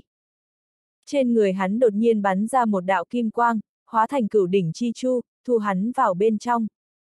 Lý Vân Tiêu trọng thương, chỉ thấy Diệp Phàm đứng ở đầu thuyền. Người xuất quan. Lý Vân Tiêu hỏi. Không có trả lời, Diệp Phàm đứng chắp tay, bất động thanh sắc. Lý Vân Tiêu nhăn mi, chẳng biết trạng thái của hắn lúc này ra sao, nếu không đáp, liền không hỏi nhiều, trực tiếp ngồi xếp bằng ở trên thuyền điều tức. Không biết qua bao lâu, chậm rãi nhập định, tiến vào trạng thái vong ngã. Cửu đỉnh chi chu xuyên qua hồi lâu, cuối cùng lóe lên rồi biến mất, tiêu thất ở trong đêm tối vô tận. Chẳng biết lúc nào, Lý Vân Tiêu từ trong trạng thái nhập định phục hồi tinh thần lại, chậm rãi mở mắt ra, chỉ thấy trước mắt đen kịt, nhưng cho mình một loại cảm giác cổ quái. Nơi này cũng không phải vũ trụ hư vô, nhưng mênh mông vô bờ, mà bản thân vẫn như cũ ở trên cửu đỉnh Chi Chu, còn Diệp Phàm từ lâu không gặp. Hắn đang do dự, cửu đỉnh Chi Chu trực tiếp hóa thành kim quang, lóe lên liền ẩn vào trong cơ thể hắn. Trong lòng Lý Vân Tiêu khẽ động, phát hiện Diệp Phàm vẫn như cũ ở trong giới thần bia bế quan, tựa hồ chưa từng động. Hắn cũng không kịp để ý tới chuyện gì xảy ra, bắt đầu tỉ mỉ quan sát tình huống chung quanh. Nơi đây vẫn là thiên vũ giới sao, sao lại không cảm giác được quy tắc giới lực. Trong lòng hắn cả kinh. Chẳng lẽ đã ly khai thiên vũ giới, xông vào một thời không khác. Nếu thật là như thế mà nói, vậy thì phiền phức lớn, muốn lại về thiên vũ giới sẽ cực kỳ bé nhỏ. Đột nhiên phía trước truyền đến một trận âm phong, mặc dù nhẹ nhưng mang theo cương liệt, từ trên người Lý Vân Tiêu thổi qua, khiến hơi nước ở biểu bì bốc hơi lên, chỉ cảm thấy da thịt trong nháy mắt khô xuống. Trận phong. Lý Vân Tiêu lấy làm kinh hãi, mặc dù trận phong kia không cường đại bằng năm đó ở vực ngoại tinh không phong ấn ma chủ, trực tiếp hóa linh thành ngạc ngư, nhưng mà ăn mòn rất mạnh, lấy thần thể của hắn thời khắc này, cũng bị thổi đi không ít hơi nước. Quanh người hắn cũng hiện ra một vòng trận phong, dần dần hóa thành ngạc ngư, trong hai mắt bắn ra tinh mang, giống như chó săn nhìn chằm chằm mọi nơi, tựa hồ đang tìm trận phong chi nguyên. Đột nhiên ngạc ngư há to mồm, hướng xa xa đánh tới. Trường bào của Lý Vân Tiêu hơi đong đưa, lại là một cổ trận phong bay đến, còn chưa gần người đã bị ngạc ngư nuốt vào, sau đó quang mang trong mắt càng tăng lên, tựa hồ hết sức hài lòng, phát sinh tiếng kêu ngao ngao. Lý Vân Tiêu cười mắng. Người thật vui a, à, nơi đây chẳng biết có bao nhiêu loại trận phong này, xem ra không gian này phong bế rất lâu, mới có thể sản sinh loại tuế nguyệt tích lũy này. Bản thiếu lại thảm, nếu ly khai thiên vũ giới mà nói, chẳng biết năm nào tháng nào mới có thể trở lại. Hắn có chút không cam lòng, tiếp tục phi hành về phía trước, hy vọng có thể tìm ra một điểm đầu mối. Mấy canh giờ sau, bay mấy vạn dặm cũng không có thể trông thấy cuối cùng, mà trong đó ngạc ngư ăn 4 năm trận phong, không ngừng ngao gọi, ngoắc cái đuôi. Nội tâm Lý Vân Tiêu lại càng ngày càng mệt, tình huống như vậy, bản thân có khi thật bị thôn phệ đến một không gian khác. Đột nhiên phía trước lại có một trận âm phong thổi tới, ngạc ngư vui mừng nhào tới. Phanh! Đột nhiên phát sinh một tiếng vang thật lớn, ngạc ngư không kịp đề phòng, lại bị trận phong chấn khai. Sau đó lại là hai đạo trận phong lăng không bay tới, trực tiếp ở trên không trung hóa thành bóng người, hơn nữa cùng đạo kia, tổng cộng ba người. Sắc mặt ba người đều âm trầm, toàn thân đặt trong hắc sắc, chỉ có khuôn mặt là màu trắng, nhìn Lý Vân Tiêu cùng ngạc ngư, lộ ra thần sắc kinh ngạc, phảng phất dại ra. Lý Vân Tiêu lại mừng như điên, cư nhiên để cho hắn gặp người, mặc kệ là địch hay bạn, cũng hơn xa so với ở trong hư không vô tận lưu vong. Các ngươi là ai? Hắn hỏi trước, khuôn mặt đầy vẻ chờ mong. Ba người kia ngốc trệ hồi lâu, đột nhiên diện mục dữ tợn, thân thể ngoại trừ đầu ra, toàn bộ hắc khí cuồn cuộn, dưới chân lại là âm phong trận trận, hướng Lý Vân Tiêu đánh tới. Lý Vân Tiêu ngưng mắt, nhất thời thất thanh nói. Ma khí. Thân thể ba người kia cuồn cuộn, toàn là khí thể màu đen, chính là ma khí. Tuy rằng khiếp sợ, nhưng nội tâm lại mừng rỡ không thôi, người sợ hãi nhất là thứ không biết, tuy rằng ma khí phiền phức, nhưng vẫn không làm khó được hắn. Hơn nữa mặc dù ba người kia không phải ma sát, nhưng đạt tới trình độ hung hồn sát, muốn đối phó hết sức dễ dàng. Phanh, phanh, phanh. Lý Vân Tiêu đánh ra một trường, nhất thời thân thể ba người kia đều nổ lên, hóa thành ma khí tinh thuần nhất, cộng thêm từ bên trong bay ra ba đạo trận phong, bắn lên không xoay chuyển. Ngạc ngư từ lâu nhìn chặt chẽ, vừa thấy được trận phong liền đánh tới, thân thể lăng không phân giải, hóa thành một cơn lốc lớn hơn, trực tiếp đem ba cổ nuốt trọn. Nó hài lòng biến trở về hình thái ngạc ngư, ngoắc cái đuôi leo đến dưới chân Lý Vân Tiêu. Trận phong cùng ma khí kết hợp lại hình thành quái vật. Đây rốt cuộc là địa phương nào, nếu là ma giới mà nói, lại hoàn toàn không gặp ma khí.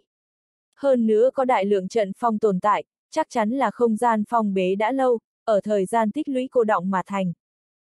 Lý Vân Tiêu nhìn lại mọi nơi, lại trở nên có chút mờ mịt, bốn phương giống nhau như đúc, không thể phân biệt phương hướng. Vừa rồi ba quái vật kia hiển nhiên không có thần trí, lúc này hắn hy vọng gặp phải một cái có thần trí, chỉ ít có thể biết tình cảnh trước mắt. Hướng bên phải bay đi. Đột nhiên trong giới thần bia truyền đến thanh âm của Linh Mục Địch. Lý Vân Tiêu vui vẻ, cả kinh nói. Đại nhân biết nơi đây. Linh Mục Địch nói. Có suy đoán, nhưng không xác định, phải tiến một bước chứng thực. Nói xong, bên người Lý Vân Tiêu lóe ra bạch quang, Linh Mục Địch trực tiếp cưỡi tuần thiên đấu nghiêu, phá không hiện thân. Lý Vân Tiêu hỏi vội. Vậy đại nhân có biết nơi đây còn ở thiên vũ giới hay không? Linh Mục Địch nói. Cũng không xác định, ma khí mới vừa rồi, nếu là từ ma giới đản sinh, như vậy nơi đây mặc dù không phải thiên vũ giới, cũng sẽ không cách quá xa, muốn trở về cũng không phải là việc khó. Gặp Lý Vân Tiêu có chút không rõ, hắn giải thích. Ma khí là từ ma giới tràn ra, đi thông tứ phương, nhưng nhất định sẽ không quá xa, nhiều lắm hội tụ ở không gian bốn phía ma giới, mà ma giới thì ở rất gần thiên vũ giới. Lý Vân Tiêu chợt nói. Ta hiểu rồi, cho dù nơi đây không phải thiên vũ giới, cũng chắc chắn quay chung quanh không gian ma giới. Linh Mục Địch gật đầu nói. Phải, mà nếu như ta suy đoán chính xác, thì nơi đây còn ở trong thiên vũ giới. Lý Vân Tiêu thở phào nhẹ nhõm, chỉ cần còn ở thiên vũ giới, hay cách không xa, hắn liền an tâm. Sau đó hai người liền hướng bên phải bay nhanh. Trên đường gặp quái vật tập kích vài lần, đều là tồn tại không có linh thức, đơn giản bị đánh nát bấy. Mấy canh giờ sau, trước mắt xuất hiện một cảnh tượng, thiên địa tựa hồ bẹp ra, như là áp xúc, vô số trận phong cùng ma khí ở bên trong kịch liệt cuồn cuộn, hình thành một vòng xoáy. Mà trung tâm vòng xoáy, hiện ra một chút ngân quang, như là tinh thần ở trong màn đêm, tản mát ra mang mang. Mà trận phong cùng ma khí, tựa hồ chính là từ trong ngân sắc bắn ra. Lý Vân Tiêu cả kinh nói. Đây là địa phương nào? Sắc mặt linh mục địch thay đổi, tự lẩm bẩm. Thực sự là thiên ý. Thiên ý, đại nhân, đây rốt cuộc là. Lý Vân Tiêu không giải thích được hỏi, nhưng xem sắc mặt của linh mục địch, chưa từng thấy qua hắn có thời điểm ngưng trọng như vậy. Linh mục địch nhìn vòng xoáy chi nhãn, trong mắt tràn đầy vẻ phức tạp, hồi lâu mới nói. Ở đây là chỗ nam vực phong ma. a à, Lý Vân Tiêu kinh sợ kêu lên, tựa hồ không thể tin được, đồng dạng kinh ngạc nhìn vòng xoáy, dù diệu pháp linh mục thôi động đến mức tận cùng, cũng không thể xem thấu bên trong mảy may. Lẽ nào, lẽ nào phía dưới này? Linh mục địch nói. Ma chủ phổ đích thật là bị phong ấn ở nơi này, chỉ bất quá năm đó bảy phong ấn không phải là chuyện nhỏ, đây chính là vận dụng giới lực, thu thập phương quy tắc mới bày ra tuyệt trận. Hôm nay xem ra, trận lực quá mạnh mẽ, đã tự hành diễn biến, tình huống hiện tại ta cũng có chút xem không hiểu. Trận pháp tự hành diễn biến. Lý Vân Tiêu triệt để ngây ngẩn cả người, vạn vật có linh, nhưng này là chỉ vật thực thể, trận pháp thứ này, là do quy tắc cô động, cũng có thể có linh. Vậy bây giờ phải làm gì? Hắn kinh ngạc hỏi. Linh mục địch lắc đầu nói. Nói thật, ta cũng không biết, hiện tại thấy cùng năm đó bố trí khác biệt cực lớn, chắc là trận linh tự hành biến hóa. Chúng ta bây giờ mọi cử động hẳn là ở dưới trận linh chú mục, nếu có thể cùng hắn câu thông thì tốt rồi. Lý Vân Tiêu nói, câu thông trận linh, làm sao mới có thể câu thông? Linh mục địch cười khổ nói, chỉ cần chúng ta nhắn nhủ ý của mình là được, về phần có nguyện ý câu thông hay không, phải xem ý tứ của người ta. Phải biết rằng lúc này chúng ta bị vây ở trong trận pháp, cũng chính là ở trong thân thể người ta. Lý Vân Tiêu nhất thời cao giọng nói. Trận linh đại nhân có ở đây không? Kẻ hèn này là Lý Vân Tiêu, vô ý xông vào, có thể cho chúng ta rời đi hay không?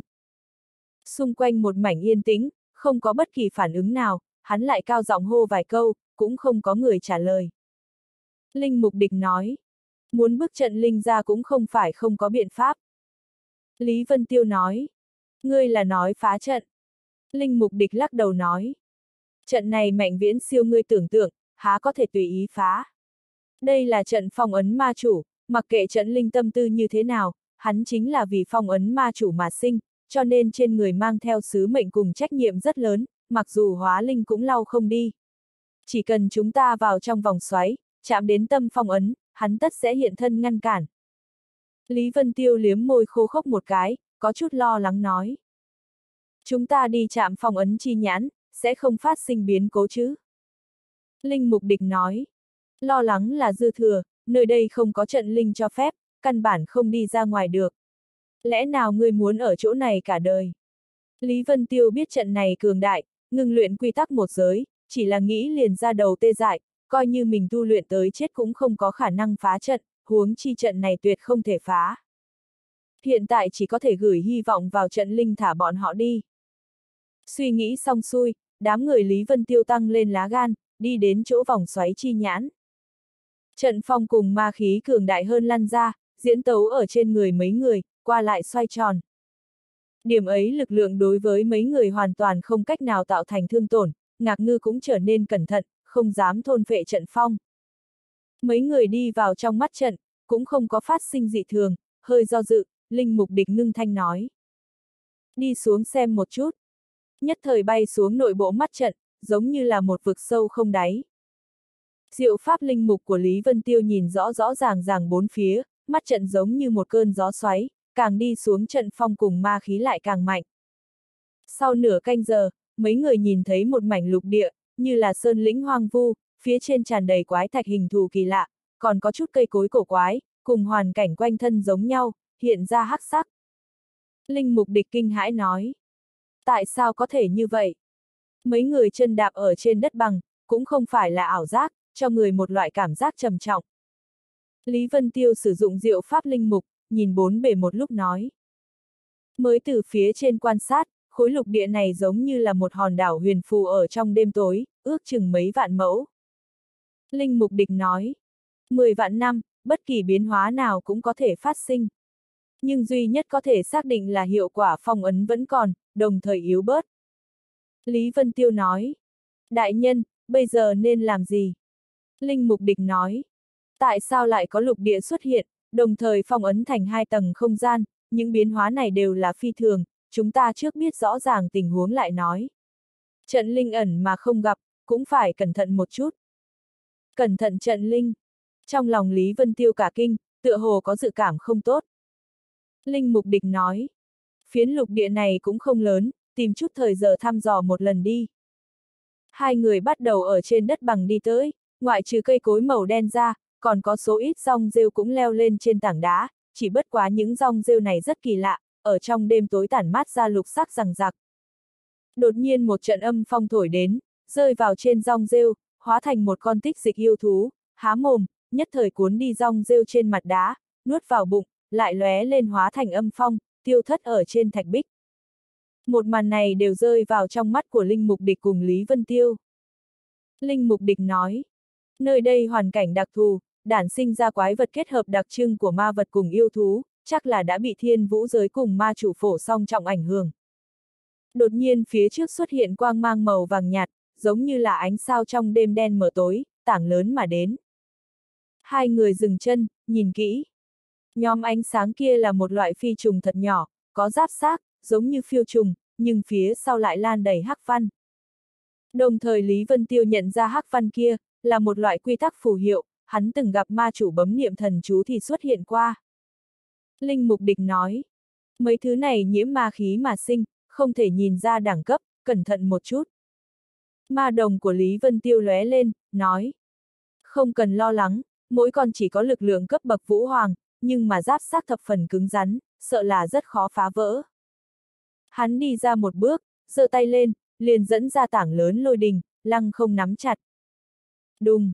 Chộp thiên truy trong tay, hướng phía trước đập ra một cái ầm ầm, Vô số lôi điện như là thủy triều, điên cuồng bắn ra ngoài, trong lôi điện ẩn chứa vô số phù văn kim sắc, cuốn chiếu toàn bộ đám bọ cánh cứng kia.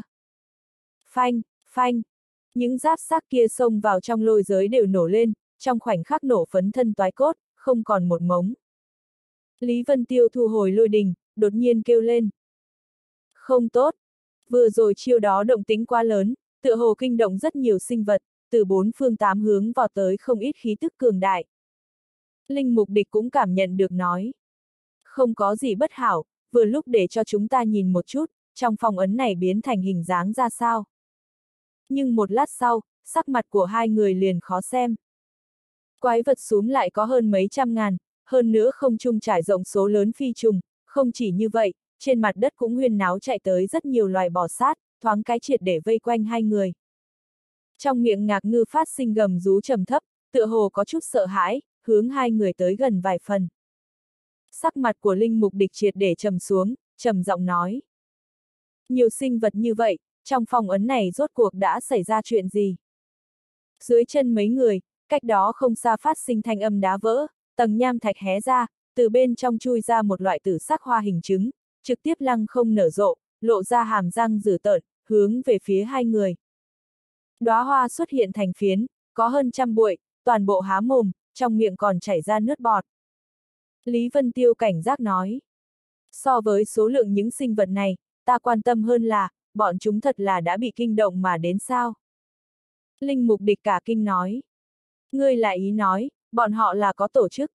Sau khi những sinh vật này xuất hiện, tất cả đều vây bắt hai người, trên người ma khí cuộn, tản mát ra khí tức bạo lệ, nhưng an tĩnh giống như xử nữ. Lý Vân Tiêu nói. Rất hiển nhiên, nhưng chẳng biết thủ lĩnh của bọn nó có phải là trận linh hay không. Trận linh. Ở phía sau vô số quái vật, truyền đến một thanh âm. Các ngươi là ai, vào bằng cách nào? Những quái vật kia trong sát na tách ra một con đường, ngoài mấy trăm trượng, một nam tử toàn thân ở trong hắc bào, lẳng lặng mà đứng, trong mắt như ưng nhìn chằm chằm hai người, sắc mặt bởi vì nhiều năm ở trong hoàn cảnh âm u, có vẻ rất tái nhợt.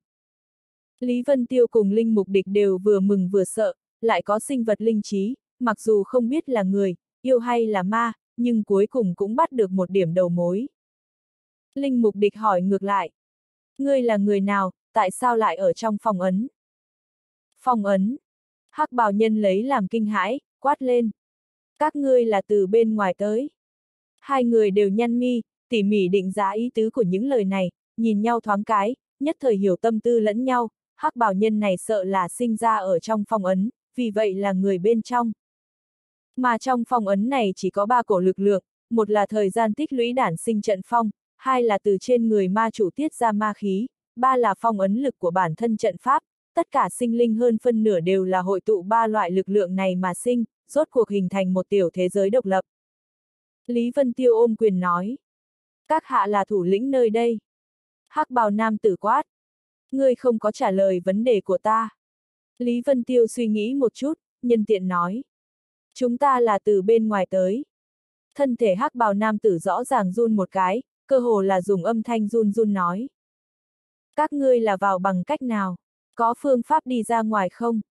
Lý Vân Tiêu ngây ngẩn cả người, kinh ngạc nói.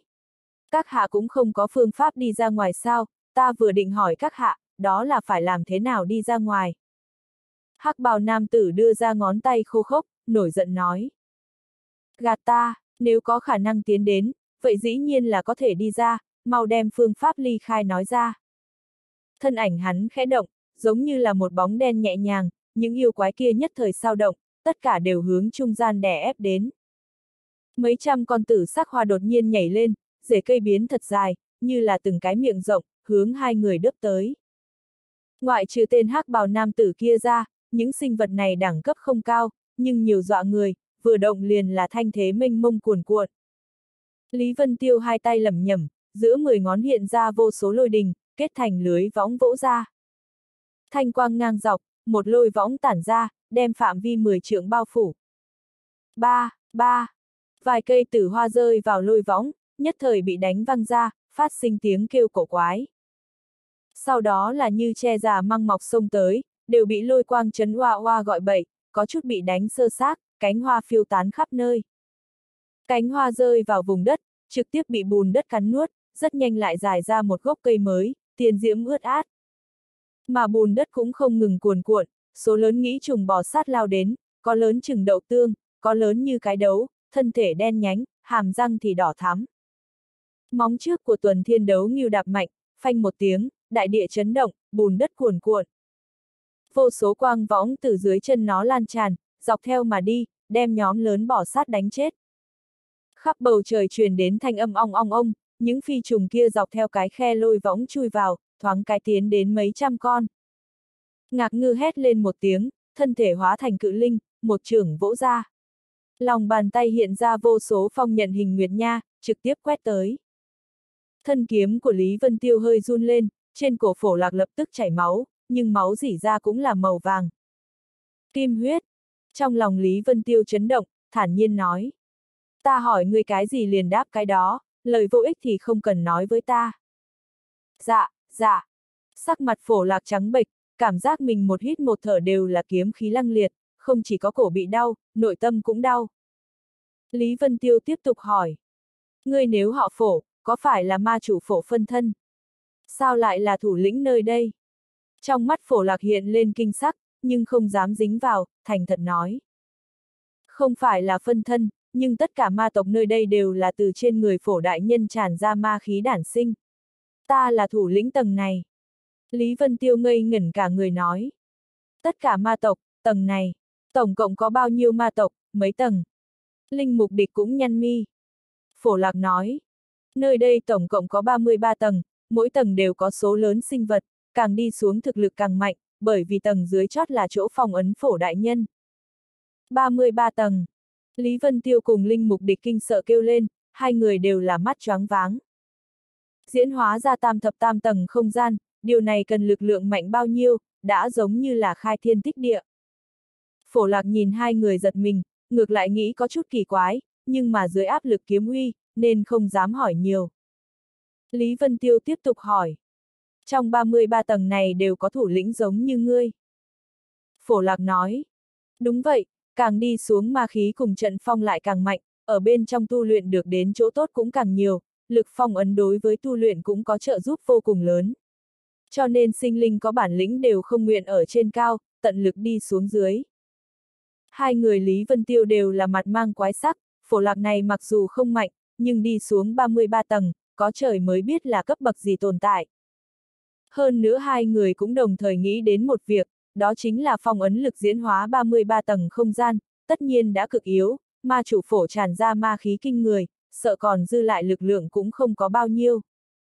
Linh mục địch than thở. Vô luận là đế hay phổ, xem ra đều khó khôi phục lại như trước.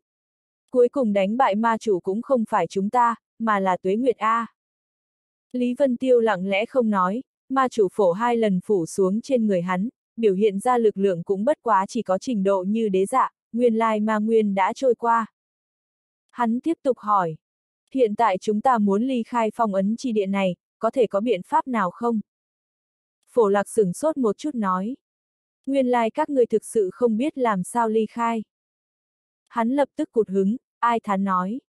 Nếu ta biết làm sao rời đi, còn có thể ở chỗ này chờ đợi lo lắng sao?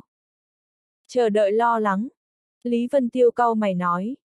Ngươi không phải là đầu lĩnh tầng này sao, còn có cái gì lo lắng để phòng? Phổ lạc khổ sở nói. Tầng không gian này là tầng thứ 32, các ngươi chắc là từ tầng thứ 33 tới đi, tầng kia đối với chúng ta mà nói cơ hồ là lưu đầy chi địa, không có bất kỳ tài nguyên tu luyện. Mà tầng 32 cũng chỉ có thể sinh trưởng những sinh vật hạ đẳng này, số lượng tuy nhiều, lại không có bao nhiêu tác dụng.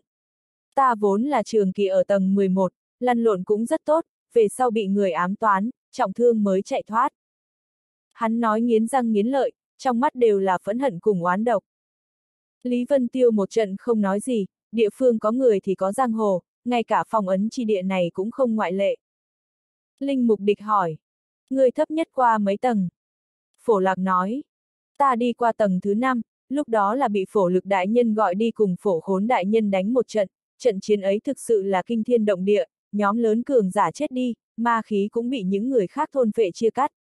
Ta cũng ở trong trận chiến ấy may mắn còn sống, đồng thời thu không ít ma khí của người khác, lúc này mới có thể có tu vi bây giờ, đồng thời bị phổ lực đại nhân ban tặng thân phận người quản lý tầng thứ 11, đáng tiếc về sau bị người ám toán đánh lén. Hai người nghe được đều nhăn mi lại, nơi đây không chỉ ra đời đại lượng sinh linh, hơn nữa còn lập bang kết phái, tạo thành nhiều thế lực, quả thực chính là không thể tưởng tượng nổi. Lý Vân Tiêu nói, vậy bây giờ người quản lý tầng thứ 5 là phổ lực sao? Phổ lạc lắc đầu, giải thích. Từ tầng thứ 6 bắt đầu, mỗi tầng đều có người quản lý, có một người quản lý một tầng, có mấy người quản lý một tầng.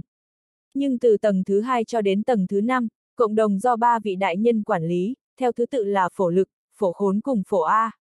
Vô số năm qua vì nắm quyền mấy tầng trước trong tay, tiến hành vô số lần chém giết, người quản lý cũng thay đổi rất nhiều, cuối cùng ba vị đại nhân đạt thành hiệp nghị, cộng đồng quản lý mấy tầng phía dưới, miễn đi phân tranh. Linh Mục Địch nghi ngờ nói. Vậy ngươi có biết trong 33 tầng không gian này có trận linh tồn tại không? Trận linh. Phổ lạc lắc đầu nói. Cũng không biết, nhưng nghe đồn trong tầng thứ hai, còn có người nắm quyền cường đại hơn, chỉ là loại tiểu nhân vật như chúng ta này, căn bản không thể tiếp xúc, cũng không biết thật giả. Nếu có, có khi là trận linh mà các ngươi nói. Lý Vân Tiêu nói. Xem ra muốn tìm tình huống cặn kẽ của phong ấn cùng trận pháp, phải đi tầng thứ hai. Phổ lạc lại càng hoảng sợ, nhìn hai người nói. Tuy thực lực hai vị mạnh, nhưng không phải địch thủ của ba vị đại nhân, đừng nói tầng thứ hai, coi như là tầng thứ ba cũng khó đi. Linh Mục Địch nói. Tầng thứ ba, ba vị đại nhân không phải là ở tầng thứ hai gần ma chủ nhất sao? Phổ lạc lắc đầu nói. Ba vị đại nhân đa số đều là ở tầng thứ ba, chỉ có thời điểm cực nhỏ mới có thể đi tầng thứ hai, dù sao tầng thứ hai cách phổ đại nhân quá gần, cũng không người nào biết sẽ có nguy hiểm gì. Lý Vân Tiêu cùng Linh Mục Địch nhìn nhau một cái, hai người hầu như có khả năng khẳng định, tầng thứ hai nhất định là có tồn tại cường đại hơn. Đi thôi, đi tầng thứ hai tìm người nắm quyền chân chính của 33 tầng không gian này. Linh Mục Địch nhìn phổ lạc, dùng tay ra hiệu nói. Xin dẫn đường đi. Dẫn, dẫn đường. Phổ lạc lại càng hoảng sợ, cầu xin tha thứ. Hai vị đại nhân tha cho ta đi, ta cũng chỉ dám ở tầng thứ 32 này hô phong hoán vũ, tác uy tác phúc, đi đến tầng thứ 5 chính là lâu la nhất, tầng thứ tư còn chưa đi qua, làm sao dẫn nhị vị. Hai vị hãy tìm người khác đi. Lý Vân Tiêu nói. Vậy trước tiên đi tầng thứ 5A, đừng vội ra vẻ, bằng không giết ngươi. Sắc mặt phổ lạc có chút khó coi, nhưng lén lẻn vào tầng thứ 5, cẩn thận một chút cũng không dễ dàng bị phát hiện. Hắn vòng vo tròng mắt nói. Ta mang hai vị đại nhân đi tầng thứ 5 cũng không thành vấn đề, nhưng mong hai vị đại nhân giúp ta một chuyện, ta có cửu gia ở tầng thứ 11, mong hai vị đại nhân giúp ta giết cửu gia. Lý Vân Tiêu hơi đè thân kiếm, dán cổ của phổ lạc, máu màu vàng chảy xuống, lạnh lùng nói. Cho ngươi dẫn đường, chỗ tốt là có khả năng đổi lại mạng của ngươi, còn theo ta ra điều kiện khác. Phổ lạc sợ đến sắc mặt trắng bệch, vội vàng nói. Không dám, không dám, ta trước mang hai vị đại nhân đi. Lý Vân Tiêu nhìn chằm chằm máu màu vàng kia nói. Tất cả sinh linh nơi đây đều là máu kim sắc sao? Phổ lạc lắc đầu nói. Không nhất định, phàm là người có máu kim sắc, chính là mang ma nguyên tinh khiết, là đích truyền của phổ đại nhân. Hắn lộ ra vẻ đắc ý. Lý Vân Tiêu nói. Hiểu, đi thôi. Hắn thu kiếm, để cho phổ lạc dẫn đường. Phổ lạc cảm thấy áp lực triệt hồi, thở phào nhẹ nhõm, nhưng không dám lỗ máng, mang theo hai người phi hành. Ở tầng thứ 32 không gặp phải bất cứ sinh vật nào nữa, dù sao phổ lạc cũng là đứng đầu một tầng, không có sinh vật nào dám tới gây sự, mấy canh giờ sau, rốt cục thấy một tòa tinh vân tựa như vòng xoáy, mấy người bay vào. Tầng thứ 31, cảm giác so với tầng thứ 32 áp lực hơn rất nhiều, bên trong ma khí cùng trận phong càng mạnh. Mấy người một đường bình an vô sự, trên đường đi thỉnh thoảng gặp chút quái vật không có mắt, đều bị phổ lạc xuất thủ giết chết, ma khí thì bị hắn cắn nuốt hết. Hơn nữa không gian phía dưới tựa hồ nhỏ đi, toàn bộ 33 tầng không gian tựa hồ hiện lên hình trì, phía trên lớn nhất, nếu xuống đến tầng thứ hai, sợ là nhỏ nhất, phù hợp không gian từ trong phòng ấn diễn hóa ra tới suy luận. Càng đi xuống, gặp sinh vật càng lúc càng cường đại, nhưng số lượng sinh vật cũng giảm mạnh, không giống tầng mà phổ lạc nắm trong tay, động chút là ngàn vạn quái vật. Mấy ngày sau, rốt cục tiềm nhập tầng thứ 11, địa phương phổ lạc nắm trong tay trước kia, trong mắt hắn tràn đầy thần sắc âm trầm.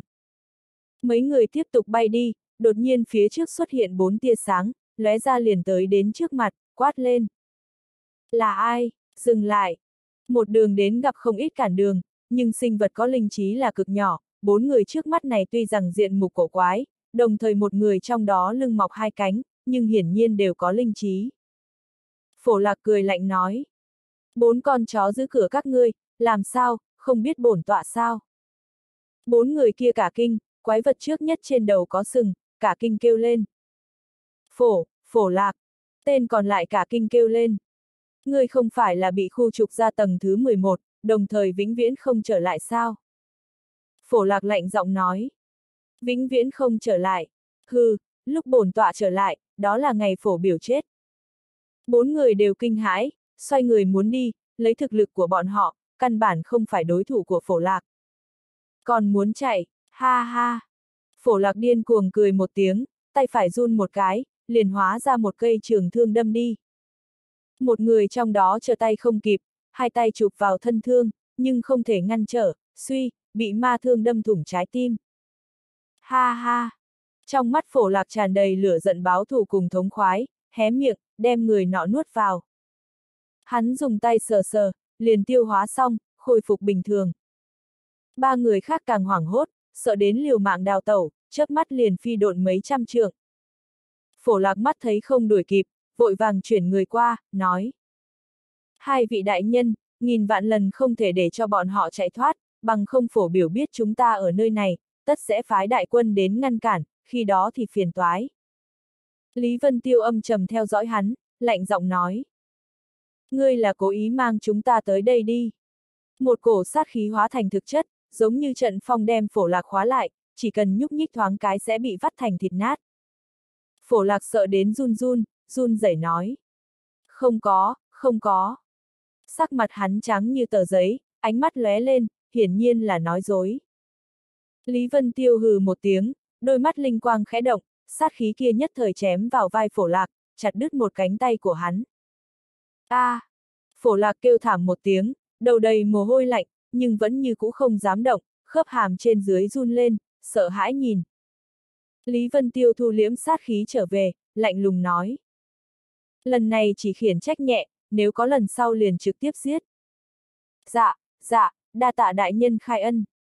Phổ lạc liên tục gật đầu, cánh tay trống giống, cũng không dám thi thuật phục hồi như cũ. Song đồng của Lý Vân Tiêu hóa huyết, hướng xa xa nhìn lại, ba người đào tẩu nhất thời bị kiềm hãm, không gian chuyển hoán. Ba người bay nửa ngày, đột nhiên phát hiện không gian biến đổi, lại trở về chỗ cũ, sắc mặt đều thoáng cái trắng bệch, biết gặp được cường giả, trốn không thoát. Phổ lạc cũng chừng mắt, lòng thật lạnh. Hắn đích xác là cố ý mang đám người Lý Vân Tiêu tới đây, chọc bốn người này, đồng thời để cho mấy người trong đó chạy, để bọn họ đi mật báo.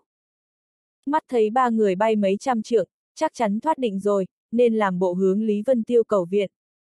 Ai biết người này thần thông quảng đại, trực tiếp xoay chuyển không gian, đem cự ly mấy trăm trượng xúc địa thành thốn, để cho ba người trở lại nguyên điểm. Ba người kia cùng phổ lạc đều cả kinh hóa đá, xứng ngay tại chỗ, chẳng biết như thế nào cho phải. Lý Vân Tiêu lạnh lùng nói. Muốn giết liền nhanh động thủ.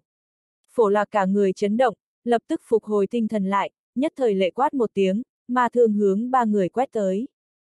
Lấy thực lực của hắn đủ để giết chết bốn người, mới vừa rồi là cố ý để cho chạy, hiện tại không dám lỗ máng, tuy chỉ còn dư lại một tay, nhưng thực lực vẫn còn hơn phân nửa. Ba người kia đã tuyệt vọng, ý chí chiến đấu hoàn toàn không có, chém giết hơn 10 hiệp liền bị phổ lạc kích diệt, lại nuốt xuống, tay mới tổn thương đã khôi phục không ít. Đi thôi. Lý Vân Tiêu lạnh lùng nói.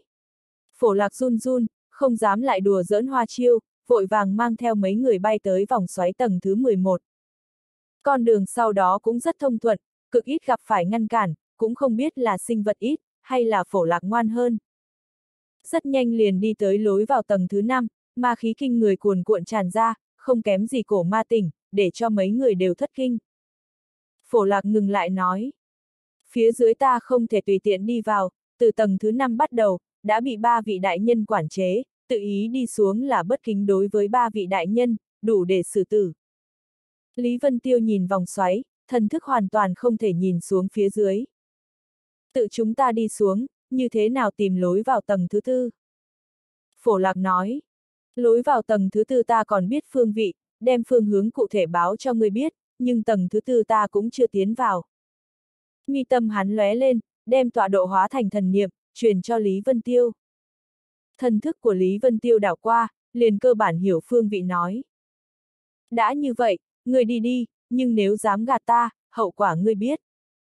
Sắc mặt phổ lạc có chút cổ quái nói. Ta đưa cho ngươi tọa độ là thật, nhưng ta không lo lắng các ngươi sẽ quay về tìm ta phiền phức, bởi vì các ngươi muốn đi tầng thứ hai, nhất định sẽ bị ba vị đại nhân giết chết, điểm ấy vững tin không thể nghi ngờ. Lý Vân Tiêu đang muốn nói gì, đột nhiên nhướng mày, hướng phía sau nhìn lại. Chỉ thấy số lớn hắc sắc u quang lóe ra, rất nhanh liền có hơn 10 đạo thân ảnh xuất hiện, đem mấy người bao vây lại. Khuôn mặt những thân ảnh kia bày ra, cơ bản đều là hình người, mang theo đặc trưng của yêu tộc, toàn thân hắc sắc, có còn bị lân giáp bao trùm, chỉ có số ít là thú hình cùng cầm điểu, cái nào cũng tản mát ra khí thức cường đại. Sắc mặt phổ lạc đại biến, kinh hãi nói. Phổ, phổ kỳ đại nhân.